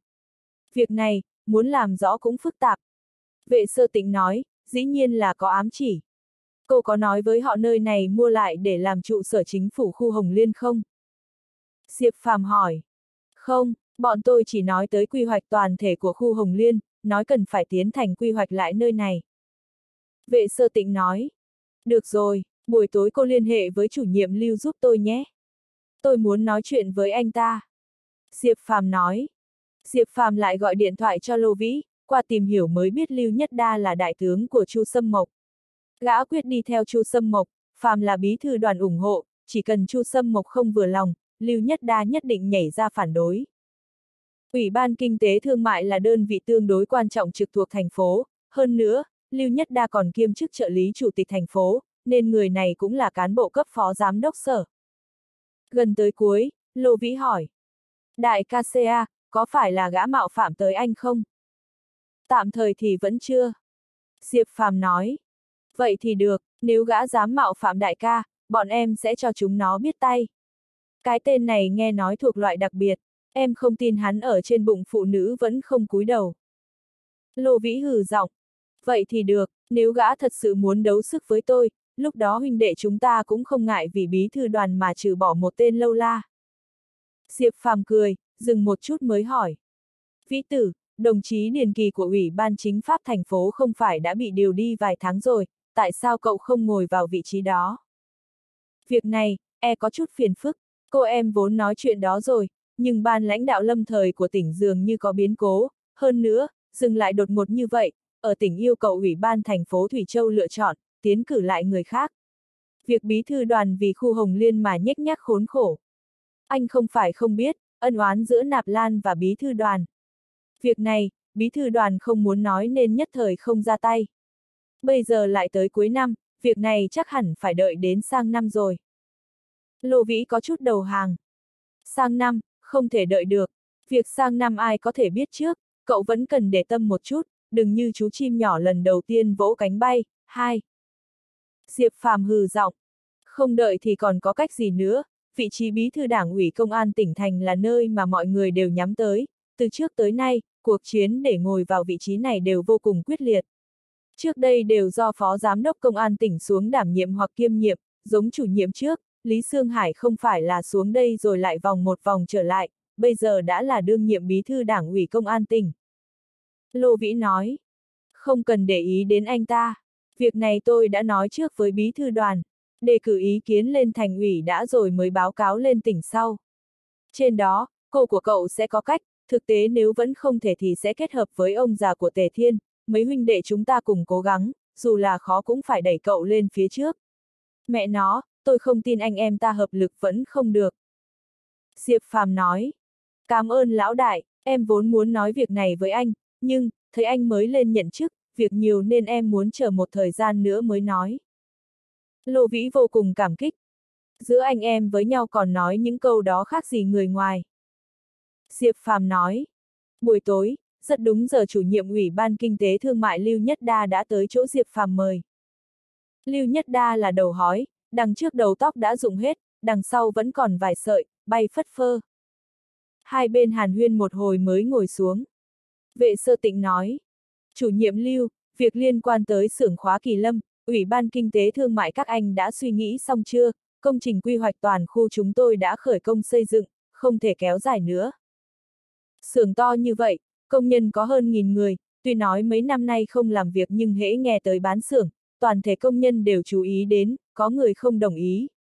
Ủy ban Kinh tế Thương mại chúng tôi mặc dù là đơn vị chủ quản nghiệp vụ của họ, nhưng, việc này cũng không làm được. Ôi, toàn thể người trong nước là như vậy. Hễ nghe nói tới tiền, tất cả đều giống ruồi bọ người thấy mùi gì, nhất loạt bay tới. Thật khó làm. Lưu Nhất Đa lạnh nhạt nhìn Diệp Phàm, đồ chó Nhật này vừa dùng thái cực quyền xong còn muốn phủi tay. Chúng tôi đã tìm hiểu, hầu hết công nhân tán thành bán. Dù sao xưởng cũng đã bị phá sản, máy móc đều có thể bán hết, chứ lưu lại cái vỏ rỗng làm gì. Việc này chỉ cần Ủy ban Kinh tế Thương mại thành phố quyết bán, hẳn không phải vấn đề lớn. Vệ sơ tịnh cười cười nói. Bí thư vệ, cô chỉ thấy một mặt, công nhân hơn nghìn, cô đều hỏi qua sao.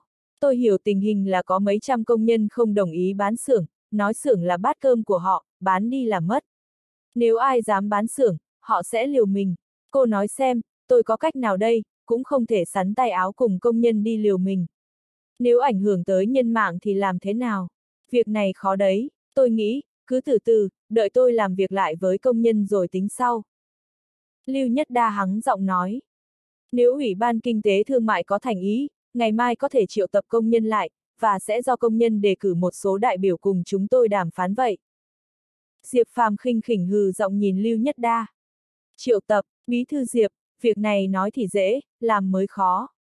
Công nhân mấy năm không đi làm, chẳng lẽ ở nhà đợi chết, giờ phiêu tán ở trời Nam, biển Bắc, làm sao trong một chốc lát có thể triệu tập hết được.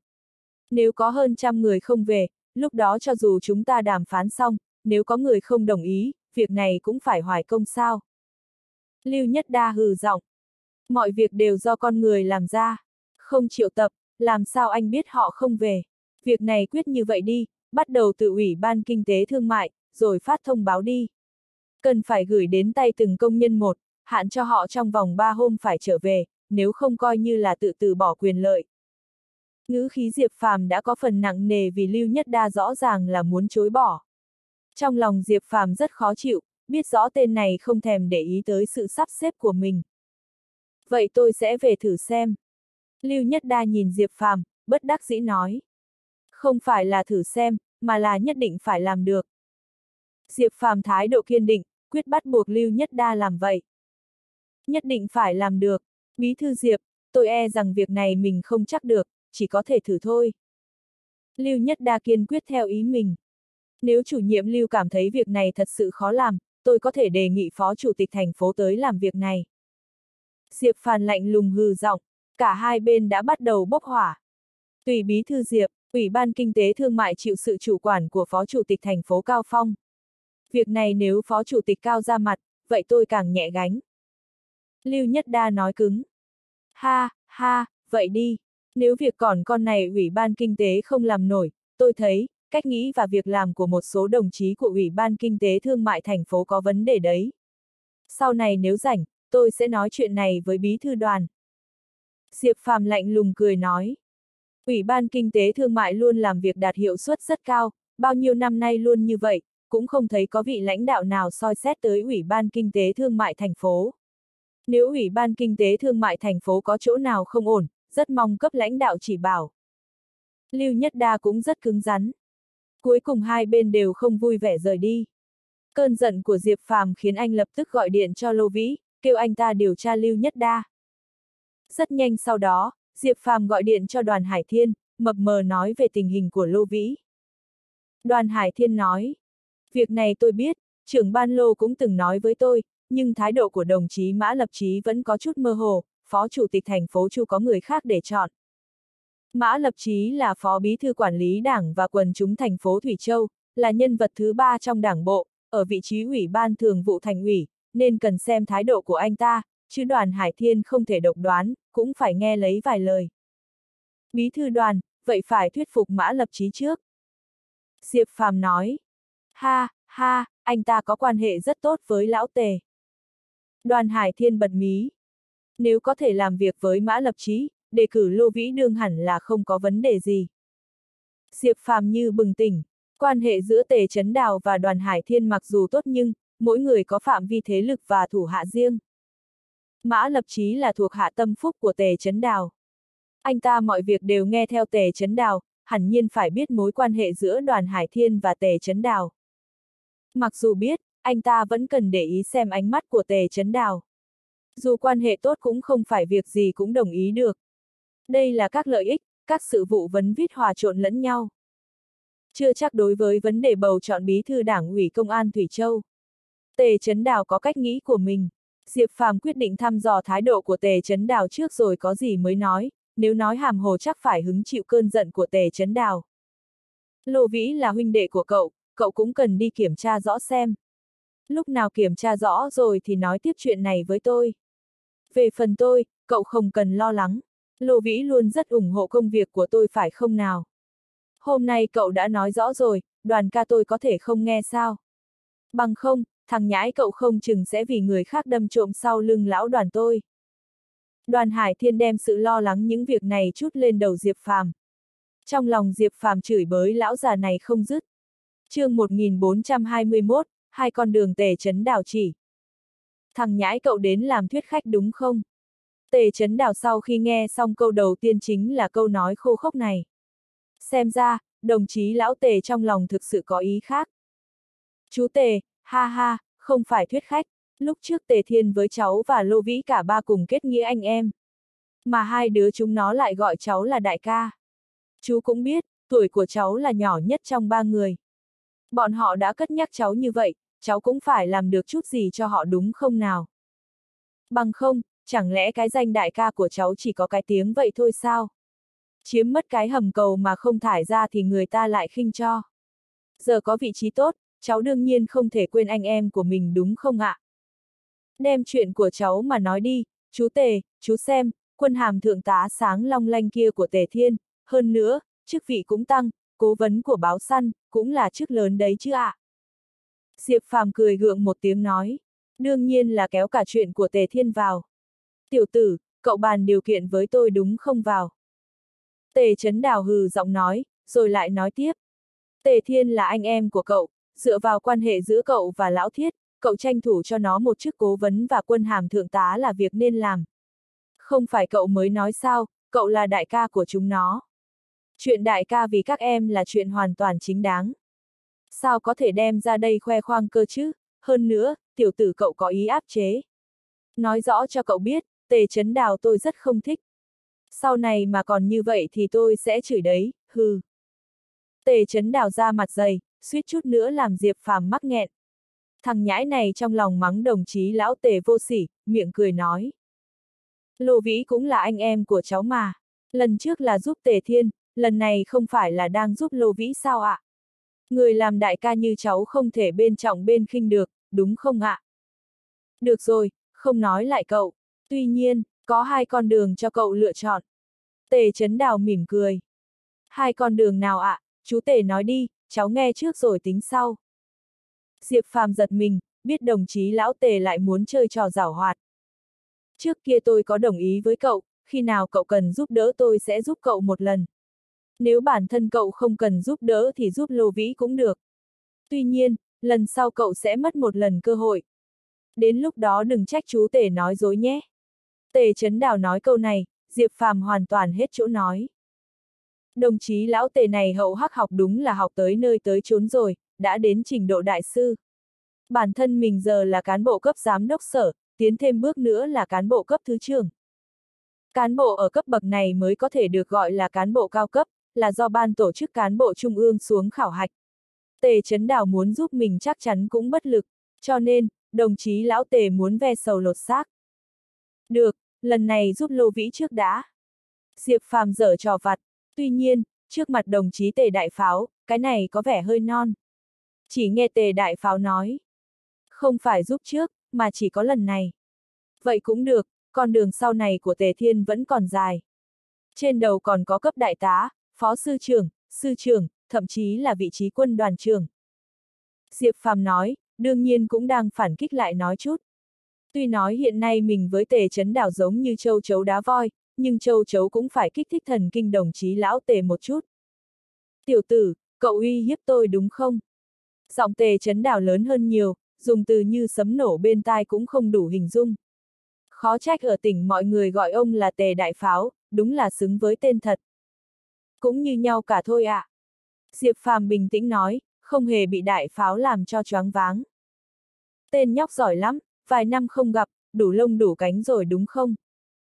Tề chấn đào hừ một tiếng, đột nhiên cười phá lên, làm bộ rất vui vẻ. Chú Tề, cục diện khu kinh tế mới Hồng Liên rất rối rắm. Chúng cháu phải quy hoạch toàn bộ khu kinh tế mới Hồng Liên xây dựng lại, chỉ mới xây dựng cơ sở đã phải đầu tư không dưới 500 triệu.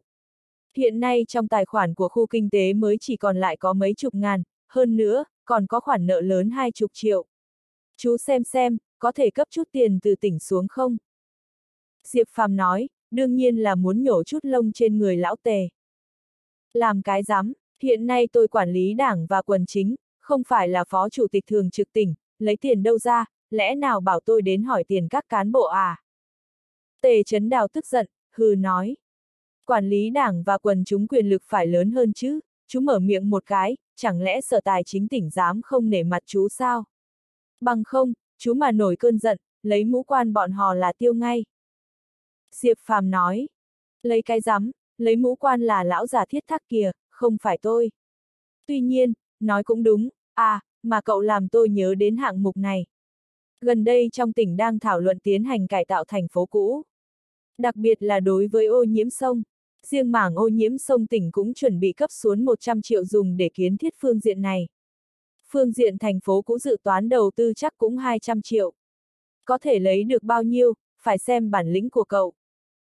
Tề chấn đào để lộ tin tức quý giá, Diệp Phàm vừa nghe xong, trong lòng tương đối phấn chấn.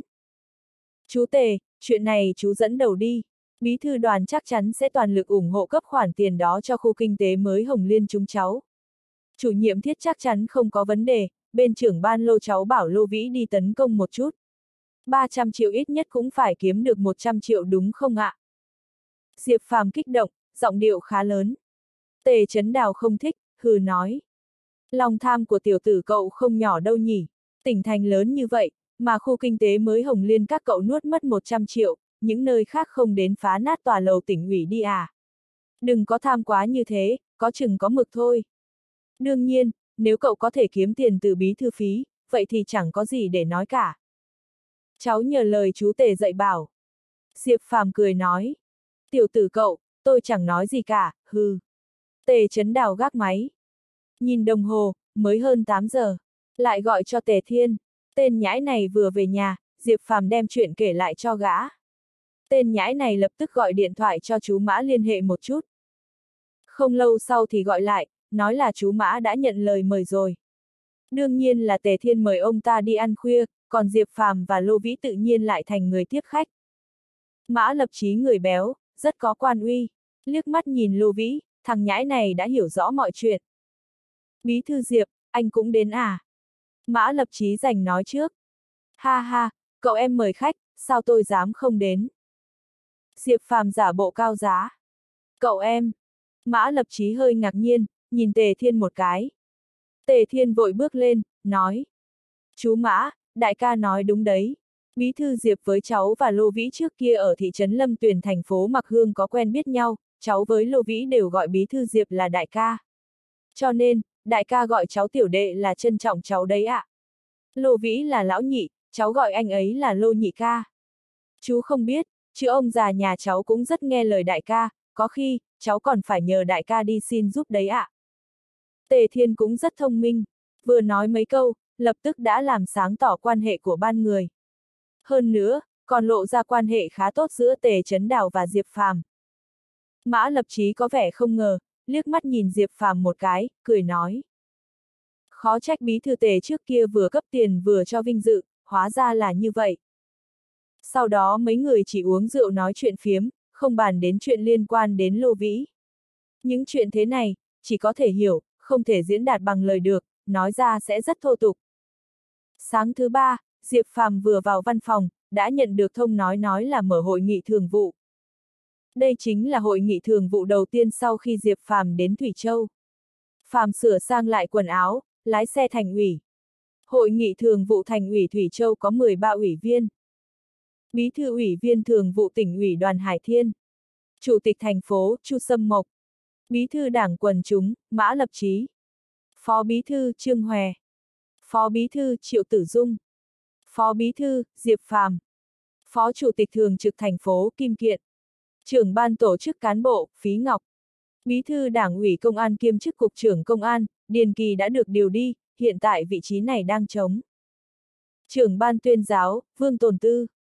Trưởng ban thư ký thành ủy, Lưu Vũ Tư. Tư lệnh quân phân khu Thủy Châu, Điền Thiệu. Bí thư khu Đông Hồ, Vu Tây Dương. Trong 13 ủy viên, những người hiện nay Diệp Phàm thực sự tiếp xúc qua là bốn vị đoàn Hải Thiên, Chu Sâm Mộc, Trương Lập Chí và trưởng ban tổ chức cán bộ Phí Ngọc. Các đồng chí khác, chỉ gặp qua lúc nhậm chức, cũng không có quá nhiều ấn tượng. Sau khi Diệp Phàm vào phòng họp, thấy đoàn Hải Thiên và Phó Chủ tịch thành phố Chu vẫn chưa đến. Bên trong ngoài Phí Ngọc thì những người khác chẳng quen ai. Gật đầu với Phí Ngọc xong thì đi thẳng đến chỗ ngồi của mình. Châm điếu thuốc bắt đầu ngồi im. Tuy nhiên, đôi mắt ưng của Diệp Phàm phát hiện, vài đồng chí khác đang lờ mờ quan sát mình. Chắc hẳn hôm đó náo động quá lớn, Tề Trấn Đào và Lô Minh Châu hai vị ủy viên thường vụ đích thân đưa mình xuống, phân lượng quả thực là hơi nặng rồi. Không lâu sau, đoàn Hải Thiên, Chu Sâm Mộc và Trương Lập Chí ba người đều bước vào, sau khi mọi người đã đến đông đủ, đoàn Hải Thiên liếc mắt nhìn tất cả các đồng chí một cái, nói. Chúng ta bắt đầu họp thôi.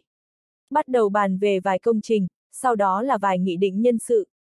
Cái này, Diệp Phàm thấy ánh mắt của đoàn Hải Thiên, nên cũng không phát biểu ý kiến gì. Phí Ngọc Nguyên nhậm chức ở thành phố Mặc Hương, cũng không biết chuyển tới Thủy Châu từ khi nào. Năm đó Phí Ngọc đã là ủy viên thường vụ thành ủy, Diệp Phàm chỉ mới là một phó chủ tịch huyện nhỏ. Không thể ngờ chỉ vài năm trôi qua, Diệp Phàm lại leo lên đầu Phí Ngọc. Cho nên, hôm đó trong cuộc họp chào đón, ánh mắt của Phí Ngọc có chút phức tạp. Trong phòng họp ủy viên thường vụ, Phí Ngọc ngồi sát vách Diệp Phàm. Đồng chí Điền Kỳ đã điều đi gần nửa năm rồi, tỉnh thành là thành phố quan trọng, nhan khẩu mấy triệu người, vị trí bí thư đảng ủy công an tuyệt đối không thể kéo dài thêm nữa. Ban tổ chức cán bộ trải qua cuộc tuyển chọn, đã có hai đồng chí được lựa chọn. Một người là Cục trưởng Công an đương nhiệm đồng chí Lô Vĩ, tuổi tác đồng chí này cũng thích hợp, đảm nhiệm Cục trưởng Công an Thủy Châu cũng hia năm rồi. Còn một vị khác là Phó Cục trưởng Thường trực Cục Công an thành phố Thương Hải đồng chí Vu Kiệt. Vẻ mặt Phí Ngọc bình thản nói về hai đồng chí này. Về hai đồng chí này, mọi người hãy bàn bạc đi, hôm nay quyết định luôn, chúng ta cũng có thể đề cử lên ban tổ chức cán bộ tỉnh ủy. Như những gì trưởng ban phí đã nói, hệ thống chính pháp của tỉnh thành không thể một ngày không có soái, chúng ta đều làm việc dưới ánh mắt của tỉnh ủy, không thể qua loa được. Vấn đề trị an một khi có sai sót, thì sẽ là vấn đề lớn. Đoàn Hải Thiên mở mắt, nói. Bí thư khu Đông Hồ Vu Tây Dương xếp hạng thấp nhất trong hội nghị thường vụ, đương nhiên sẽ do ông ta phát biểu trước. Ông nhìn mọi người một cái, nói. Tôi nghĩ nên nói về đồng chí Vu Kiệt trước, thành phố Thương Hải là đặc thu, thành phố cấp phó tỉnh, tầm ảnh hưởng quốc tế đến các phương diện đều rất lớn.